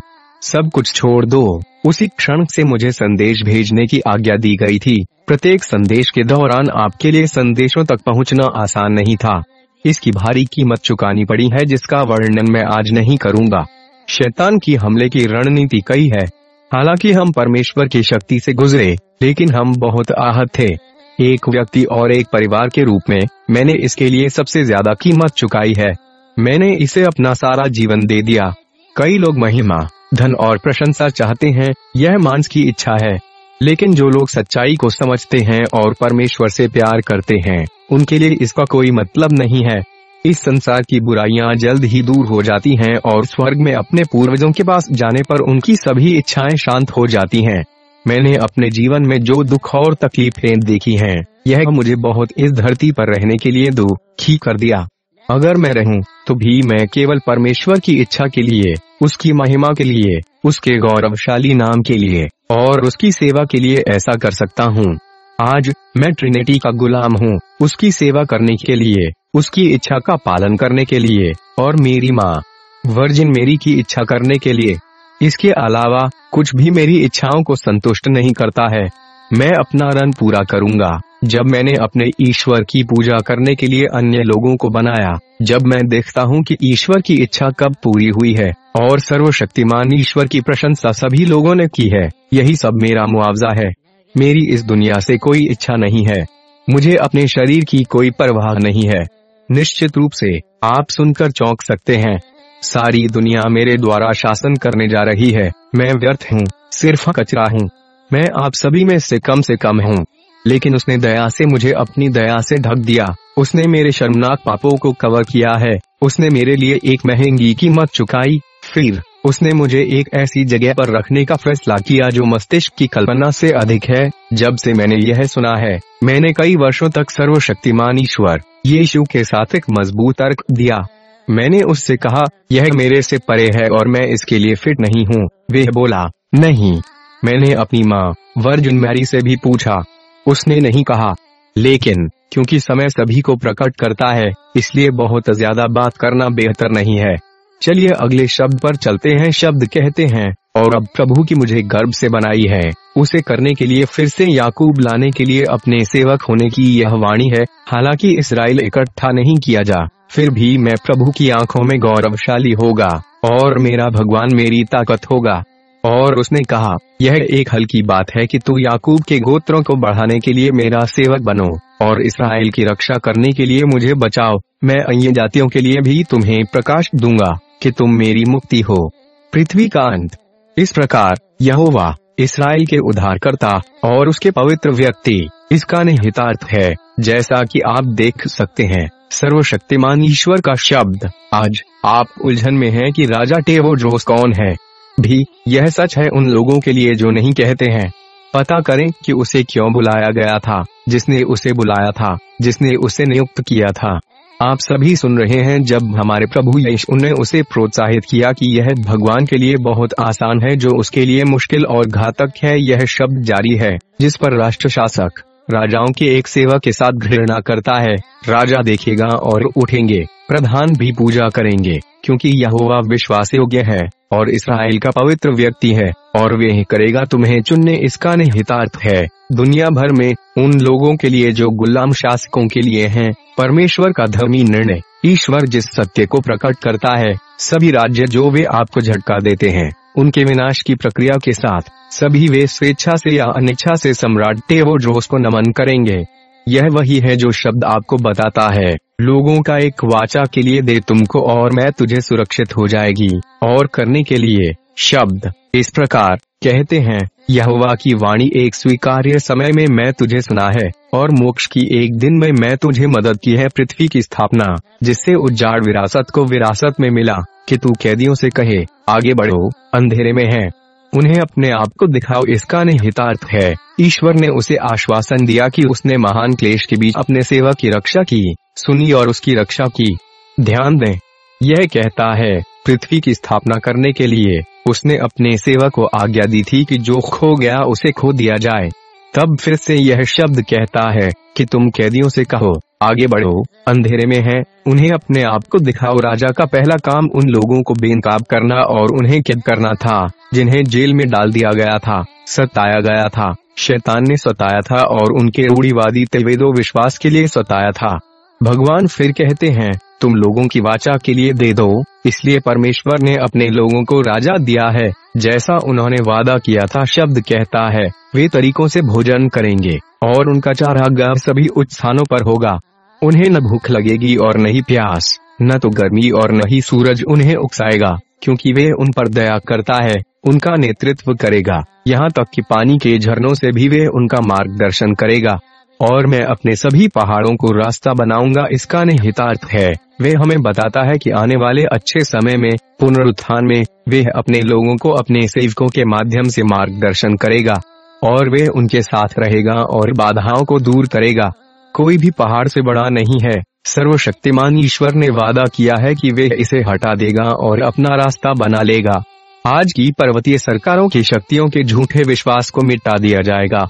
यह सच है, शब्द कहता है, और मेरे राजमार्ग ऊँचे किए जाएँगे, इसका निहितार्थ है। सभी भगवान के धर्मी निर्णय, उन सभी के लिए जिन्हें उस समय उनके पुनरुत्थान के लिए बुलाया गया था, सभी माँ शांति, आशीर्वाद, प्रेम, आनंद की ओर ले जाते हैं। भगवान की पूजा पूरे मन पूरे मन, पूरी आत्मा से की जाएगी।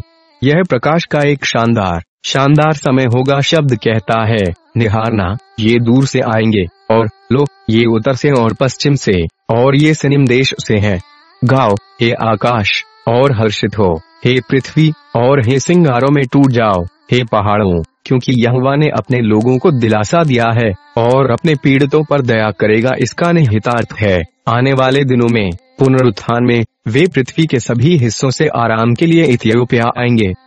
ईश्वर उन सभी को सुकून देता है जो ईश्वर के कोप से बच जाते हैं, क्योंकि उसने अपने लोगों के लिए दया की है। आकाश और पृथ्वी और राज्य है। परमेश्वर के धर्मी निर्णय के कारण आनंद के लिए चिल्लाएँगे। ऐसा ही होगा शब्द कहते हैं, लेकिन सियोन ने कहा, प्रभु, हाथ छोड़ मुझे, और मेरे प्रभु मुझे भूल गया। क्या एक महिला अपने चूसने वाले बच्चे को भूल सकती है कि उसे अपने बेटे के बेटे पर दया नहीं करनी चाहिए? हाँ वे भूल सकते हैं। फिर भी मैं तुम्हें नहीं भूलूँगा। निहारना, मैं तुम्हें अपने हाथों की हथेलियों पर पकड़ लिया है। तुम्हारी दीवारें मेरे सामने नृत्य हैं। तेरे बच्चे जल्दबाजी करेंगे। तेरा नाश करने वाले और वे जो तुझे बर्बाद करते हैं, वे तेरे आगे निकल जाएँगे। इसका निहितार्थ है। यह शब्द उन लोगों के लिए बोलता है जिन्हें उनके मांस से इसराइल कहा जाता है। आने वाले पुनरुत्थान में, जैसा कि संदेश तीन में वर्णित है, उसे इथियोपिया विश्व प्रकाश सरकार के तहत स्वशासन का अधिकार दिया गया है। उसके लोगों को पकड़कर जो उसके प्रकोप से बच गए हैं, एक छोटी इथियोपियाई बहन के रूप में, वे इथियोपिया के रूढ़ीवादी तिवाहिदो आध्यात्मिक प्रशासन के आध्यात्मिक नेतृत्व से दिलासा देती है। परमेश्वर ने भविष्य वक्ताओं प्रेरितों और उनके जीवन के बारे में जो उन्होंने उनके लिए अदा किए थे, वे परमेश्वर द्वारा अपने लोगों के रूप में पैदा हुए और उनसे प्यार करते थे। भले ही वे उसे नकार दें, भले ही उन्होंने उसे एक महान धर्म त्यागी में मृत्यु के लिए धोखा दिया, फिर भी वे पश्चाताप नहीं करते। लेकिन जब सर्वशक्तिमान ईश्वर ने अंतिम समय में दुनिया का दौरा किया तो उन्हें अपने लोगों पर तरस आया। उन्होंने अब्राहम, इसहाक, याकूब के शुरुआती दिनों को याद किया। जो मूसा, एलिया और डेविड के संस्थापक पिता थे।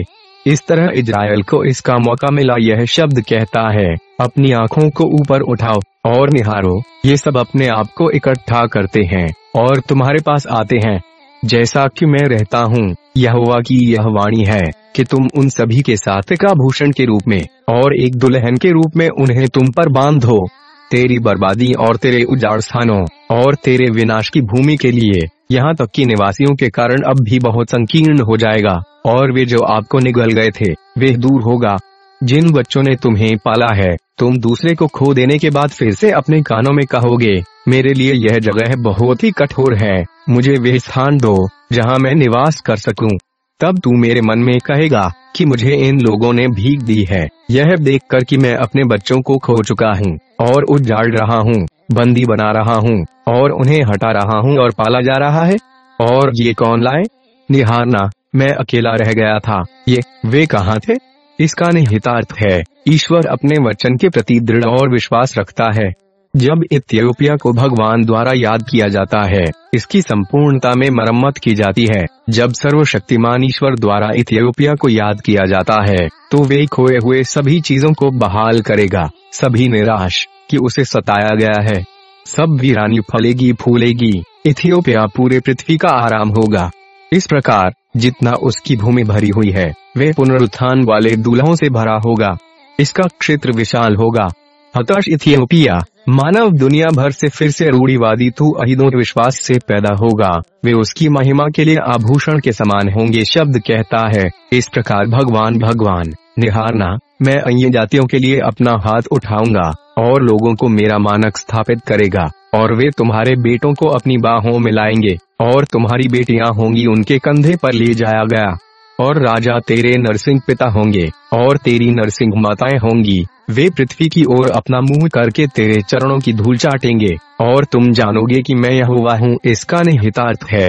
जब भगवान कहते हैं मैं राष्ट्रों के सामने अपना हाथ उठाऊँगा। मैं अपने लोगों के खिलाफ अपना उद्देश्य निर्धारित करूँगा। अच्छी अवधि में मरम्मत की अवधि के दौरान यह इंगित करता है कि अन्य जातियों को सत्य कहा जाएगा, और भगवान उन्हें उस भूमि पर बुलाएँगे जहाँ उनके रहस्योद्घाटन को सम्मानित किया जाएगा। इथियोपिया शब्द कहता है, क्योंकि उन्हें शर्म नहीं आएगी कि मेरी प्रतीक्षा करो, इसका निहितार्थ है। जो मेरी प्रतीक्षा करते हैं, उन्हें शर्म नहीं आएगी।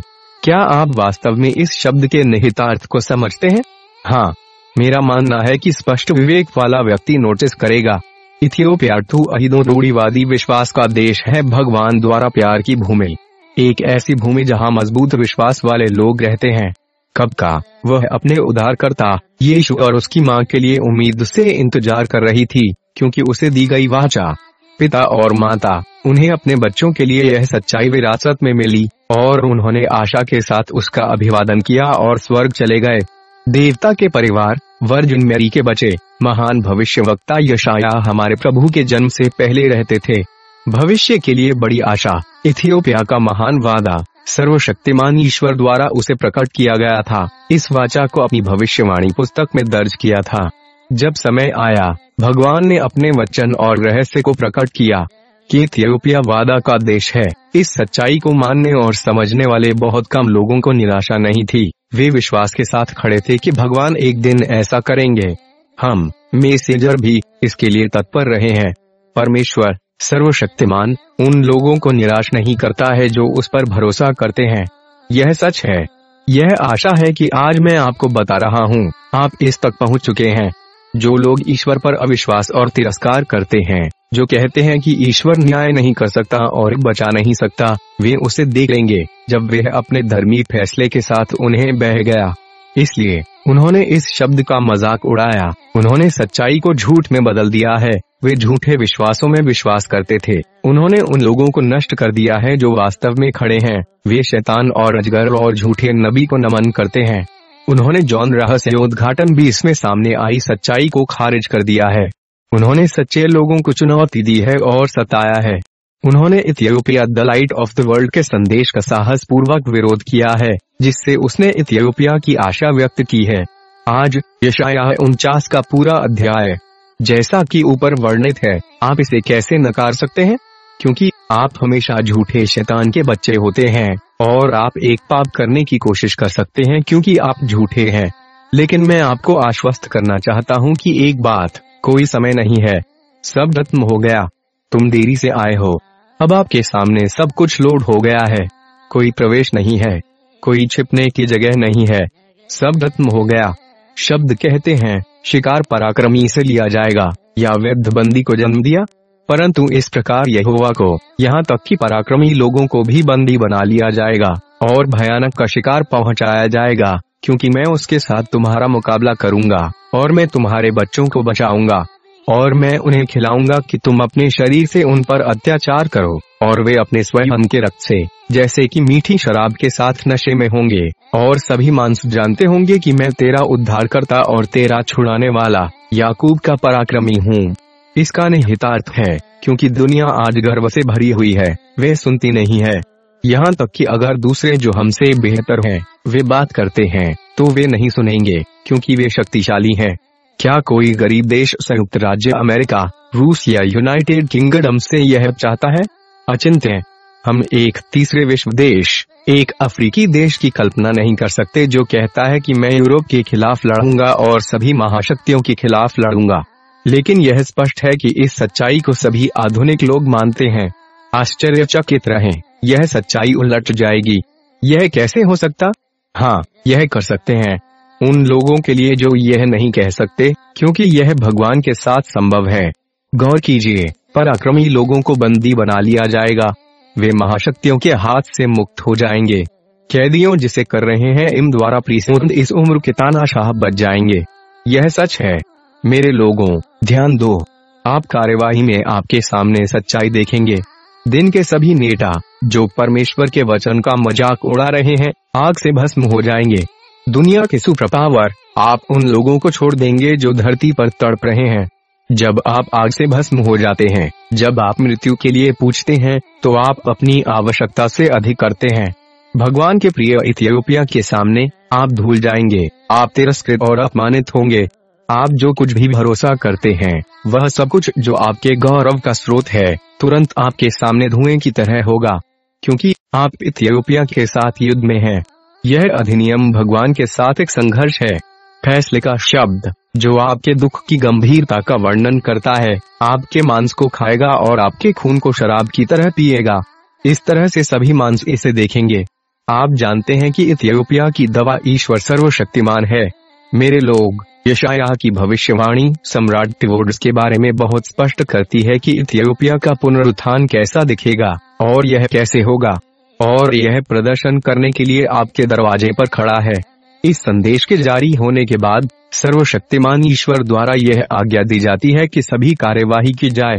इस समय जब हम आज हैं, जब सुबह शाम पृथ्वी झूठ से हिल जाती है पर एक समय था जब युवा और वृद्ध टेलीविज़न के आदि थे। वर्तमान मुद्दों में से एक सोशल मीडिया वायो यूट्यूब डैश फेसबुक आदि। एक ही समय में सम्राट यूड्रोस के प्रस्थान और आगमन का मुद्दा एक प्रमुख मुद्दा था। कुछ मौजूदा स्थिति और वैश्विक उथल पुथल को देखते हुए इथियोपियाई पुनरुत्थान के विरोधी हैं। कुछ लोग भविष्यवाणी के शब्द के खिलाफ जाते हैं और दिन के शासकों को खुश करने की कोशिश करते हैं। कुछ वायो यूट्यूब पर भी कुछ नया देकर बहुत पैसा कमाने की कोशिश करते हैं। उनमें से अधिकांश शैतान के आज्ञाकारी हैं, क्योंकि उन्होंने अपने प्रभु से सुना कि उनकी तृप्ति आ रही है। वे लोगों को सच्चाई सुनने और उन्हें गुमराह करने की कोशिश कर रहे हैं। जैसा वे कहते हैं कि राजा यहाँ है, भविष्यवाणी की विभिन्न पुस्तकों का हवाला देते हुए, ऐसे कई पृष्ठ हैं जो उनके मूल देश, उनके गंतव्य, उनके जन्म स्थान के बारे में बात करते हैं। जैसा कि उन्होंने कहा, कई किताब फिक्रे आइजस का उल्लेख करते हैं जो इंग्लैंड में पाए जाते हैं। वे लोगों को भ्रमित करते हैं, उनकी व्याख्या करते हैं जैसा वे चाहते हैं। क्योंकि बात आधुनिक आदमी के भोजन की है वह झूठ को सुनता है, कुछ सच्चाइयों के साथ मिश्रित होता है, और सब कुछ चुने बिना सुनता है। इस प्रकार, वे उलझन में है। आधुनिक शासकों और सरकारों को प्रेरित करें, साथ ही साथ शैतान के झूठे भविष्य के विश्वासों को भी बढ़ावा दें। वे इस सच्चाई को विकृत करने, इसे अतिरंजित करने और इसे गलत तरीके से प्रस्तुत करने का प्रयास करते हैं। आशंका जताई दुनिया है और यह भी उनमें से चालक शैतान, पूर्व सांप, अजगर और झूठे नबी इस तथ्य से अच्छी तरह परिचित हैं। वे सच्चाई को समझते हैं। ध्यान दें, वे शासक और शासक हैं जिन्हें शैतान ने पृथ्वी पर स्थापित किया है, जिन्होंने शैतान को भगवान को खारिज कर दिया है, जो शैतान सर्वशक्तिमान भगवान के राज्य को उखाड़ फेंकना चाहते हैं और जिन्होंने इस सपने को सच करने के लिए लड़ाई लड़ी है। इसलिए वे अभी भी लड़ रहे हैं। उनके लिए आसमान में कोई जगह नहीं है। उन्हें पराजित किया जाता है और उन्हें लपेटकर ज़मीन पर फेंक दिया जाता है। आज उनका पार्थिव किला ढहने वाला है। परमेश्वर को उसके वफादार सेवकों द्वारा भूमि में महिमा दी जाएगी। यहाँ हम उसे एक भयंकर युद्ध में लगे हुए देखते हैं, क्योंकि यह सत्य निगल जाने वाला है। यह होना चाहिए। लेकिन वे नहीं चाहते कि ऐसा हो, क्योंकि यह उनके अस्तित्व का अंत है। इतना ही नहीं, के लिए जो लोग विश्वास भगवान के खिलाफ लड़ रहे हैं जो हमें और उन्हें बनाया, कोई आश्चर्य नहीं। अगर वे सदमे से अभिभूत हैं, क्योंकि परमेश्वर उनकी भूमि में महिमा मंडित होने जा रहा है, यह सच्चाई उस धरती को रोशन करेगी जो अंधेरे में थी। पृथ्वी पर और स्वर्ग में उसके न्यायपूर्ण निर्णय में सभी सृष्टि के प्रभु की महिमा होनी चाहिए। भगवान के लिए एक धर्मी न्यायाधीश है। इसलिए, जब सम्राट तेवोड्रस का अभिषेक शक्तियों इफ़ भगवान द्वारा किया जाता है तो इस अंधेरे के शासक उसे कैसे प्राप्त करेंगे? सम्राट भी जानता है कि वे उसे खुश समारोह के साथ स्वीकार नहीं करेंगे। फेलोशिप में अंधेरा और प्रकाश क्या होता है? राजा परमेश्वर की इच्छा को पूरा करने के लिए आया था जिसने उसे बनाया था। भगवान के शानदार नाम के लिए पृथ्वी पर सभी चीज़ों पर पहरा देने के लिए। इसलिए यदि वे इसे नष्ट करना चाहते हैं तो यह उनके लिए होना चाहिए। वैसे भी, उनका संघर्ष आसान नहीं है। शैतान ज्ञान दूर नहीं हुआ है। यह स्पष्ट है कि उसने इसे नष्ट करने के लिए कई योजनाओं को तैयार किया।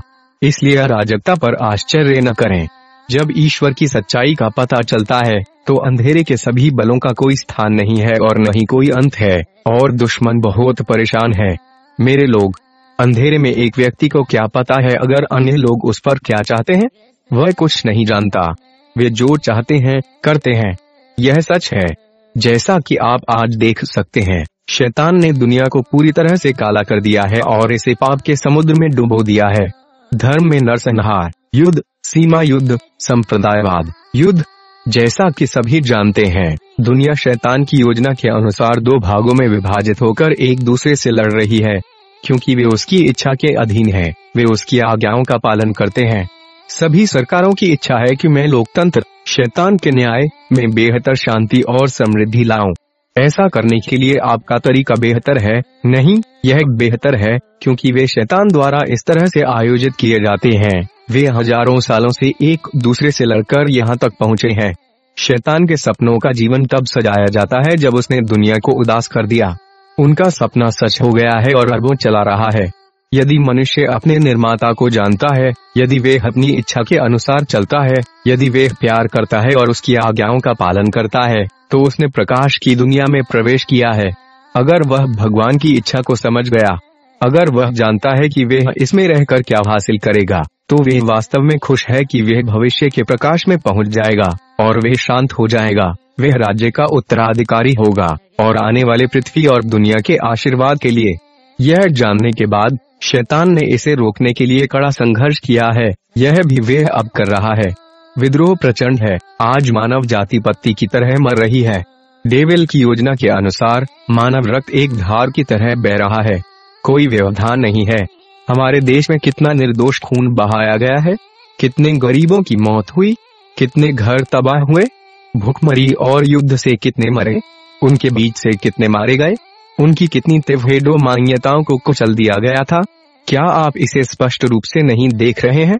क्या आप नहीं देख सकते हैं कि पुराने सांप, अजगर, झूठे नबी के शासन वाले इथियोपियाई सरकार, शैतान की इच्छाओं को पूरा करने के लिए क्या कर रही है, ताकि सच्चाई का मार्ग नष्ट हो सके? बेशम सरकार, उन्होंने धोखे धोखे और रणनीति को स्वीकार किया। अच्छा ज्ञान पसंद है। उसका मुँह मक्खन उसका दिल चाकू ऐसा नेता, शैतान है, जो हमें नष्ट करने के लिए चाहता है। हमारे लिए लगाया गया है। उनकी जाति के कारण कितने गरीब इथियोपियाई मारे गए? ते वह दो की कितनी मान्यताएँ नष्ट होगी? हमारे कितने चर्चों को नष्ट और जला दिया गया था? कितने को सताया गया? कितने एक अरब खिलौना बन गए? हमारे देश को नष्ट करने के लिए कितने प्रयास किए गए हैं? क्यों इथियोपिया सभी विनाश का केंद्र बन गया है? यह स्पष्ट और असंदिग्ध है।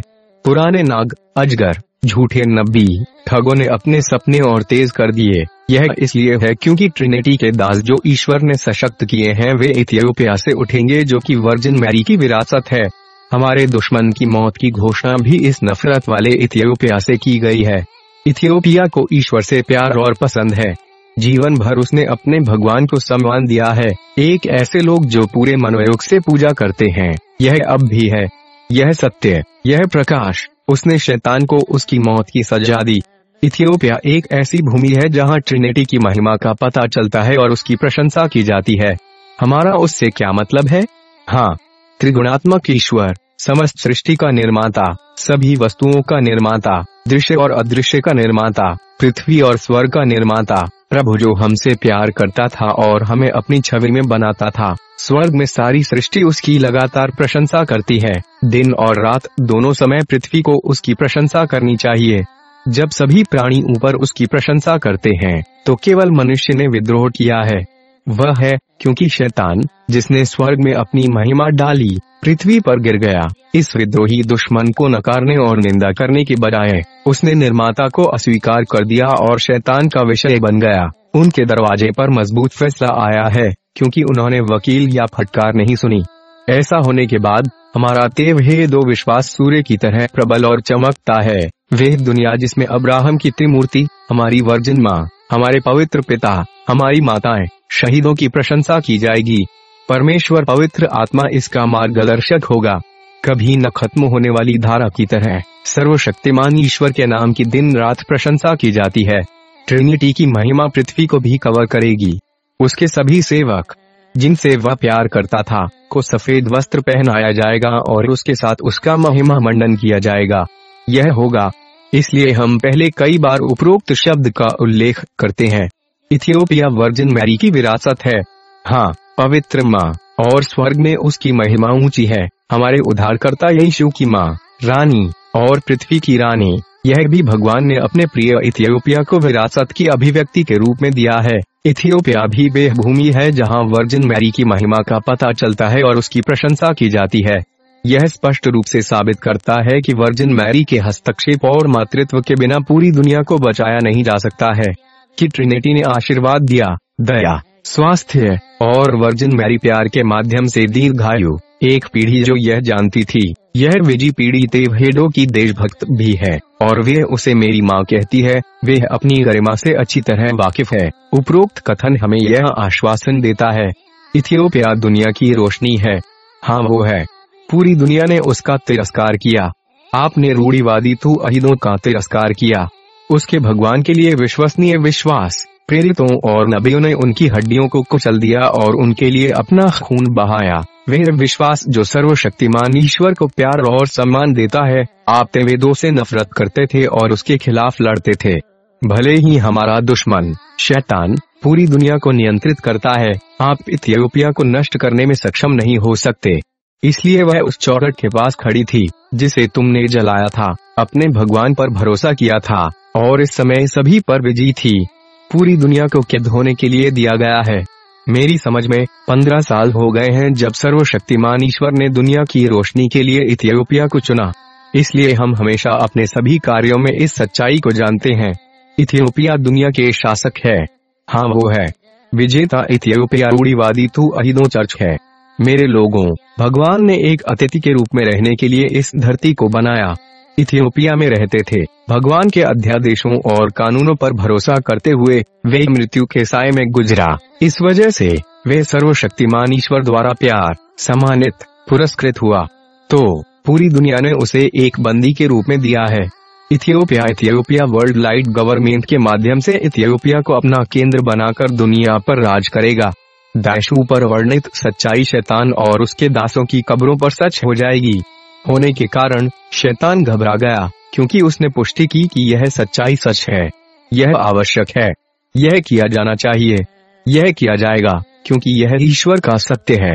इसलिए यह होना चाहिए कि शैतान और उसकी व्यभिचारिणी अपनी कब्र में जाएँगे, और परमेश्वर के लोग पुनरुत्थान की दुनिया में विजयी होंगे। इससे बचने के लिए शैतान, वह विश्वास जो उसने धर्म त्याग में बनाया है, हेरिटिक्स, कैथोलिक मुस्लिम, विद्वान, एशियाई पी एजेंट्स आदि, इसने उन सभी को अस्वीकार करने के लिए मनाया, और कई अन्य तरीकों का इस्तेमाल किया। धरती पर ऐसा कोई नहीं है जो अपनी आत्मा को अपने भोजन के लिए, शैतान के लिए नहीं बेचता है। दुनिया का ज़्यादातर हिस्सा बिक चुका है। उसने शैतान की बात मानी क्योंकि उसका जीवन भरा है, और उसे ऐसा करना ही चाहिए। इस प्रकार परमेश्वर ने अपनी इच्छा और आज्ञाओं को निभाने के लिए धरती पर अपने सेवकों का चयन, सम्मान और अभिषेक किया है। इस उद्देश्य के लिए चुनी गई सर्वोत्तम वस्तुओं को यह पता है, और वे अपनी जगह पर बैठ गए। वे उसकी आज्ञा की प्रतीक्षा कर रहे हैं। जैसा कि आप सब जानते हैं, हमारे उद्धारकर्ता यही शून्य प्रेरितों से कहा, जब तक आप शक्ति प्राप्त नहीं करते, तब तक आपको यरूशलेम नहीं छोड़ना चाहिए। आपको शक्ति पानी चाहिए। मैं आपको पवित्र आत्मा, दिलासा देने वाले को भेजूँगा। आप सभी को पता होना चाहिए कि परमेश्वर के अभिषेक और ठहराया सेवक अभी भी इस आज्ञा का इंतज़ार कर रहे हैं। आपको पता होना चाहिए कि सम्राट जोस के अधीन उनतालीस राजा हैं। आपको पता होना चाहिए कि उनके अलावा पदानुक्रम में, वे भी हैं जिन्हें राजकुमार और राजकुमारों के पद पर नियुक्त किया गया है। इथियोपिया के तेवहेदो ऑर्थोडॉक्स चर्च का नेतृत्व करने के लिए कम से कम तीन सौ पिता चुने गए हैं। वे पहले पिता के नेतृत्व में होंगे। उन्हें तैयार किया जाता है और उनके स्थान पर बैठाया जाता है। जब तक कि उन्हें शानदार पुजारी प्राप्त नहीं हुआ और उन्हें प्रेरितों के रूप में शक्ति प्राप्त हुई, दुनिया को पता होना चाहिए। जो पुनरुत्थान के लिए पार हो जाएँगे, उन्हें समझना चाहिए। ध्यान दें, सच तो यह है, ऐसा दिखता है। विशेष रूप से भगवान का परिवार पुनरुत्थान के समय को पार करने के लिए माना जाता है। तुम किस्मत वाले हो। इसलिए धैर्य रखें। शैतान की लगातार गपशप सुनते ही गुमराह न हो और आपको दिए गए अवसर को बर्बाद न करें। गिरा हुआ पानी एकत्र नहीं किया जा सकता है। तो फिर मैं आपको सावधान रहने की सलाह देता हूँ। पुनरुत्थान की ओर बढ़ने के बाद पृथ्वी ठीक हो जाएगा। हमारे शहीद पिता और माता अपने बच्चों के माध्यम से शासन करेंगे। जबकि वे स्वर्ग में हैं, वे सभी कार्यवाही देखते हैं। वे अपने परमेश्वर न्याय न्याय के न्याय में आनंदित होंगे और वे उसकी प्रशंसा करते हैं। सर्वशक्तिमान ईश्वर सम्मानित किया जाएगा, वह राज्य करेगा, और उसके सेवों उसे उड़ाना होगा। वे इसे अपने दिल और दिमाग में लेकर चलते हैं। परमेश्वर उनका मार्गदर्शन करता है क्योंकि पवित्र आत्मा उनके दिलों में है। वह उन्हें सभी सत्य की ओर ले जाता है। पृथ्वी के किसी भी छिद्र में कोई शैतानी क्रिया नहीं होगी। इसे उखाड़ कर फेंक दिया जाएगा। पृथ्वी के हर पहलू में परमेश्वर की लगातार प्रशंसा की जाएगी, उसकी पूजा की जाएगी, उसे सम्मानित किया जाएगा। वर्जिन मैरी पवित्र आर्काहेल्स, पवित्र शहीदों, महान पिता की माताओं की हमेशा प्रशंसा की जाएगी। मेरे लोग, यह सच्चाई आ गई है तो शैतान कहा जाता है? जब वह इस बुरी खबर को सुनता है तो वह कहा जा रहा है? ईश्वर के परिवार, मेरे लोग, जो आपकी वाचा के साथ दृढ़ता से खड़े थे सम्राट जोस की पहचान के बारे में कई सवाल उठाए गए थे। कई लेखों द्वारा इतिहास को विकृत किया जा रहा है। यह दुश्मन शैतान के उपकरणों के माध्यम से पूरा किया जाएगा। विश्वास को नष्ट करना, लोगों के दिलों को संदेह से भरना उसका काम है। इस प्रकार से, इस समय इस लेख में वर्णित के अलावा, कोई भी यह सुनिश्चित करने के लिए नहीं कह सकता कि सम्राट टिवोड्रोस यहाँ है। जब तक कि हमारे भाइयों में से एक टेक लिक इडन जो उसके बारे में नहीं कहता। टेक टेकलिकिडन ने कहा, उन्होंने 21 नवंबर को अक्सुम सियोन मरियम चर्च में सियोन मरियम की छुट्टी के लिए व्यक्तिगत रूप से राजा तेवोड्रोस को देखा। 2003 में इथियोपिया के कैलेंडर हाँ वह एकमात्र व्यक्ति है जिसने मुझे देखा। कई लोग उनकी ईमानदारी या जिज्ञासा के कारण उनके बारे में अतिरंजित होकर बोलते हैं। इंसानों के अलावा, वे भी हैं जिन्होंने उसे स्वर्गदूतों की तरह बनाया। मेरे लोगों, मूसा एलिया डेविड और अन्य मानव थे, लेकिन परमेश्वर ने उनके जीवन में शासन किया। आप सभी जानते हैं कि उसने उनके साथ क्या किया। आज का यह अर्थ अभी भी है कि जिन लोगों को भगवान प्यार करते हैं और उनकी इच्छा के अनुसार नियुक्त करते हैं, परमेश्वर ने अपने वफादार सेवकों को उम्र भर जीवित रखा है। प्रेरित भविष्य वक्ता शहीद समान पूर्वक सत्य के लिए खड़े होते हैं और महिमा के साथ पारित होते हैं। उन्होंने अपनी आध्यात्मिक शक्ति से दुश्मन का मुकाबला किया। उन्होंने हमारे लिए अपने संघर्ष की अपनी छाप छोड़ी है। आज यह उम्र क्या दिखती है? हाँ पृथ्वी पिछले कुछ वर्षों में बहुत बदल गई है। वह अपनी सभ्यता में आगे बढ़ी। धरती गाँव बन गई है। बहुत ज्ञान है। हमारा ग्रह इमारतों, कारों और विमानों से भरा हुआ है। वह संचार नेटवर्क पर विकास कर रहा है। उसके इलाज के साथ उसका आधुनिकीकरण भी किया जाता है। पृथ्वी संकुचित हो गई, इसलिए उसने अंतरिक्ष ब्रह्मांड की खोज की। ज्ञान और ज्ञान का स्रोत जो उसने इस गतिविधि के लिए उपयोग किया था, वे ईश्वर था, जिसने पहले ही मानव जाति को दिया था। मनुष्य ने जो अच्छे काम किए हैं, उनके लिए ट्रिनिटी नाराज़ नहीं है, लेकिन जबकि सभी चीज़ों के निर्माता प्रशंसा और महिमा के पात्र हैं, उस व्यक्ति ने जो उसे अपनी छवि में बनाया था उसने उसका खंडन किया। उन्होंने प्राणी शैतान की पूजा की। उसने उसे झिड़ दिया और उसे सलाह दी। जब सर्वशक्तिमान ईश्वर शुरू से ही कानून देता है तो उसने यह कहते हुए मानव को चेतावनी दी दश मुझे मत भूलना और मूर्तियों के पास मत जाओ। मैं ईर्ष्या करने वाला ईश्वर हूँ मैं भस्म करने वाला अग्नि हूँ। सावधान भटक मत जाओ। वह था। इसे न भूलने और इसे खोने के लिए, परमेश्वर ने हमेशा अपने वफादार सेवकों द्वारा मानव को फटकार लगाई है जो उसे प्यार करते हैं और उसकी आज्ञा मानते हैं। उन वफादार सेवकों को सर्वशक्तिमान परमेश्वर ने विभिन्न युगों में चुना है। उसने पश्चाताप करने के लिए बुलाया, लेकिन जैसा कि आप देख सकते हैं, किसी ने भी नहीं सुना। मानव अभिमान धर्म त्याग से अधिक हो गया। अपने ज्ञान, अपनी संपत्ति अपनी तकनीकी उपलब्धियों, अपने आधुनिक उपकरणों, अपने घर, अपने कंप्यूटर, अपनी कार, अपने शरीर के लिए निर्मित सुख सुविधाओं के कारण वे आकाश, जेट, जहाज़, बंदूक में लटकाए गए उपग्रह टैंक, हवाई जहाज़, क्योंकि यह सब दुनिया को एक गाँव बना देता है, उसने बस इतना कहा, कोई ईश्वर नहीं है। मैं उसे नहीं जानता, पृथ्वी बर्बाद हो गई है। उन्होंने ऐसी कार्यवाही की जो मानवता नहीं है। भगवान की निंदा करने वाला हर कार्य चदोमाइज समलैंगिकता, व्यभिचार, ने दुनिया भर दी है। ये सभी जोड़ते हैं। शैतान का सपना, जिसने भगवान को नकार दिया, उसने इंसानों की जगह ले ली। भगवान को भुला दिया गया है। इसके बजाय, अंधेरे के शासक, शैतान, ने पुरुषों के दिलों और दिमागों में शासन किया। ईश्वर तिरस्कृत, अस्वीकार और घृणा का पात्र बन गया। जो भगवान का नाम लेता है, वह लगभग विलुप्त हो जाता है। मानव जीवन के दौरान, ड्रैगन, पुराने नाग, झूठे नबी से प्यार हो गया। सुनी और पूजा की, और उनका निशान हर किसी पर बन जाता है। इब्राहिम की त्रिमूर्ति, जो यह सब देखता है। सभी जानते होंगे कि उसकी दिव्यता अग्नि, ईर्ष्या है और यह कि पृथ्वी और स्वर्ग उसके लिए बेकार हैं। इसकी पुष्टि होनी चाहिए, और आज निर्णय को कार्यवाही में बदल दिया जा रहा है। इससे पहले कि दुनिया इस स्तर पर पहुँचे, प्रभु ने उसे बताया कि वर्तमान युग से पहले मानव जाति पूरी तरह से नष्ट हो जाएगी और वह ईश्वर को नकार देगा। घटित हुआ। मनुष्य का गौरव पर छा गया। पिता की, वे परमेश्वर के द्वारा बताए गए सत्य के साक्षी के रूप में जिए और गुजरे हैं। वे अभी भी इसके साक्षी रहे हैं। सत्य का मार्ग, धार्मिकता का मार्ग बहुत संकीर्ण है। सर्वशक्तिमान ईश्वर ने कहा, इस संकीर्ण तरीके से पाने के लिए संघर्ष करो। चौड़ी सड़क बहुत चौड़ी है। एक महान भीड़ उसका पीछा करेगी। वह है अंधकार का शैतान का रास्ता। क्या ऐसा नहीं हुआ? हाँ यह मेरे लोगों ने किया। इसलिए आज कब भर गया है और दुश्मन का शिविर उथल पुथल में है। पृथ्वी परेशान है और कोई शांति नहीं है। रोग और युद्ध उग्र है। प्राकृतिक आपदाएँ सामान्य होगी।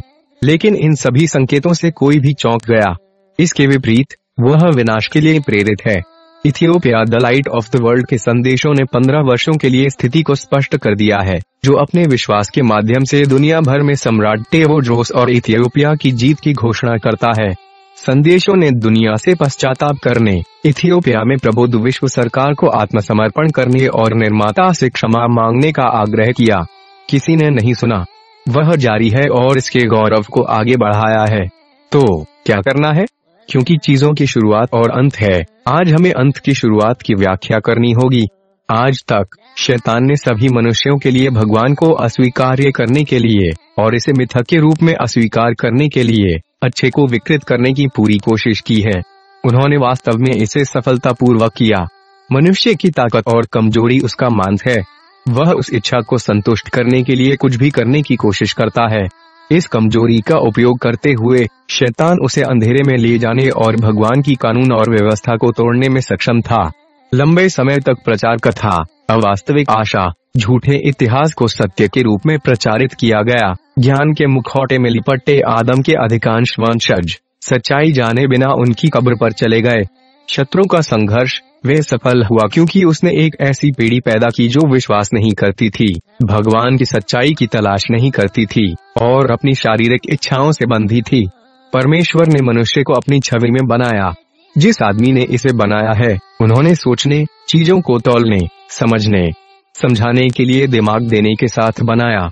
उसने उसे जानवरों के रूप में नहीं बनाया। इसके बजाय, उन्होंने इसे गरिमा के साथ बनाया। उन्होंने उसे एक ऐसे दिमाग से संपन्न किया जो अच्छे और बुरे, प्रकाश से अंधेरे और विवेक के बीच अंतर कर सकता है। उन्होंने उसे अपनी छवि में बनाया, जब उसने आज्ञा दी, पृथ्वी के सभी प्राणी उसके अधीन हो गए हैं, और उसने आज्ञा दी।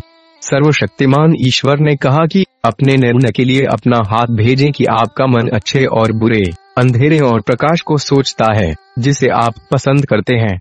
यह है परिणाम स्वरूप आप ज़िम्मेदारी लेते हैं। अपनी पसंद के अनुसार। वहाँ आपको अपने निर्णयों और कार्यों के अनुसार आंका जाएगा। उस स्थिति में, यदि आप अपनी गलती समझते हैं और पश्चाताप करते हैं तो मैं आपको क्षमा कर दूँगा। दूसरे शब्दों में, तुम प्रकाश में चलोगे और मुझसे डरोगे, क्योंकि तुमने मुझ पर भरोसा किया है।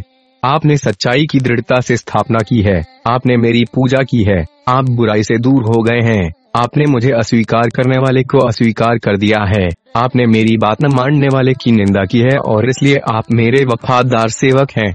इसलिए मैं तुमसे प्यार करता हूँ। मैं तुम्हें पुरस्कृत करूँगा। मैं तुम्हें उचित ठहराऊँगा। तुम्हारा सम्मान करूँगा। उसने उससे कहा है, यदि तुम विपरीत दिशा में खड़े हो, यदि आप मेरे वकील से नफरत करते हैं, यदि आप मुझे अस्वीकार करते हैं और गर्व से भरे हुए हैं, यदि आप शासन करने के लिए अंधेरा करते हैं यदि आप अपने भगवान को इस दुनिया का शासक बनाते हैं, यदि आप विनाश के लिए खड़े हैं, यदि आप अपना पेट भगवान बनाते हैं, यदि आप झुकते हैं तुम्हारी बुद्धि के लिए, यदि आपने जो बनाया है, उसकी अवहेलना करें। यदि आप मेरी आज्ञाओं की अवहेलना करेंगे और यदि आप अपनी इच्छाओं के अनुसार चलेंगे, न्याय आपका पीछा करेगा, क्योंकि आप पछतावा से घृणा करते हैं और शैतान से जुड़े रहते हैं। फैसला आपको खत्म कर देगा। मैं एक धर्मी जज हूँ। मैं तुम्हारे तरीकों के अनुसार तुम्हारा न्याय करूँगा। यह सच है। इस दुष्ट युग में पिछले पंद्रह वर्षों से Ethiopia the light of the world नामक संदेश के माध्यम से एडम के सभी वंशजों के लिए यह सच्चाई सामने आई है। आपको बताया गया है। तुमने सुना नहीं। तुमने तिरस्कार किया। तुम बचना नहीं चाहते थे। और क्या किया जा सकता है? दुनिया की आबादी आठ मिलियन के करीब है। यहाँ इन मेरी राय में माना जाता है कि 100 मिलियन से भी कम लोगों को निर्माता की इच्छा के अनुसार प्रस्तुत किया जाता है। पृथ्वी को ढकने वाले सभी लोग शैतान से चिपक गए और वे खो गए। उनके पास लौटने का कोई रास्ता नहीं है। जैसा कि परमेश्वर का वचन स्पष्ट रूप से बताता है, मोक्ष का मार्ग, सत्य का मार्ग बहुत संकीर्ण है। यह कहता है, इस संकीर्ण तरीके से प्रवेश करने के लिए लड़ो। लेकिन अंधेरे का मार्ग चौड़ा है और बहुत से उसमें चलेंगे, लेकिन वे नष्ट हो जाएगा। वे असफल हो जाएँगे। यहाँ सच्चाई है। तो मेरे लोग, भगवान समय के पाबंद है। वह वही है जो अपने वादों को पूरा करता है और पूरा करता है। आज, हज़ारों वर्षों के धैर्य के बाद, उसने अपनी माँ, वर्जुन मेरी के साथ पृथ्वी और आदम के पूरे वंशजों का दौरा किया है और मानव जाति की प्रगति और विनाश को तोला है। जैसा कि मैंने ऊपर उल्लेख किया है, उसने अपने फैसले की पुष्टि की, मनुष्य के दिल की ताकत और उसकी ईमानदारी और नम्रता के अनुसार, और तदनुसार उसने पश्चाताप किया या नहीं। क्योंकि यह तथ्य है कि मनुष्य ने अपनी पसंद के रूप में काम किया। तदनुसार, उन्होंने पवित्र आरकान गेल्स को लागू करने का एक आदेश दिया। इस निर्णय और आदेश के बाद, आप अपने आसपास की दुनिया की स्थिति देखेंगे। आप निश्चित रूप से देखेंगे कि दुनिया में किस तरह का विनाश होगा। वह वे सब सील कर देता है जो भविष्यवाणी की गई है। वे सब जो उसने सील कर दिया है, वे सब जो वे प्यार करता है, और वे सब जिसे वे मंजूर करता है, उन लोगों के लिए जो सेवा में सबसे आगे हैं, जो प्रकाश कानून द्वारा सेवा करेंगे। उन्होंने अभिषेक किया, अभिषिक्त किया और महिमा के साथ अधिकार दिया।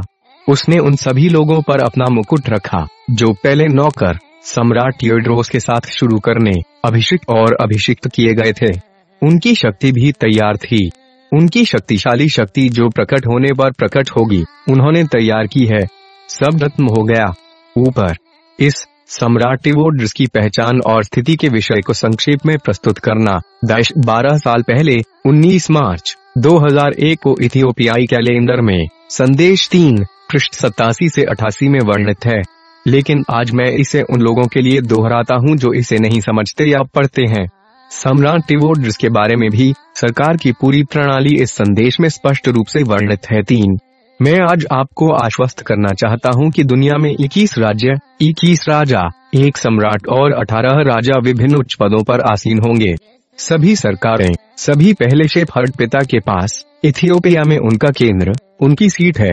उनका केंद्र यहाँ बनेगा। विश्व गणी इथियोपिया, यह एक प्यारी, धन्य भूमि, आराम की भूमि होगी। दुनिया पर इथियोपिया का शासन होगा। पूरी दुनिया इथियोपिया पर टैक्स लगाएगी। वे उसकी शानदार शासन प्रणाली की छाया में आराम करते हैं। इथियोपियावाद एक महान और महँगा उपहार होगा जिसे आप एक महान आध्यात्मिक संघर्ष में प्राप्त कर सकते हैं। सम्राट टिवोड्रोस एक इथियोपियाई रूढ़ीवादी तेवहेडो का बेटा है। जैसा कि उन्होंने अपने सभी पत्रों में कहा वह एक गरीब, दुखी, अशिक्षित, बेकार आदमी था। ऐसे लोग हैं जो उसके चुनाव को लेकर भ्रमित हैं। ज़ाहिर है, कुछ को स्वीकार करना मुश्किल है। कई कारणों से, ऐसे कई लोग हैं जो अपने आप को टियोड्रोस मानते हैं। यह कुछ भी नहीं है कि भविष्य में बने रहे हो रहा से सार्वजनिक, सब कुछ प्रकाश में निकल जाएगा। उस समय में, आप जिस तरह से सोचते हैं और उस तरह से विश्वास करते हैं, आपको समझाएँगे, इसे अधिक कहना समय पर नहीं होगा। सम्राट और अन्य पिता इथियोपिया में यहाँ है। राजधानी से शुरू करके वे विभिन्न उद्देश्यों के लिए देश के सभी हिस्सों में जाकर स्थिति की निगरानी कर रहे हैं। रहस्य उद्घाटन के समय एवररोज के बाई ओर और दाई ओर जो पहले और दूसरे डिपो में हैं, राजा की उपाधि धारण करते हैं। वे अभी भी सहायता कर रहे हैं और अपने सभी कार्यों में उनके साथ काम कर रहे हैं। वहाँ राजा के शीर्षक में सैतीस अन्य कर रहे हैं में फेलोशिप और भगवान की एकता पवित्र आत्मा। वे सब बातों में मदद कर रहे हैं। अगर कोई एक चीज़ है जो सभी को पता होनी चाहिए, जब तक आधुनिक संचार है, टेलीग्राम पर जॉन बीस पृष्ठ का रहस्य उद्घाटन, यह सभी घटनाओं का प्रसारण होगा। यह वह जगह है जहाँ सम्राट और राजाओं की आवाज़ सुननी और प्रकट की जाती है। इसके अलावा, इथियोपिया का विश्व में प्रकाश का संदेश भी स्पष्ट है। जब तक यह उपलब्ध है, तब तक टेलीग्राम मान्य है। इसके अलावा कुछ नहीं आएगा।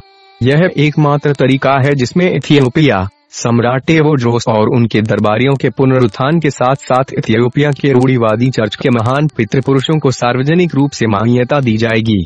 यदि आपके पास इससे परे कोई और सच्चाई है तो हम आपसे आग्रह करते हैं कि आप इसे जारी रखें। जजमेंट और ऑर्डर एक साथ सामने आएँगे, क्योंकि जज स्वर्ग में होते हैं, सभी को देखते हुए। दूसरी ओर मुझे उन लोगों के खिलाफ कोई शिकायत नहीं है जो मेरा विरोध करते हैं। आज और कल मैं जो कुछ कहता हूँ, वे केवल सच और सच को व्यक्त करने के लिए है जो मेरे भगवान ने मुझे सिखाया है। इसलिए मैं सबसे कम हूँ। मुझे लगता है कि आप सभी मुझसे हर तरह से बेहतर हैं। लेकिन जब से मुझे समझ नहीं आया कि उसने मुझे किन मानदंडों के लिए चुना है, आप सभी जो परेशान हैं, उन्हें सर्वशक्तिमान ईश्वर और वर्जिन मैरी से पूछना चाहिए। आपको जवाब मिल जाएगा। मैं यह इसलिए कहता हूँ ताकि आप थोक कर न खाएँ। जब राजा डेविड को सर्वशक्तिमान ईश्वर द्वारा चुना गया तो शमुएल ने उसे भ्रमित कर दिया, जैसे कि वह अपने बड़े भाइयों को खुश नहीं करता था। लेकिन प्रभु ने शमुएल को उत्तर दिया, उसे आश्वासन दिया कि भगवान हृदय को देखता है और बाहर की ओर नहीं देखता है। यह सर्वविदित है कि प्रभु ने एक निरंकुश स्थान से भविष्य वक्ताओं विशेषकर प्रेरितों को चुना। मैंने अपने काम में भगवान के लिए कुछ नहीं किया है। मुझे अपने आचरण में ईश्वर को प्रसन्न करने का कोई काम नहीं है। मुझे लगता है कि उसने मुझे सिर्फ़ एक चीज़ के लिए सोचा था। मैं उस ईश्वर से प्यार करता हूँ जिसने मुझे बनाया है। वही ईश्वर जिसने मुझे मेरे सबसे बुरे पापों से बचाया है, वे ईश्वर जिसने मुझे मानव माना है, और मैं अपनी माँ वर्जन मेरी को पूरे दिल से प्यार करता हूँ। एक और बात जो मुझे पता है, मैंने उसे खुश करने के लिए कुछ नहीं किया है। यह सच है। इसलिए, उन लोगों के लिए जो सम्राट टेवोड्रोस की पहचान पूछते हैं। उन लोगों के लिए जो दोस्त और दुश्मन से भ्रमित हैं, मैंने आपको ऊपर से अवगत कराने की थोड़ी कोशिश की है। जब समय आएगा तो आप स्पष्ट रूप से उसकी और दूसरों की पहचान देखेंगे। डंडा आपको बस धैर्य रखना होगा। एक बात मैं आपके बारे में सुनिश्चित करना चाहता हूँ। आप हमारे बेटे द्वारा खोले गए टेलीग्राम चैनल पर जॉन बीस के रहस्योद्घाटन का सारा सच भी सुन सकते हैं। सभी संदेश हमारे विवरण का हिस्सा है। यदि यह सब दुख के बोझ के साथ बंद हो जाता है तो हम एक और रास्ता खोज लेंगे। उस समय हम परेशान नहीं होंगे, लेकिन प्रेरित पीढ़ी परेशान होगी और छिपने में सक्षम नहीं होगी। एक और मुद्दा। कई लोग हैं जो सम्राट ट्रिवोड्रस होने का दावा करते हैं। वे बहुत ज़्यादा बात कर रहे हैं। मैं भी सुन रहा हूँ। आश्चर्यचकित होने के अलावा क्या कहना? बेशक मेरा मानना है कि धैर्य रखना अच्छा है और सर्वशक्तिमान ईश्वर और वर्जिन मैरी के लिए इंतज़ार करना है कि यह तब पता चलता है जब सभी लोग प्रकाश में जाते हैं। यहाँ उन लोगों के लिए सच्चाई है जो सच्चाई के लिए लंबे समय से हैं। जैसा कि हमने घोषणा की है कि आप हमारे साथ पंजीकरण करें, क्योंकि हम इस पर विश्वास करते हैं। हमने उसको पंजीकृत किया है जो चाहता था। आईडी कार्ड लेने वालों ने भी अच्छा काम किया, क्योंकि आपने इसे सेवा के लिए लिया था। आप इसे समय पर उपयोग करेंगे। मैं आपको आश्वस्त करना चाहता हूँ कि आईडी पर हस्ताक्षर मेरा है। मेरे हस्ताक्षर के अलावा आप इस नौवे संदेश में जानते हैं। आपको मेरे दो भाइयों के हस्ताक्षर मिलेंगे। ऐसा इसलिए है क्योंकि मैं चाहता हूँ कि आप इसे जानें और आपको आश्वस्त करें। यह संदेश इथियोपिया विश्व प्रकाश सरकार के तहत जारी किया गया है। मेरे दोनों भाई, राजा की दोवीं और तीसरी श्रेणी में मैं आपको विश्वास दिलाता हूँ कि हम तीनों की सहमति से और परमेश्वर की पवित्र आत्मा की स्वीकृति और आज्ञा के साथ यह सामने आया है। इसलिए हमने सच्चाई जानने की बात का खुलासा किया है, जो आज लोगों के मन में है।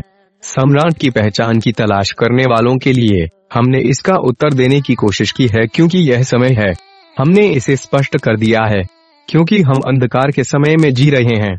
जब आप उसे प्रकाश के बारे में बताते हैं तो यह एक ऐसी पीढ़ी है जो अपने अंधकारमय जीवन की महानता का प्रचार करती है। यह वे पीढ़ी है जिसने धरती को ढक रखा है। हमने उसे सच बताने की कोशिश की।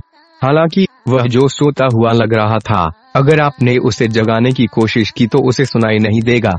इसलिए, हमें इस मुद्दे की परवाह नहीं है कि इसका अंतिम निर्णय क्या है। यदि वह तब तक नोटिस नहीं करता है जब तक वह मर नहीं गया, हम चुप्पी का चयन करेंगे। क्योंकि दिन और घंटा हमारे सामने है। आग लगने पर वह कहाँ खड़ा है? वह अपने अभिमान के साथ कहा जाएगा? उसे इसकी जानकारी दें। अंत में, इस मामले में, पहचान या धर्म त्याग द्वारा, केवल अविश्वास या अतिशयोक्ति द्वारा, आज हमने आपको जो कुछ भी समझाया है, उसके अलावा, जो सभी सत्य होने का दावा करते हैं, आप ऐसा करना जारी रख सकते हैं। बेशक, जब आप सच्चाई देखते हैं तो आपको यह समझना चाहिए कि जिस तरह आप भगवान की अवज्ञा करते हैं, सर्वशक्तिमान ईश्वर और वर्जिन मैरी दोनों से उचित निर्णय होगा। अच्छी समझ है। इस प्रकार यहोवा ने कहा, शापित हो वे मनुष्य, जो मनुष्य में विश्वास रखता है, और उसकी भुजा को मांस देता है, और जिसका हृदय यहोवा से विदा हो जाता है, नंबर पाँच से ये सत्रह। लेकिन तुम दिन भर यहोवा के भय में रहो। निश्चित रूप से एक अंत है, और आपकी उम्मीद नहीं काटी जाएगी। चंद इस सत्रह से अठारह तक। तुम फाटकों को खोलो कि धर्मी राष्ट्र जो सत्य को रखता है, भीतर प्रवेश कर सकते हैं, और तू उसको पूर्ण शांति में रखेगा, जिसका मन तुझ पर टिका हुआ है, क्योंकि वे तुझ पर विश्वास करता है। यहोवा में हमेशा के लिए भरोसा रखो, क्योंकि यहोवा यहोवा हमेशा की ताकत है। यशाया छब्बीस, दो से चार तक। यशाया के पूरे अध्याय छब्बीस को पढ़े। फोरमाशुच के रूप में यह लोग अपने मुँह से मेरे पास आते हैं और अपने होंठों के साथ मुझे सम्मान देते हैं, लेकिन उन्होंने अपना दिल मुझसे दूर कर दिया है और मेरे प्रति उनके डर को पुरुषों के उपदेश द्वारा सिखाया जाता है। यशाया उनतीस, तेरह नंबर से, जैसा कि आप उपरोक्त चारों शब्दों में देख सकते हैं, आज आप उन्हें बताएँगे तो वे नहीं सुनेंगे। शब्द के बजाय, पिता, बिशप, शिक्षक, विद्वान, चर्च पिता जिन्होंने दावा किया है, ने मुझे बताया। जो लोग कर इस अच्छे लोगों के लिए एक बाधा बन गए हैं। कुछ जो पिता होने का दावा करते हैं, हमारे बारे में कुछ भी जाने बिना और संदेशों को पढ़े बिना, वे अपने अपराध बोध से आच्छादित हो जाते हैं, और सच्चाई बताने के लिए हमारी निंदा करते हैं। हम समझते हैं कि उन्होंने ऐसे युवाओं की निंदा की है जिन्होंने कुछ भी गलत समझा है और उन्हें सच्चाई से दूर कर दिया है। वे यहाँ तक चले गए कि उन लोगों की वापसी के लिए ही जिन्होंने हमारे साथ आईडी प्राप्त करने के लिए पंजीकरण किया था, जो उन्हें भविष्य में इथियोपिया विश्व प्रकाश सरकार के तहत सेवा करने में सक्षम करेगा। जिन लोगों ने ऐसा किया, हमने उन्हें शैतान और उसकी सेना को सौंपने का फैसला किया। हमारे पास धैर्य नहीं है। आईडी वापस करने वाले युवाओं को आईडी नहीं लौटाने का निर्णय लिया गया। चूँकि वे हमारे साथ पंजीकृत हैं, उन्हें एक महीने के भीतर रजिस्टर से हटा दिया जा सकता है। इसलिए उन्हें पता होना चाहिए कि हम इसे रद्द कर देंगे यदि वे पश्चाताप करने का अनुरोध करके एक महीने के भीतर सर्वशक्तिमान भगवान पर लागू नहीं होते हैं। आप जो राजनीति और विश्वास आपके लिए मिला है नकली विश्वासी तुम जो प्रकाश को अंधकार और अंधकार को प्रकाश में बदलते हो ध्यान दें भगवान का मज़ाक नहीं उड़ाया जाना चाहिए। वे कोई राजनीतिक जुआ नहीं है। विश्वास के गरीबों के लिए, जो सच्चाई नहीं जानते हैं। तुम परमेश्वर की इच्छा को नहीं जानते। आप केवल जानते हैं कि एक नाम है। विश्वास से कोई बातचीत नहीं है। मुख्य विद्वान अयालेव तामिरू जिन्होंने बिना किसी दोष के अपनी पुरोहिती रखी, इथियोपिया के रूढ़ीवादी तेवेदो चर्च स्कॉलर सम्मेलन के अंतिम अध्यक्ष थे। यह हम सभी जानते हैं। वह हमारे विश्वास के सिद्धांत और सिद्धांत में सिद्धहस्त थे। अब पोलोस जिन्होंने उस समय एक खाली घर पाया धर्मसभा को उखाड़ फेंका और उस कानून को मंजूरी दी जो पवित्र आत्मा के बजाय खुद को श्रेष्ठ बनाएगा। मुख्य विद्वान अयालेव तामीरू, जो उस समय चर्च के पतन के गवाह थे, ने पितृसत्ता और कानून में हस्ताक्षर करने वाले बिशप के धर्मसभा के सदस्यों की निंदा की। उन्होंने अपने पुरोहित तत्व को बांधा। क्यों? वे मूर्ति पूजक बन गए हैं। परिणाम स्वरूप उन्होंने अपना दायित्व निभाया है। तो हमारे चर्च को कैसे तोड़ा जा सकता है? बिना कानून तोड़े और निंदा के खिलाफ कार्रवाई की जाए? इस समय, कुलपति की कार्यवाही को निष्कासित और निलंबित करने के लिए था मुख्य विद्वान आयालियो तमेरू। वास्तव में, यह एक पैट्रियार्क अब्यून पोलोस था जिसे प्रतिबंधित किया जाना चाहिए था। उन्होंने असली पिता को निकाल दिया क्योंकि वे राजनीतिक व्यक्ति थे। वह विनाश अभी भी काम पर है, अपरिवर्तित है। परिणाम स्वरूप हमारे चर्च के सभी मंत्री निंदा में किद हैं। उन्हें अपने अपराध का बोध नहीं था और उन्होंने उन्हें ठीक नहीं किया। इसलिए आप किसी को आशीर्वाद नहीं दे सकते। जो लोग इस सच्चाई को जानते हैं और कहते हैं कि यह कोई समस्या नहीं है, वे भविष्य में परिणाम देखेंगे। शैतान द्वारा बनाई गई मान्यताओं से कैथोलिक धर्म, विधर्म, इस्लाम वाक्यता शिंतोवाद, ताओवाद, कन्फ्यूशीवाद, हिंदू धर्म, सिख धर्म जादू टोना जादू टोना सभी मूर्ति पूजा, अनुग्रह, अभिषेक, सभी का न्याय किया जाता है। उनके पास जाने का कोई रास्ता नहीं है। उन्होंने सभी को भगवान से वंचित कर दिया। राजनीति के साथ विश्वास को भ्रमित करना एक गंभीर अपराध है। इस नौवे संदेश के अनुसार, निम्नलिखित निर्णयों, आदेशों, निर्देशों, शर्तों में जो लोग एक सरकार के रूप में और एक व्यक्ति के रूप में पहले स्थान पर आराम करते हैं। दूसरा यह है कि जो लोग एक सरकार के रूप में और एक व्यक्ति के रूप में आराम करते हैं, तीसरा स्थान वे हैं जो लोगों के रूप में आराम करते हैं। एक सरकार के रूप में और गंभीर सजा में व्यक्तियों के रूप में हम देशों को तीन श्रेणियों में सूचीबद्ध करेंगे। पहले चरण में शामिल देश संयुक्त राज्य अमेरिका, बाबुल, ब्रिटेन, फ्रांस, चीन, मिस्र, जर्मनी, भारत, ईरान, सऊदी अरब, इटली, दोनों कोरिया इजराइल रूस पाकिस्तान, कनाडा, संयुक्त अरब अमीरात, ऑस्ट्रेलिया, स्पेन, तुर्की, जापान, इंडोनेशिया, दुबई। साथ ही उन लोगों को जो पहले उदाहरण में जल्दी साफ़ और साफ़ हो जाते हैं, जैसा कि मैसेज आठ में बताया गया है। जिबूती, दोनों सूडानी, Eritrea, Kenya, Somalia, Rwanda, Burundi, Uganda Uganda, Tanzania, मध्य अफ्रीका, चाड, कैमरून, मिस्र, गैबॉन, गिन्नी, जाम्बिया अंगोला। ये ऐसे देश हैं जो ऊपर उल्लेखित देशों के साथ सफ़ाई करने वाले पहले हैं। दूसरे चरण में शामिल देश ब्राज़ील, दक्षिण Africa, Argentina, Lebanon, Iraq, Afghanistan, Burma, Thailand, Cambodia, Vietnam, Laos, Nepal, Singapore, Malaysia, Taiwan, Sri Lanka, Nigeria, Niger, Cuba, Nicaragua, Guatemala, El Salvador, Costa Rica Costa Rica Costa Rica Panama, Haiti, Hamas, Kuwait Qatar Oman, Bahrain, Venezuela, Colombia, Sumatra, French Guiana Ecuador, Peru, Paraguay, Uruguay, Chile, Bolivia, Tajikistan, Kyrgyzstan, Uzbekistan, Turkmenistan, Georgia Georgia, Azerbaijan, Armenia, Syria, Philippines, Algeria और पश्चिम Africa के सभी तीसरे चरण में शामिल देश इस सूची में शामिल देश उपरोक्त की पहली और दूसरी श्रेणी में सूचीबद्ध नहीं है। वे दूसरों के विनाश को देखते हैं और अंततः शामिल होंगे और बह जाएँगे। ध्यान दें, संदेश तीन, संदेश पाँच और संदेश आठ और दुनिया के बाकी हिस्सों में उल्लिखित देशों को निर्णय में शामिल किया जाएगा। जिस तरह से पूरी दुनिया में कोरोना वायरस फैल गया है, ऐसी कोई भी भूमि नहीं है जो क्रोध और क्रोध की आग से बह न जाए। बेशक जो लोग अर्थव्यवस्था और सेना में मज़बूत होने का दावा करते हैं, वे वही हैं जो सबसे पहले बुरी तरह से भस्म हो जाएँगे। उनमें से कुछ पूरी तरह से गायब हो जाएँगे। इतिहास के लिए कोई निशान नहीं छोड़ेंगे। जब आप इस संदेश को समझते हैं तो आप महसूस कर सकते हैं कि चीज़ें दोहराई जाती हैं। लेकिन यह नहीं है। इसे दोहराया गया ताकि आप खतरे से बच सकें, क्योंकि इसमें कई नए निर्णय शामिल थे। यह आपके विनाश भयावहता के कारण है। जैसा कि आपने इतिहास में सुना है, प्रथम विश्व युद्ध में हरे हुए लोगों और संपत्ति का दूसरों के लिए सबक नहीं था। जब द्वितीय विश्व युद्ध आया था, दुनिया नहीं चाहती थी कि वे हाय। यह एक युद्ध था जो एक शैतान, हिटलर द्वारा छेड़ा गया था। उस समय, सभी देश युद्ध से बच नहीं सकते थे। उन्होंने इसमें प्रवेश किया था। करोड़ों लोग मारे गए, बहुत सारी संपत्ति नष्ट हो गई। तब से, हालाँकि, कम युद्ध हुए हैं। यह सब बिना कारण के नहीं है। यह एक व्यक्ति के लिए पश्चाताप करने और भगवान के क्रोध के प्रकट होने से पहले बचाए जाने का एक अवसर था, क्योंकि मानव जाति ने निर्माता के साथ अपने रिश्ते को नुकसान पहुँचाया है। लेकिन खोई हुई पीढ़ी ने उनके सभी संदेशों को मिथकों के रूप में देखा। यदि धैर्य और वकील इनकार को जन्म देते हैं, अगर प्यार और धैर्य फल नहीं देता है तो इसे नष्ट करना मुश्किल क्यों है? जैसे तुम निर्मित हो, वैसे ही गिर जाओगे। आपने माले को तुच्छ जाना और उसकी बाढ़ को हिलाने की कोशिश की। इसलिए आप उखड़ जाएँगे और साफ़ हो जाएँगे और धूल में बदल जाएँगे। यह सच है।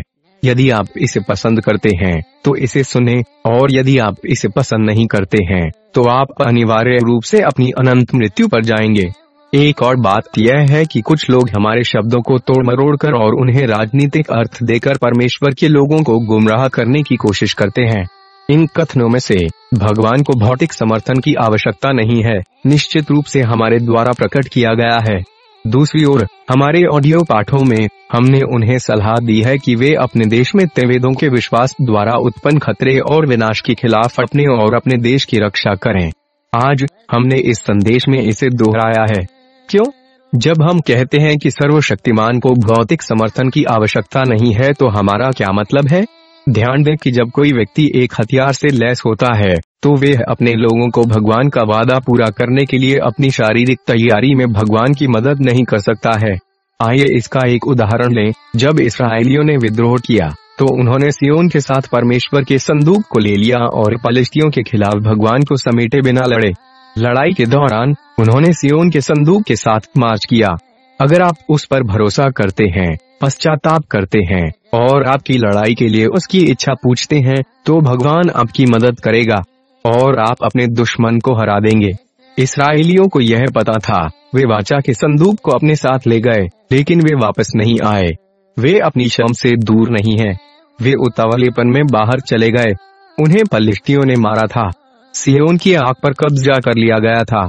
जहाँ सियोन गया, वहाँ कोई इसराइली नहीं था। फलिस्तियों ने देखा कि उनकी मूर्तियाँ सियोन के संदूक के पास झुकी हुई हैं। केवल इतना ही नहीं, बल्कि परमेश्वर ने बड़ी बीमारी और प्लेग के साथ फिलिस्तीन की भूमि पर हमला किया।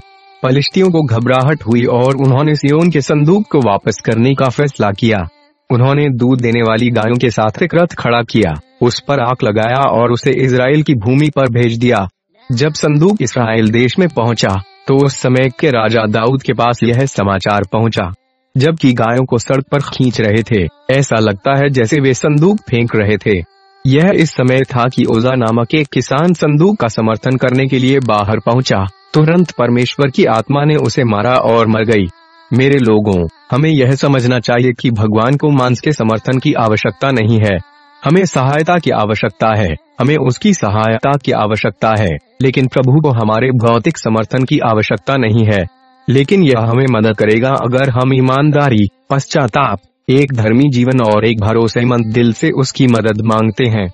हमें अपने विश्वास की रक्षा के लिए अपने देश और अपने झंडे का बचाव करने का अधिकार है। जब आक्रमणकारी हमारे ऊपर इटली की तरह आते हैं तो एक हमलावर शत्रु जो हमारे विश्वास का विरोध करता है और हमारे देश पर हमला करता है, हमें सर्वशक्तिमान ईश्वर की सहायता से अपने देश और हमारे विश्वास की रक्षा के लिए खड़ा होना चाहिए। भले ही आज हमारे पास कोई शत्रु ना हो, लेकिन हमें उस बुराई से लड़ना चाहिए जो उसने हमारे ऊपर लाई है, जैसा कि अबू एन पेटोस ने किया था। अबू पेटोस ने बंदूक से लड़ाई की। जब उन्हें गिरफ़्तार किया गया, उनके पुरोहित तत्व प्राधिकरण द्वारा उन्होंने निंदा की। वे अपनी सत्यता के लिए शहीद हो गए। यह हमारा विश्वास है। यह पीढ़ी आज जिसने अपना देश, ईमान और झंडा बेच दिया, वे हेरिटिक्स, कैथोलिक, मुस्लिम, शैतान के एजेंडे के वाहक, कायर, झूठे, धोखेबाज, जातिवादी, चुड़ैल, श्वेत उपासक हैं। इसलिए वे आज के फैसले के लिए वध हो गया। आश्चर्यजनक रूप से उन्होंने हमारी आलोचना करने की कोशिश की। आज जिस पीढ़ी ने अपना विश्वास अपना देश, अपना झंडा खो दिया है। वे किस मानकों पर अपनी ज़ुबान हमारे खिलाफ छोड़ेगी? वह जिसने चर्च को नष्ट कर दिया और उसे शैतान को बेच दिया। आप अपना निर्णय देखेंगे। आप अपनी जीभ से नहीं बचेंगे। भगवान तुम्हारे दिल को जानता है। इसलिए, हर सचेते दो बच्चे को सचेते दो विश्वास और अपने देश के झंडे के लिए खड़े होना चाहिए। सफ़ेद, काला, वे नागरिक है या नहीं? यदि वे आपके विश्वास आपके देश और आपके ध्वज के प्रति शत्रुतापूर्ण है तो आप उसका बचाव कर सकते हैं क्योंकि यह आपका स्वाभाविक अधिकार है। अतीत में, जब हम स्कूल गए थे, हमारे खेल शिक्षक हमें एक ऐसी दौड़ देते थे जो विजेता नहीं होती। प्रतियोगिता एक अंडे को सूप के चम्मच पर रखने और सूप के चम्मच को दांत से काटने के लिए होती है, और कोई भी एक चौथाई में भी शांति से अंडे नहीं दे सकता है। कोई धारण नहीं कर सकता। जैसे ही वह चला गया, अंडा गिर गया। इसे तोड़ा जाएगा।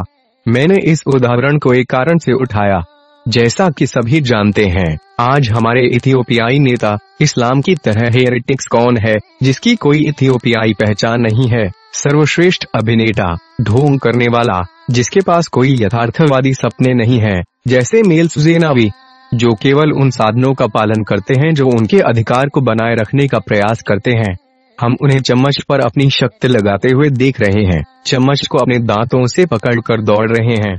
अपना समय बर्बाद मत करो। जिसने दूर से देखा वह आराम करेगा, आप इसे जल्द ही देखेंगे। जैसा कि कहा जाता है, अपने लिए सुनो जब एक बोलता है और दूसरा भी बोलता है, टीपीएलएफ गिर गया और विघटित हो गया। हाँ यह परमेश्वर का न्याय है। आप स्वेच्छा से लड़ाई में शामिल नहीं हुए। तुम्हारा विचार था कि अपनी शक्ति को ढोंग करके रखो।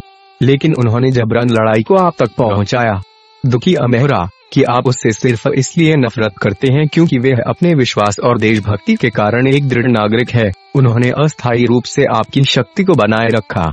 कल एक और समस्या आती है, जो कोई भी इथियोपिया, तेवेदो, विश्वास और ध्वज के खिलाफ है। इसमें कोई संदेह नहीं है, अपमानित किया जाएगा और अलविदा हो जाएगा। और इस, जब तक आप उसका तिरस्कार नहीं करते आप जानते हैं कि ईश्वर जानता है कि आपके दिल में क्या है। जैसा कि सभी जानते हैं, कोई भी फैसला आपकी जीव के आधार पर नहीं किया जाता है। आप अपने मन में क्या है और आप क्या मानते हैं, उसके आधार पर आप कीमत का भुगतान करेंगे। गर्व और दुष्टता धर्म त्याग और अवमानना, जातिवाद और साजिश, शक्ति के साथ संयुक्त। हम मानते हैं कि जो इस तरह से चलता है, वे तुरंत नष्ट हो जाएगा। यह ईश्वर का धर्मी निर्णय है। हम कुछ ऐसे मुद्दों को संबोधित करना चाहेंगे जिन पर इस समय बहस चल रही है। 1988 में इथियोपिया के कैलेंडर में, इथियोपिया के तेवेदो ऑर्थोडॉक्स चर्च में उस समय के राजनीतिक परिवर्तनों के साथ कुछ नया आया। उस समय चर्च के संरक्षक अबा मरकोरियोस को टीपीएलएफ द्वारा हटा दिया गया था। वे उन्हें करने के लिए किया जा, उनके देश छोड़ दिया करने के लिए निष्कासित कर दिया। आदेशों और धमकियों के साथ, अबा पी ओलोस को विदेश से बुलाया गया और सत्तात्मक अधिकार को जब्त कर लिया गया। पूर्वजों की सीमाओं का उल्लंघन करके, उनकी शक्ति को मज़बूत करने के बाद, चर्च के धर्मसभा के कानून को तोड़ना और भगवान की जगह खुद को पवित्र आत्मा नियुक्त करना, उन्होंने धर्मसभा के इस दावे को खारिज कर दिया कि वे परमेश्वर और पवित्र आत्मा के प्रति जवाबदेह हैं, और उन्होंने धर्मसभा को पितृसत्ता के प्रति जवाबदेह बनाया। यह कानून आज भी लागू है। मुख्य विद्वान अयालेव तामिरू चर्च विद्वानों की परिषद के अध्यक्ष थे। उनका काम ऐसे दुर्व्यवहारों को रोकना और चर्च को टहाहेडो विश्वास द्वारा निर्धारित सीमाओं से भटकने से रोकना था। उन्होंने उस समय बहुत संघर्ष किया लेकिन किसी ने उनकी बात नहीं सुनी, इसलिए उन्होंने देशभक्त और उसके धर्मसभा धर्मसभा जो की इथियोपिया के देश के अंदर थे, की निंदा की। अब पॉलोस ने विद्वानों की परिषद के अध्यक्ष से अपने काम से मुख्य विद्वान अयालु तामिरु को निकाल दिया। जब हम निंदा शब्द को देखते हैं तो यह कहता है दाइश शायद आपने कानून का पाठ पढ़ा या समझा नहीं है, जिन्हें उनके विभिन्न समर्थकों द्वारा चालाकी से किया जा रहा है। और इसके बाद में, अपने अधिकार पर भरोसा करते हुए, वे कहते हैं कि हम चर्च के सवाल को नहीं सुनेंगे। पित सत्ता अबा पी ओलोस जिन्होंने इस अपराध को अंजाम दिया। अबा गरिमा जो तीन नियुक्तियों के नाम पर चलता है, और वे सभी जो उनका समर्थन करते हैं, मेरे भगवान भगवान के शब्दों में, जो तुम पृथ्वी में बनते हो, वे भी स्वर्ग में बंधेगा, मैं पिता, पुत्र और पवित्र आत्मा के अधिकार, संतों पीटर और पॉल, सेंट मार्क और अबा केरलोस, अबा बेसिलियोस और अबा थियोफिलस और धर्मी अबुन अकलेहिम नोट जेडे बेलिबानोस के शब्दों की निंदा करता हूँ। भले ही मैं पापी और कमज़ोर हूँ, मैं भी पुजारी ने गिरगिस का स्वागत किया। मैंने अपने शब्द के साथ निंदा की। दाइश वे सभी जिन्होंने इस कानून को स्वीकार और लागू किया है, एरियस की तरह, माइसेडोनिया, नेस्टरियस फ्लाबियन डॉन और इसके अनुयायी, निंदा हो गई। मैं आपको ईश्वर की अटूट शक्ति द्वारा बाध्य करता हूँ। पिता, पुत्र और पवित्र आत्मा की प्रशंसा करें। तथास्तु, कहते हैं, मैंने आदेश दिया है कि मुझे अपने ईश्वर से आज्ञा मिली है। मैंने अपनी दौड़ पूरी कर ली है। यह अब आप और सरकार की ज़िम्मेदारी है। इसके साक्षी ईश्वर और पवित्र स्वर्ग दूत स्वर्ग और पृथ्वी है। दाइश यह निंदा अभी तक नहीं उठी है। चर्च ने सत्तात्मक सीमाओं को ठीक नहीं किया, जो उसने तोड़ दिया था। आज वह पॉलो इसके कानून का पालन करना जारी रखती है। किसी भाई द्वारा प्रकाशित निंदा के बारे में एक पुस्तक खरीदें और पढ़ें, जिसका शीर्षक है द अनसेज निंदा। सच बताना हमारा कर्तव्य है। हम सच्चाई से पर्दा नहीं उठाते। हम उन लाखों लोगों के लिए सच्चाई को कवर नहीं करेंगे जो अपमानित करेंगे। इसके बजाय हम सच और प्रकाश बोलते हैं। भगवान के लिए नंबर मायने नहीं रखते। लेकिन परमेश्वर उन लोगों की परवाह करता है जो सच्चाई के लिए खड़े हैं। ध्यान दे कि हमें हमारे नाम से बुलाया जाता है। इथियोपिया दुनिया का प्रकाश है। मत जल्दी करो, नबी एलिया याद करो वह सत्य के लिए अकेला खड़ा था। इसराइल अकब और एल जबल के लोगों के नेताओं, सभी पुजारियों बू की पूजा में एल जेबू में एल, वे भगवान के फैसले से बच गए हैं, वे भी बहुत सारे थे। वैसे भी, ट्रिनिटी और वर्जिन मैरी के परिवार, निंदा और अन्य मुद्दों के बारे में प्रश्न, उपवास और हार्दिक प्रार्थना के साथ भगवान से पूछें। विनाश का मार्ग चौड़ा है, और कई ऐसे हैं जो इसमें चलते हैं। सत्य का मार्ग संकीर्ण है, और उसमें कुछ ही चलना है। संकीर्ण तरीके से प्रवेश करने के लिए, शब्द ने कहा दाइश हम, ईश्वर का परिवार, हम सभी इथियोपिया में दुनिया की रोशनी के लिए एकत्र हुए हैं। भावनाओं से निर्देशित नहीं है। परमेश्वर हमें पवित्र आत्मा के द्वारा मार्गदर्शन करता है। यह शब्द ही है जो हमारा मार्गदर्शन करता है। यह हमारा तेवेदो रूढ़ीवादी विश्वास है जिसमें हमारे पूर्वजों ने पुष्टि की और वास्तव में शहीद हुए। इसलिए, कुछ लोग जो अंधेरे को प्रकाश के साथ मिलाने की रणनीति का पालन करते हैं, अपने आप को जांचो। हम आपसे कहते हैं, अपने निर्माता से पूछें। दाइश संतों की संस्था या महबरे के दूसर नामक संस्था के बारे में हमने जो कहा है, उसके बारे में सच्चाई हमें हमें बताने के लिए किसी की आवश्यकता नहीं है। सच्चे विश्वासियों से अपेक्षा की जाती है कि वे दूसरों को उनके काले कामों को सुधारने के लिए कहें। हमारे किसी भी बयान और संदेश में हम बिना सबूत के नहीं बोलते हैं। उनमें अच्छाई हो सकती है। हमने यह नहीं कहा कि नहीं किया है। पिछले लोगों ने कड़ी मेहनत की है। हमें यह पता है। आज की क्या वे वास्तव में अपने जूते में हैं? ईश्वर उन्हें जानता है। हम उन्हें उन सच्चाइयों से जानते हैं जिन्हें हम समझते हैं। अन्य, केवल परमेश्वर और उसके सेवक उन्हें जानते हैं।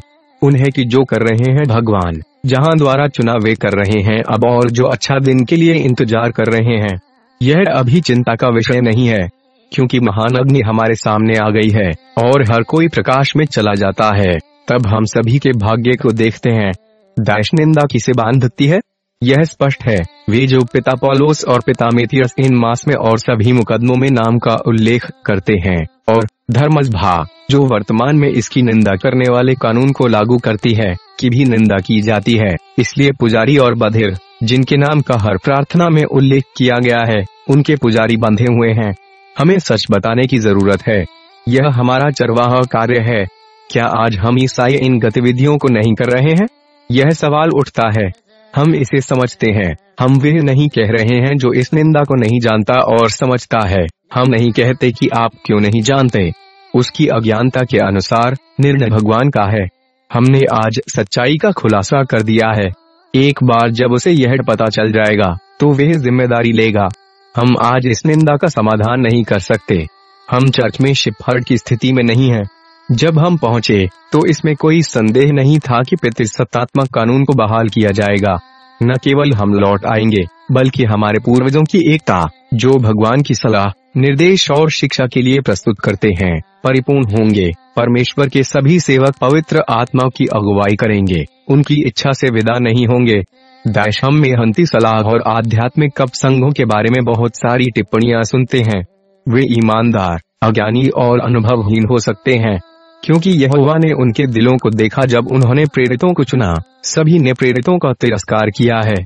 हमारा प्रभु यीशु जानता है कि उसने क्या चुना। बेशक, शैतान के कुछ सेवक हैं। हम जानते हैं कि वहाँ हैं। भले ही वे रहें, यह उनके विनाश के लिए है। अगर वे जाते भी हैं तो यह उनकी नीति है। लेकिन उनके साहस के कारण वे एक ही मत चुकाएँगे।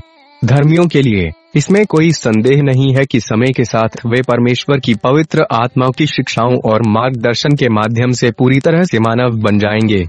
मेरे लोग, भगवान के लोग, मुझे लगता है कि अगर आप इस सवाल को संदेश पढ़ेंगे कि आज नौवा संदेश क्यों आया है तो आप समझेंगे। अन्य एपिस्टल्स के अलावा इसे जो सेट करता है, वे यह है कि यह संदेश को व्यापक रूप से विस्तारित करता है और सबसे मज़बूत निर्णय, पूर्व शर्त, निर्देश और आदेश रखता है। बार बार संदेश सुने। इसे केवल एक बार पढ़ने से समझना मुश्किल है। आप इसे पढ़कर ही समझ सकते हैं। ईश्वर के परिवार जो लोग इस संदेश के लिए अजनबी हैं, जिन्होंने इसे अभी तक नहीं सुना है हमें खेद है क्योंकि आपको देर हो रही है। अपने दिल से अपने दिल से पश्चाताप करने वाले और अपने सभी को ईश्वर के करीब लाने के लिए ईश्वर की पुकार को कोई नहीं जानता। वर्जिन मैरी की मदद से पवित्र शहीद धनुर्धारी आँसू के साथ दुनिया को जल्दी से छोड़ देते हैं। पाखंडी, कैथोलिक, पाखंडी, जादूगरनी, मुसलमान, पूर्वी पैगंबर, अभिषिक्त, कब्र, समलैंगिकों और सभी नस्लवादियों, उन सभी को मेरे अनुसार आने वाली व्यापक कार्यवाही से बचाया नहीं जाएगा। भगवान की कृपा और इच्छा से आप बच सकते हैं। मुझे नहीं पता। जो लोग इथियोपिया विश्व प्रकाश सरकार में विश्वास करते हैं, चाहे आप पंजीकृत हैं या नहीं मेहंती वकील से इकट्ठा। आध्यात्मिक कप एसोसिएशन द्वारा इकट्ठा, पंजीकृत और अपंजीकृत दोनों, विनाश के समय आपको जो वाचा करनी है, उसके संकेत तैयार करें। पश्चाताप करो और तुम जैसे हो वैसे तैयार रहो। यदि आपके पास पैसा है तो इसके साथ अच्छी चीज़ें करें। जिनके पास पैसा नहीं है, बस उतना तैयार रहें जितना आप कर सकते हैं। भगवान और वर्जिन मैरी आपकी कमियों के लिए तैयार करेंगे। मेरे पिता, माता, भाई, बहन और बच्चे जो जंगल में रहते हैं, अपने आप को भगवान की सलाह के अनुसार तैयार करें। ऐसा मत सोचो कि सच को व्यक्त करने का एक और तरीका है। हमने आपको मूल सत्य दिया है, यदि सभी नहीं, अपने आप को भगवान के साथ वर्जिन आर्क हेल्स, संतों और शहीदों के साथ प्यार में जकड़े। मे गोगो आपको सभी चीज़ों में समझ देता है। आप अगले अध्याय में एक तत्काल उद्घोषणा की घोषणा देखेंगे। हम आपको जानना चाहते हैं कि यह उद्घोषणा ट्रिनिटी के आदेश द्वारा जारी एक उद्घोषणा है और इथियोपिया विश्व प्रकाश सरकार के अधिकार के तहत देश क्योंकि आदम के सभी वंशज उसके आगे देखेंगे, यह अच्छा है कि वे इसे पढ़ते या सुनते हैं। देश इसका किसी भी भाषा में अनुवाद करना अच्छा है। हर कोई इसे सुन सकता है। यदि आपके पास अवसर है तो इसका अनुवाद करें। लेकिन जब आप ऐसा करते हैं तो आप हमारे बेटे को जॉन बीस के रहस्योद्घाटन के टेलीग्राम चैनल पर भेजते हैं। हम इसे देखेंगे, फिर आप इसे निकाल सकते हैं। चूँकि समय कम है, आपके पास जो अवसर है, उसे जल्द से जल्द करें। वितरण पर कोई प्रतिबंध नहीं है। नीचे आपको उद्घोषणा मिलेगी। सर्वशक्तिमान ईश्वर का शब्द हमें बताता है। धन्य वे आदमी है जो न तो अधर्मी के परामर्श में चलता है न पापियों के मार्ग में खड़ा होता है, और न कुटिल के आसन में बैठता है।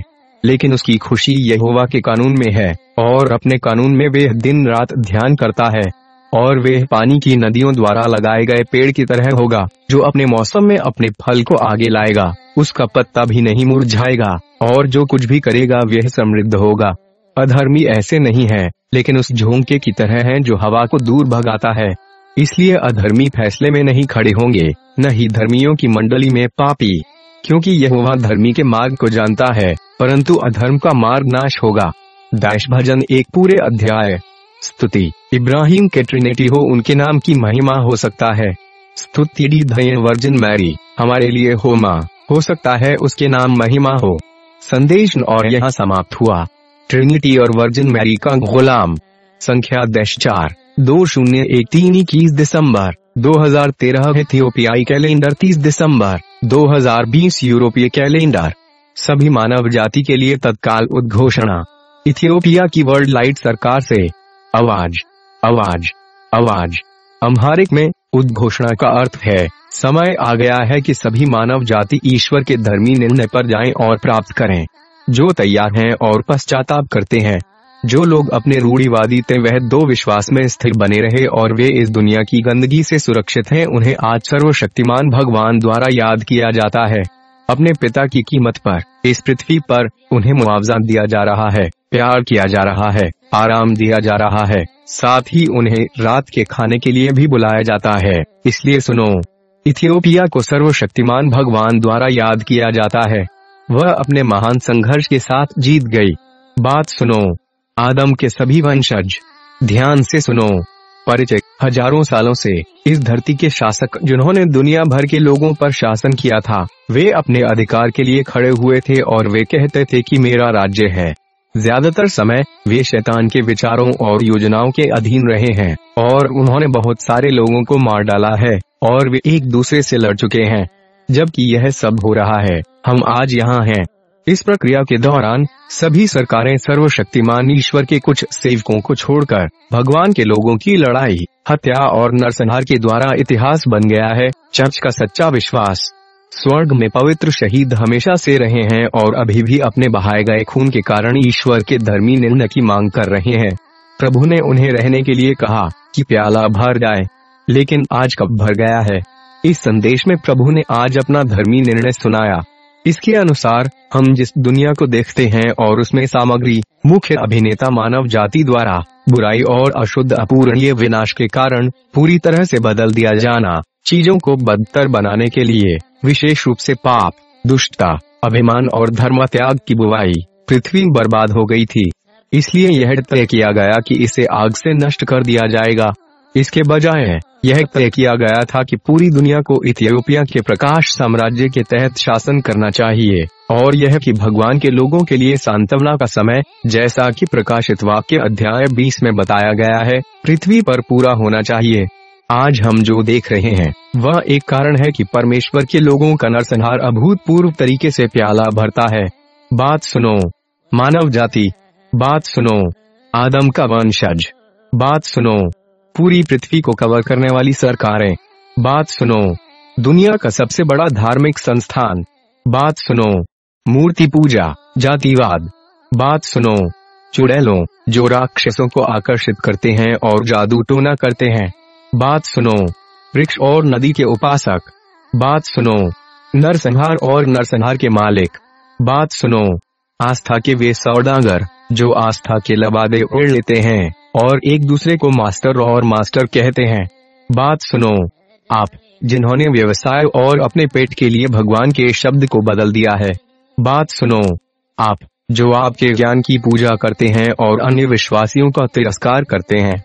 बात सुनो, आप, जो कहते हैं कि हमारे अलावा कोई भी भगवान के बारे में नहीं बोल सकता है। बात सुनो, आप जो अभी भी प्रभु के घावों पर हमला कर रहे हैं और कहते हैं कि भगवान हमारे बिना सांस नहीं ले सकते हैं। बात सुनो। भगवान के आदेश के रूप में आप साहस पूर्वक मानव जीव को बंद करने के लिए संघर्ष करते हैं। बात सुनो। झूठे, धोखेबाज, अभिमानी, क्रूर, आप सभी। बात सुनो। इस्लाम, प्रोटेस्टेंट, कैथोलिक धर्म, सुधार। आपने अपने दिल में राजा के रूप में मूर्ति पूजा की है। बात सुनो। समलैंगिकों बात सुनो। हाँ सुनो। आपने अपने आप को व्यभिचारी बना दिया। बात सुनो। आप सभी जो पूर्व नाग, ड्रैगन, झूठे नबी खुले और गुप्त रूप से पूजा करते हैं। बात सुनो। सुनो, पृथ्वी पर तुम्हारा जीवन समाप्त हो गया है। यह खत्म हो गया है। बात सुनो। मानव जाति सुनो। आपके निर्णय का पालन किया गया है, लेकिन अब आपके साथ घटित और निष्पादित होगा। आपके पास समय नहीं है। कोई अपील नहीं। आपके सभी मौके पूरी तरह से समाप्त हो गए हैं। डेविल्स डे उनका सहस्राब्दी शासन समाप्त हो गया। यह फैसला किया गया था कि आदम के सभी वंशज, जो उसके शासन में रहते थे, को भगवान के धर्मी फैसले से आंका जाना चाहिए।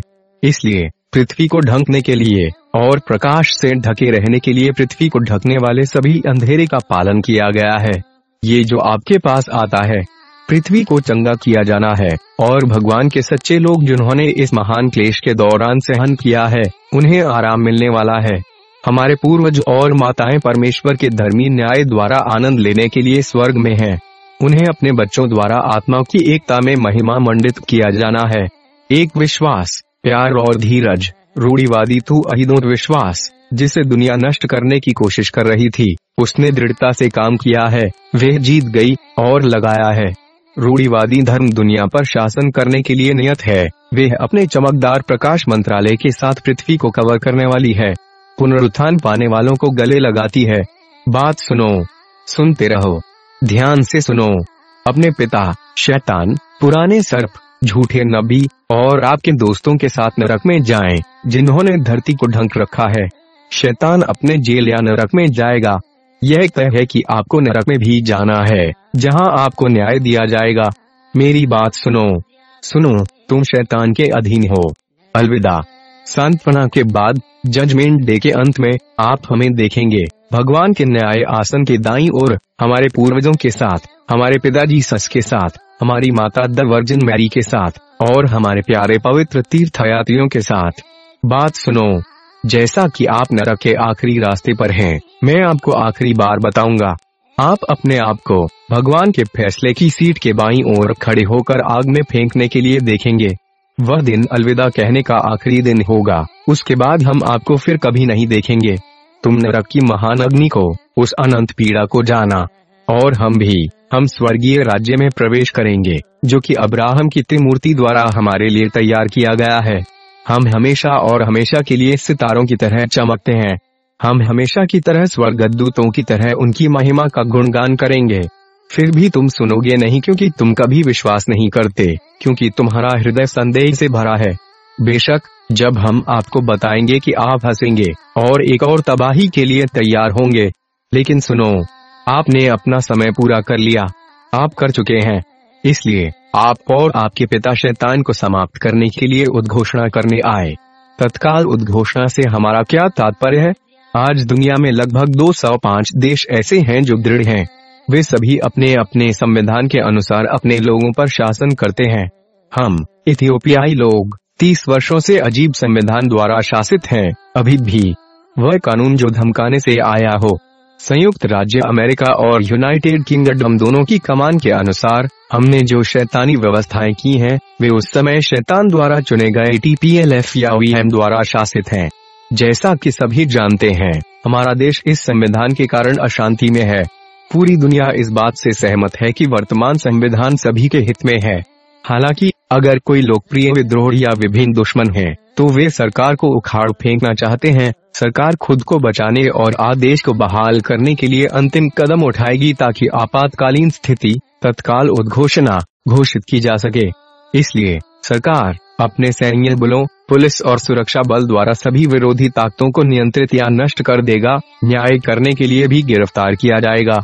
लेकिन आज आप इस ज़रूरी उद्घोषणा में जो देख रहे हैं, वह उस चीज़ से अलग है जिसका आप उपयोग कर रहे हैं। बात सुनो, आदम का वंशज। कहो क्या अलग है? आप जिस आपातकाल को जानते हैं, वे किसी देश और उसके शासन को बचाने का कार्य है, जो एक ऐसी सरकार द्वारा घोषित किया जा रहा है जो उस समय खत्म होने वाली है जब कोई देश उथल पुथल में है या प्राकृतिक आपदाओं से निपटने में असमर्थ है। तब कोई सुरक्षा नहीं है, कोई हलचल नहीं है। यह संयम और संयम का जीवन होगा। यह आपके ज्ञान में एक ज़रूरी उद्घोषणा है, लेकिन आज हमारी उद्घोषणा अलग है। उद्घोषणा सर्वशक्तिमान ईश्वर से उत्पन्न हुई है, जिसे आप भूल चुके हैं, या ईश्वर द्वारा घोषित किया गया है, जिसे देखा और स्पर्श नहीं किया जा सकता है। उसने तुम्हें बनाया, उसने पृथ्वी और आकाश बनाया, उसने दृश्य और अदृश्य बनाया, उसने आदम के वंशज को उसकी छवि के रूप में पृथ्वी पर बनाया, और अपने पृथ्वी पर रहने के बाद उसके नाम के चारों ओर सितारों की तरह चमकने के लिए, उसके नाम की महिमा करने के लिए, वे तुमसे प्यार करता था। इसलिए उसने तुम्हें लगाया। आपने क्या जवाब दिया? आपने उनके प्यार के बुलावे का कैसे जवाब दिया? आपके लिए उनके उधार और जीवन की कीमत के कारण उन्होंने आपके लिए भुगतान किया। इसके लिए आपने क्या भुगतान किया? आपने उस ईश्वर को कैसे जवाब दिया, जो हज़ारों वर्षों से आपकी प्रतीक्षा कर रहा था कि आप उसे उसी प्रेम में इकट्ठा करें, जिसने आपको बचाया और आपकी सभी परेशानियों से बचाया? हाँ आपने उसे पूरी तरह से नकार दिया था। आप जानते हैं कि आप किस लिए खड़े हैं और आप कैसे रहते हैं। आपकी अवमानना, आपका विश्वासघात, आपका पश्चाताप, आपका विद्रोह, आखिरकार, आप जानते हैं कि आपने शैतान, अपने निर्माता, अपने भगवान को बनाया है। आपके पास भगवान के आखिरी धैर्य के लिए पर्याप्त था, इसलिए भले ही हमने उसे नहीं देखा, लेकिन हमने उसे विश्वास में देखा और उसके प्यार में जिया। हम जानते हैं कि निर्णय सामने होगा और हम अपने विश्वास से बच जाएँगे। वह हमारे लिए कोई अजनबी नहीं है, लेकिन हम यह मानते आए हैं कि यह संभव है क्योंकि वह एक वफादार ईश्वर है। आज यह हुआ है। भले ही यह उद्घोषणा आपके कानों तक पहुँच गई हो, फिर भी आप इसे नहीं मानते। बेशक, यह संदेश दुनिया भर में सुना जाएगा। आप खोई हुई पीढ़ी अभी भी नहीं सुनेगी। कोविड उन्नीस बीमारी के कारण आपने देखा है कि आपने कितना नुकसान उठाया है। आप अब भी कहते हैं कि मुझे इसके लिए वैक्सीन मिलेगी। याद रखें कि पाँचवें संदेश में क्या कहते हैं। इसने कहा कि कई वायरस सामने आएँगे। सिर्फ़ कोविड उन्नीस नहीं तो आपका दुख कब आया? यह सिर्फ़ आप अपने विनाश की शुरुआत से पता चला है। जैसा कि ऊपर उल्लेख किया गया है, यह उद्घोषणा आपके सांसारिक शासकों द्वारा किए जाने वाले कार्यों से पूरी तरह से अलग है। यह अलग कैसे है? पहला, जिसने उद्घोषणा को अधिकृत किया वे सर्वशक्तिमान ईश्वर है, जिसने आकाश और पृथ्वी की रचना की। उद्घोषणा की घोषणा करने के लिए किसे आदेश दिया गया था? जी हाँ उनके वफादार सेवकों ने उनके हस्ताक्षर और खून पर मुहर लगाकर इसे मंजूरी दे दी। आप इसे जल्द ही देखेंगे कि ट्रिनिटी के पहले गुलाम जो इथियोपिया के विश्व प्रकाश सरकार का नेतृत्व करते हैं, जब वे सुबह के सूरज की तरह उठते और चमकते हैं। हमारी उद्घोषणा अलग है। कारण है कि हम कहते हैं कि यह है कि तुम क्या करने के लिए उपयोग किया जाता है कि सामान नहीं है। यही कारण है। एक आपातकाल की स्थिति है कि आप और आपके साथियों पता सरकारों द्वारा घोषित। यह वही है जो वे अपनी जरूरतों को पूरा करने के लिए सैन्य या किसी अन्य तरीके से करते हैं। जैसा कि मैंने ऊपर उल्लेख किया है, हमारा अलग है क्योंकि यह ईश्वर का है, जिसने आपको बनाया है। फिर से मैं इसे दोहराऊँगा। यह ईश्वर द्वारा जारी एक घोषणा है। जिसमें मृत्यु सहित सभी चीज़ों पर अधिकार है। परमेश्वर ने मुक्त करने का वादा किया था जो मिस्र के देश से फिर के अत्याचारी शासन के अधीन थे। परमेश्वर जिसने अपनी बात रखी उसने अपने वफादार दास मूसा और हारून को इसराइल को आज़ाद करने के लिए भेजा। हालाँकि जब मिस्र के लोगों पर दस विपत्तियाँ शुरू हुईं, तो फिर ने अपना दिल कठोर कर लिया और उसकी बात नहीं मानी।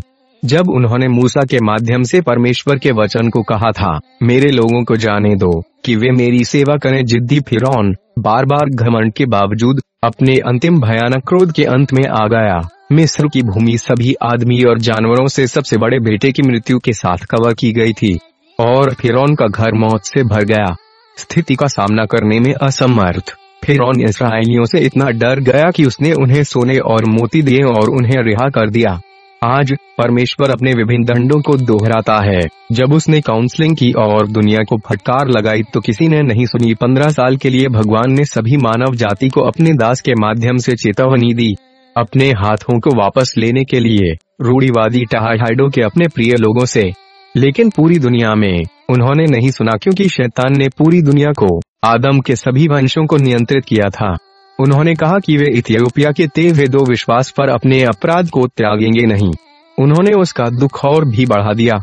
इसलिए, दुनिया ने जो दुख कभी नहीं देखा, सुना, या उम्मीद की थी, वह आ गया है। तदनुसार, सर्वशक्तिमान ईश्वर की ओर से आदेश आए। दाइश उद्घोषणा क्या निष्पादित करती है? दाइश यह कहाँ से आया है? दाइश इसे कौन अंजाम देता है? दाइश इसका लक्ष्य क्या है? एक दैश उद्घोषणा क्या निष्पादित करती है? यह उद्घोषणा दुनिया की सभी विद्रोही पीढ़ियों के लिए है। यह उन लोगों पर कार्रवाई करेगा जो नास्तिक हैं, अस्वाभाविक पीढ़ी है। इसके बजाय यह दुनिया भर में रूढ़ीवादी तू अहिदों विश्वास लगाएँगे और उसका विश्वास करने वाला पृथ्वी का वारिस होगा क्योंकि उन्होंने इस धरती पर सदियों से अपने विश्वास के लिए इतना कष्ट दिया है। इथियोपिया दुनिया की रोशनी होगी। पृथ्वी को वाचा के गौरवशाली शब्दों और वाचा के हरे पीले लाल झंडे के साथ कवर किया जाएगा। सम्मानित किए जाने वाले शब्द इस प्रकार हैं। इथियोपिया एक ऐसी भूमि है जहाँ ट्रिनिटी की महिमा का पता चलता है और उसकी प्रशंसा की जाती है। इथियोपिया वर्जिन मैरी की विरासत है। इथियोपिया दुनिया की रोशनी है। इथियोपिया दुनिया के शासक है। दशीय वाक्यांश, पृथ्वी के हर पहलू में विस्तार और महिमा करेंगे। समस्त पृथ्वी में भगवान के नाम की निरंतर प्रशंसा की जाएगी। वर्जिन मैरी, पवित्र स्वर्ग दूत पवित्र शहीद और हमारे पिता और माता भी गर्व करेंगे। दो दश उद्घोषणा कहाँ से आती है? श्रोत सर्वशक्तिमान ईश्वर की इच्छा है। यह उद्घोषणा परमेश्वर के वफादार सेवकों और दासों द्वारा प्रकट की जाती है। परमेश्वर ने उन्हें अपनी इच्छा बताने और घोषणा करने के लिए चुना था। यह इथियोपिया की विश्व प्रकाश सरकार के माध्यम से सामने आया है, जो परमेश्वर के अपने सेवकों को इसके माध्यम से सारी पृथ्वी पर शासन करने का निर्णय देता है। तीन दश उद्घोषणा को कौन अंजाम देता है? मोस्ट होली आर्चंगल से इस उद्घोषणा को अंजाम देंगे। वे इस प्रकार हैं। ए अर्चना जेल इस अनंत। Michael B. Archangel is and. Gabriel C. Archangel is MT रेफील्डी। अर्चा इन सनेल अंत। फैनूली। Archangel S M T रेगुलेफ अर्खांगेल एस एम टी यूरीजी, अर्चना जेल एस एंड, सैकुल एच अर्चना गेल एस अनंत एफिनील आई अर्खंगेल एस एम टी जेडकील जे अर्खंगेल एस एम टी सेवराइल के, archangel S M T सेलटाइल उनकी सभी सेनाओं के साथ। ये पवित्र महादूत उन सभी को समाप्त कर देंगे जो पाप के समुद्र में डूब गए, जिन्होंने ईश्वर की अवज्ञा की। वे अभिमान से भरे थे और वे जो शैतान या जानवर के आगे झुक गए। राजा या उनके लोग, जो पुराने सांप, अजगर और झूठे पर निर्भर कर रहे हैं के साथ शासकों नबी होगा होना दुर्भाग्य पॉइंट दूर, पवित्र स्वर्गदूतों द्वारा। अपने लोगों के साथ राजा, जो पुराने नाग अजगर और झूठे नबी पर भरोसा कर रहे हैं, जो पवित्र स्वर्गदूतों द्वारा उन पर शासन करेंगे चार दश इसका लक्ष्य क्या है? यद्यपि लक्ष्य पहले ही कहा जा चुका है, यह स्पष्ट है कि ईश्वर सदियों से अपने वफादार लोगों को देखता रहा है और उन्हें अपने दिल में रखा है। वह रूढ़ीवादी तू अहिदों और उसके दृढ़ लोगों से प्यार करता था, जिन्होंने महान परीक्षणों को सहन किया। उन्होंने उन्हें चुना, उन्हें मंजूरी दी, और उन्हें सम्मानित किया। नतीजतन। उसने पूरी दुनिया को इस तिरस्कृत इथियोपिया, शानदार इथियोपिया के रूढ़ीवादी तेवेदो चर्च को दे दिया। तो यह होना ही था। यही इसका लक्ष्य है। दुनिया पर शासन करने के लिए इथियोपिया की विश्व प्रकाश सरकार पाँच दश गेहूँ को झाड़ से अलग करने के लिए पुनरुत्थान के लिए चुना गया। चफाक को देखेगा। उन सभी को नरक में भेजने के लिए ही जिन्होंने पूजा की पूजा की, और पूर्व नाग, अजगर झूठे नबी का निशान प्राप्त किया चे दशक तत्काल उद्घोषणा में इथियोपिया हमारा देश, इथियोपिया, आज़ाद होने वाला पहला देश होगा। इसलिए, की जाने वाली कार्यवाही तेज और त्वरित है। मौजूदा इथियोपियाई सरकार को इस उद्घोषणा के अनुसार बर्खास्त कर दिया गया है। पिछले पत्रों में उल्लिखित सभी सजाएँ उस पर पूरी होंगी। सात दश अफ्रीका इथियोपिया की तरह ही साफ़ हो जाएगा। सबसे पहले, यह सुनिश्चित किया जाना चाहिए कि अफ्रीका इथियोपिया का हिस्सा है। मध्य पूर्व को भी साफ़ किया जाएगा। भाग में, यह इथियोपिया का हिस्सा होगा। उद्घोषणा, जो दुनिया भर में लागू की जाएगी, इथियोपिया में मान्य होगी। साथ ही साथ अन्य अफ्रीकी देशों में भी। जब तक इथियोपिया विश्व प्रकाश सरकार से प्रमाणन दस्तावेज़ नहीं है, कोई भी गतिविधि तत्काल निषिद्ध और दंडनीय है। स्थानांतरित करने का एकमात्र तरीका इथियोपिया विश्व प्रकाश सरकार की सरकार से पुष्टि प्राप्त करना है। यह इथियोपिया अफ्रीका और दुनिया भर के लोगों को निष्पादित करने जा रहा है। दुनिया भर में, साथ ही इथियोपिया में, आध्यात्मिक मेहंती परिषदों और पवित्र कप एसोसिएशन, जो इथियोपिया विश्व प्रकाश सरकार के अधीन है। इथियोपियाई प्रबुद्धता सरकार के दिशा निर्देशों के अनुसार आध्यात्मिक सेवाएँ प्रदान करते हैं, जैसा कि पहले समझा गया था, और उनके आईडी कार्ड के साथ आठ दश, शेष दुनिया, इंग्लैंड, संयुक्त राज्य अमेरिका, पूरे यूरोप, पूरे एशिया पूरे अफ्रीका, पूरे लैटिन अमेरिका, पूरे ऑस्ट्रेलिया और आसपास के देशों में, वे महान प्लेग और महान आग से बह जाएँगे। कुछ तथा तथाकथित महाशक्तियों को पूरी तरह से पृथ्वी के चेहरे से मिटा दिया जाएगा। पृथ्वी पर बहने वाले परमेश्वर के क्रोध के परिणाम क्या होंगे? एक देश दुनिया के सभी देशों पर फिर और मिस्र के लोगों की सैकड़ों गुना अधिक मौतें आज पूरी मानव जाति पर होंगी। ऐसा कोई घर या स्थान नहीं है जहाँ मृत्यु राज न करती हो। यदि आपके माथे पर एक निशान है और इथियोपिया विश्व प्रकाश सरकार द्वारा दिए गए निर्देशों के अनुसार निशान का उपयोग करते हैं, यदि आप हमारे साथ पंजीकृत हैं, यद्यपि हम उन्हें पंजीकृत नहीं करते हैं, यदि वे परमेश्वर की पवित्र आत्मा द्वारा पंजीकृत हैं, जिन्हें सेवा के लिए पहचान पत्र लिया गया है, सामान्य तौर पर कोई भी ऐसा नहीं है जो मृत्यु से जुड़ा नहीं है जब तक कि वे हमारी तरफ़ से इकट्ठा न हो। दो देश महान क्रोध से, दुनिया भर में प्रवाह की शुरुआत से मौत घर और फाटक और बाहर और पृथ्वी और जंगल और मारे गए और पहाड़ों और गुफाओं और हवा और आकाश पर शासन करेगी। यह पृथ्वी की उन सभी शक्तियों का सफाया कर देगा जो विनाश के लिए प्रयास कर रही हैं। मृत्यु को आसानी से नहीं पाया जा सकता है। यह पीड़ा उत्पीर्ण और भीख मांगेगा। यह सब तब तक होगा जब तक मानव जाति पर दया नहीं होगी। यह जानवरों या पौधों को नुकसान नहीं पहुंचाता है।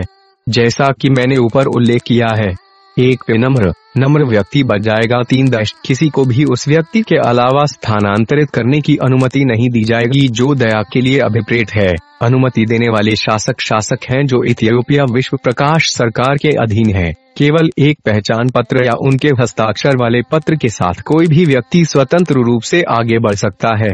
इजराइल की विश्व प्रकाश सरकार के नेताओं से संपर्क करने के लिए अनुमति और माफ़ी। आत्मसमर्पण और अन्य मुद्दों के लिए कैसे प्राप्त करें? दुनिया भर के आध्यात्मिक मेहनती परिषदों के साथ साथ पवित्र कप एसोसिएशन के सदस्यों को खोजना और पूछना संभव है।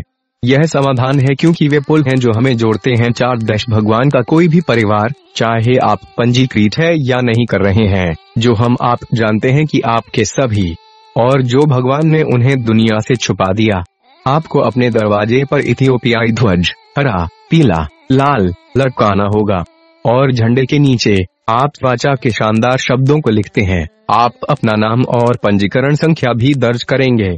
अपंजीकृत के लिए, जो वास्तव में उन सभी संदेशों में विश्वास करते हैं जो इथियोपिया दुनिया की रोशनी है, जो वास्तव में रूढ़ीवादी तिवाहिडो बचे हैं, जिन्होंने दुनिया की गंदगी से खुद को पश्चाताप और रक्षा की है। तो विश्वास के रूप में पंजीकृत के रूप में करते हैं। कौन जानता है?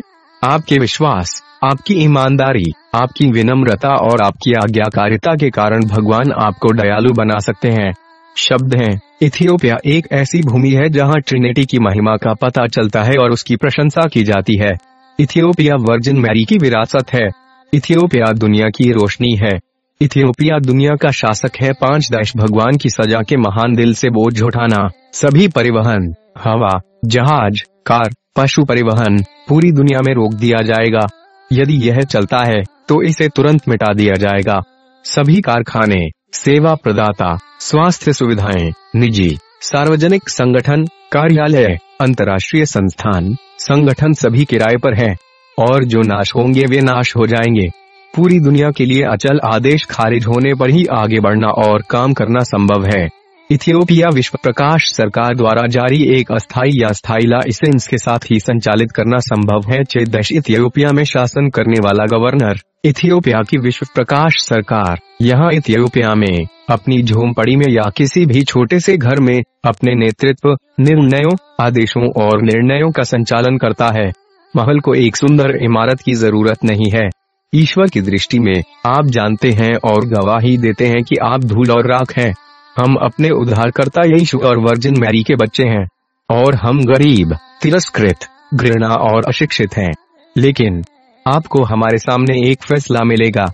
आप स्वेच्छा से या अनिच्छा से अपने कर्तव्यों को पूरा करेंगे। आप केवल वही होंगे जो आपको बताया जाता है जैसा कि हम इथियोपिया में रहते हैं। केवल इथियोपिया एयरलाइंस ही पूरी दुनिया में काम कर पाएगी, क्योंकि जिस किसी को भी हमसे मिलने या निजी कारणों से यात्रा करने के लिए देश से बाहर जाना पड़ेगा। जब एयरलाइन उड़ती है तो वाचा का प्रतीक, ध्वज, हरा, पीला, लाल, वाचा का शब्द, यह चिपका होना चाहिए और बाहर की तरफ़ दिखाई देना चाहिए। इतना ही नहीं। इसमें हमारे द्वारा हस्ताक्षर पत्र होना चाहिए। अन्य सभी देशों की एयरलाइंस अपने स्वयं के झंडे और लोगों के साथ संचालन, उड़ान नहीं कर सकती हैं। वे अपने देश में भी नहीं जा सकते। यहाँ तक कि अगर वे सेवा प्राप्त करना चाहते हैं तो आप केवल इथियोपियाई एयरलाइंस में ऐसा कर सकते हैं। उनकी एयरलाइन इथियोपियन एयरलाइंस के तत्वावधान में चल सकती है।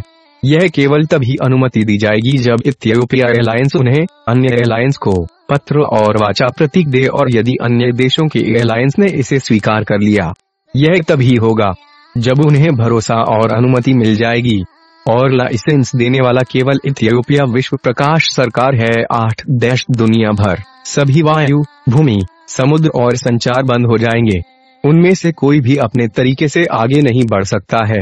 सभी अंतर्राष्ट्रीय कंपनियाँ, उद्योग और इलेक्ट्रॉनिक संचार बंद हो जाएँगे। जैसा कि हमने बार बार कहा है, हमारी अनुमति के बिना किसी के लिए भी चलना असंभव है। वे एक दूसरे की मदद नहीं करते हैं। हर जगह मौत है। जैसा कि हमने बार बार कहा है, आदम के सभी वंशज, जहाँ भी वे हो सकते हैं, मृत्यु राज करती है।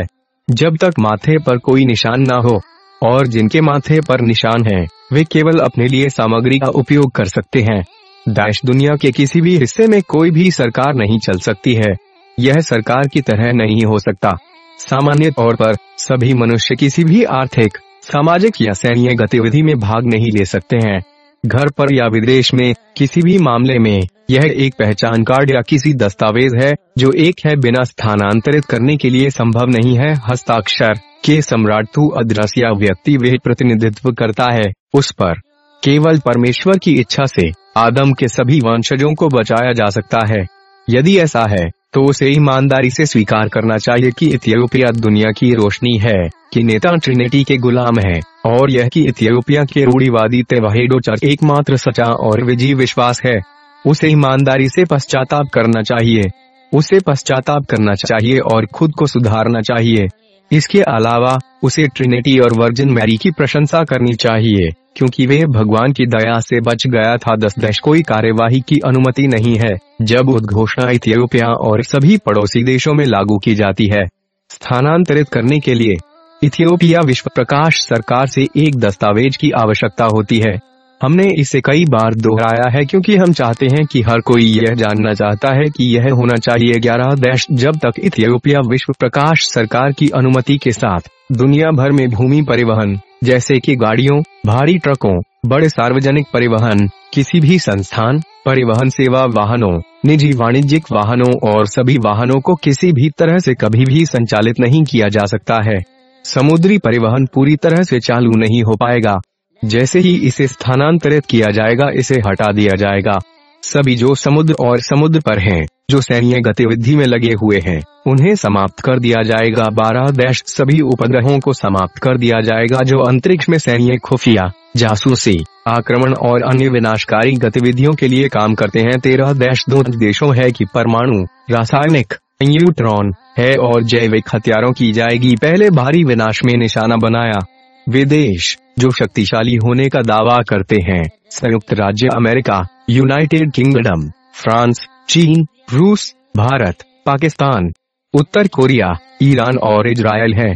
उन्हें उम्र, समय आराम नहीं मिलेगा। चौदह दश पूर्वापेक्षा यदि कोई भी देश आत्मसमर्पण करने के लिए तैयार है, जब उस पर व्यापक कार्यवाही शुरू हुई, उन्हें उन लोगों के साथ परामर्श करना चाहिए जो वे अपने स्वयं के देश के कानून का नेतृत्व करते हैं और निर्णय लेते हैं जो उन्हें नियंत्रित करता है। दस्तावेज़ के साथ उन्होंने फैसला किया कि वे एक पत्र तैयार करें और मेहनती परिषदों को अपना हाथ देने के लिए सूचित करें। उसके बाद, उसे स्थानांतरित करने या संचालित करने का लाइसेंस मिलेगा। इथियोपिया आने के लिए पहले आगमन केवल पड़ोसी केनिया और जिबूती में संभव है। वहाँ रहते हुए उसे तब तक इंतज़ार करना होगा जब तक कि कोई आदेश नहीं दिया जाएगा, या उन्हें एक प्रतिनिधिमंडल द्वारा जवाब दिया जाएगा, जो इथियोपिया वर्ल्ड ऑफ़ लाइट सरकार से प्रतिनिधित्व करेगा।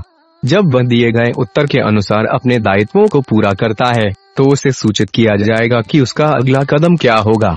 इस तरह संक्रमणकालीन सरकारी गतिविधियाँ की जाती हैं। एक अनिच्छुक देश और लोगों के लिए।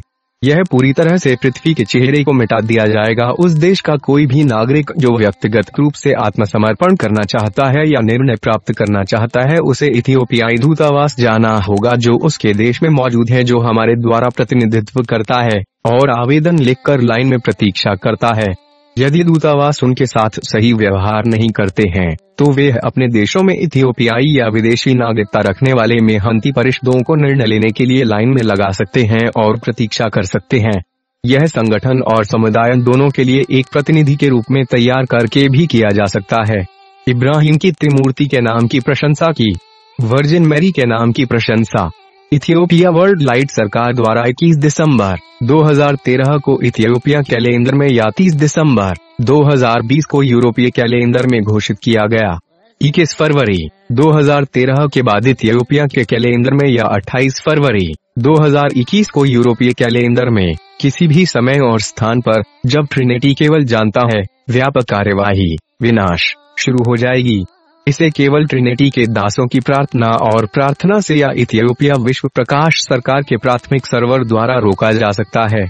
कोई दूसरा उपाय नहीं है।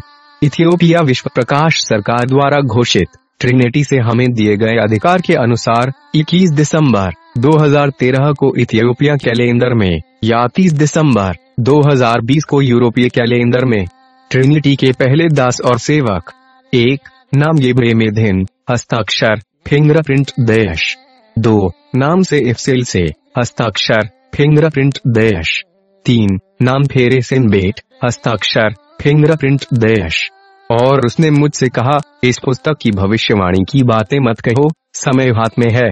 वह जो अयाई है, उसे अभी भी अयाई होने दो, और जो गंदी है, उसे अभी भी गंदी होने दो, और वे धर्मी है, उसे धर्मी रहने दो, और वे पवित्र है, उसे अभी भी पवित्र रहने दो।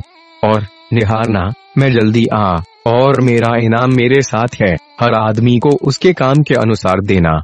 मैं अल्फ़ा और मेगा हूँ, शुरुआत और अंत, पहला और आखिरी। वे धन्य हैं जो उसकी आज्ञाओं को मानते हैं, कि वे जीवन के पेड़ पर अधिकार कर सकते हैं, और शहर में फाटकों के माध्यम से प्रवेश कर सकते हैं, क्योंकि बिना कुत्ते, और जादूगर, और फुसफुसाते हुए, और हत्यारे, और मूर्ति पूजक, और जो भी प्यार करते हैं, और झूठ बोलते हैं। मैंने यीशु को कलिसिया में इन बातों की गवाही देने के लिए आपका स्वर्ग दूत भेजा है। मैं जड़ और दाऊद की संतान हूँ, और उज्जवल और सुबह का तारा हूँ, और आत्मा और दुल्हन कहते हैं, आओ, और सुनने वाला भी कहे कि आ, और उसे आने दो की एथलेटिक्स है, और जो कोई भी उसे जीवन का पानी स्वतंत्र रूप से लेने देगा। जॉन अध्याय 22 का रहस्य उद्घाटन 10 से 17 तक, अंत में यह मेरी चेतावनी और एडम के सभी वंशजों को सलाह है। जैसा कि आपने ऊपर देखा है आपका अंतिम निर्णय आपको पूरा करने के लिए आया है। कोई फ़र्क नहीं पड़ता कि आप कौन हैं, आप मौत से नहीं बचेंगे। यह सब मैं कह सकता हूँ अगर तुम थोड़ा समझ लो मेरी बात सुनो। जैसा कि आप आदि हैं आप किसी को धोखा नहीं दे सकते। यहाँ तक कि शैतान जो आपको ड्राइव करता है वह बच नहीं जाएगा। इसलिए मैं व्यक्तिगत रूप से सलाह देता हूँ कि आपको लाभान्वित किया जाएगा जब आप अपने आप को भगवान के हाथों में रखते हैं। तो अपने आप को विनम्र करें और अपने दिल से पश्चाताप करें और उसे कहें कि आपको बचाएँ। उससे वादा करो कि तुम केवल उसकी सच्चाई को सुनोगे, तुम उसकी बात मानोगे और तुम उसके सच्चे सेवक बनोगे। ईश्वर से प्रार्थना करें कि वह आपको एक दया दे। धैर्य वर्जिन मैरी की खातिर और शानदार अर्चना जेल्स के लिए। उसका प्रकोप और उग्र भट्टी आपके सामने है। यह मेरी आपको सलाह है। मेरे लोग, काश तुम भी हमारी तरह पार पा सकते। हम, भगवान के सेवक, वर्जुन मेरी के सेवक और रूढ़ीवादी देशभक्त, आज भी आपको शुभकामनाएँ देते हैं। यदि आप स्मार्ट हैं तो इस थोड़े समय का लाभ उठाएँ जो संदेश के लिए पूरी दुनिया में वितरित किया जाए। विधर्मियों प्रोटेस्टेंटों, कैथोलिकों, अभिषिक्तों, धर्माधिकारियों, जातिवादियों, आपको कोई दया नहीं है। मैं आपको फिर से आश्वासन देता हूँ, आपको किसी भी तरह से कोई दया नहीं है। इस संदेश के प्रकाशित होने तक मुसलमानों को पश्चाताप की उम्मीद थी। कुछ ने इसका उपयोग किया है। लेकिन साथ ही, मैं आपको विश्वास दिलाता हूँ कि 21 फरवरी 2013 के बाद इथियोपियाई कैलेंडर में या 28 फरवरी 2021 के बाद यूरोपीय कैलेंडर में, जो मुसलमान अभी भी अपनी झूठी कहानियों पर विश्वास करते हैं, वे पूरी तरह से हेरिटिक्स, प्रोटेस्टेंट और कैथोलिक की तरह होंगे, और उनका भाग्य मुसलमानों के लिए भी होगा। ईश्वर सभी ईमानदार, नम्र और दयालु लोगों को एक सम्मान समझ दे। तथास्तु धय है इब्राहिम, इसहाक और याकूब के भगवान का नाम। तथास्तु धय है मदर वर्जिन मैरी का नाम। तथास्तु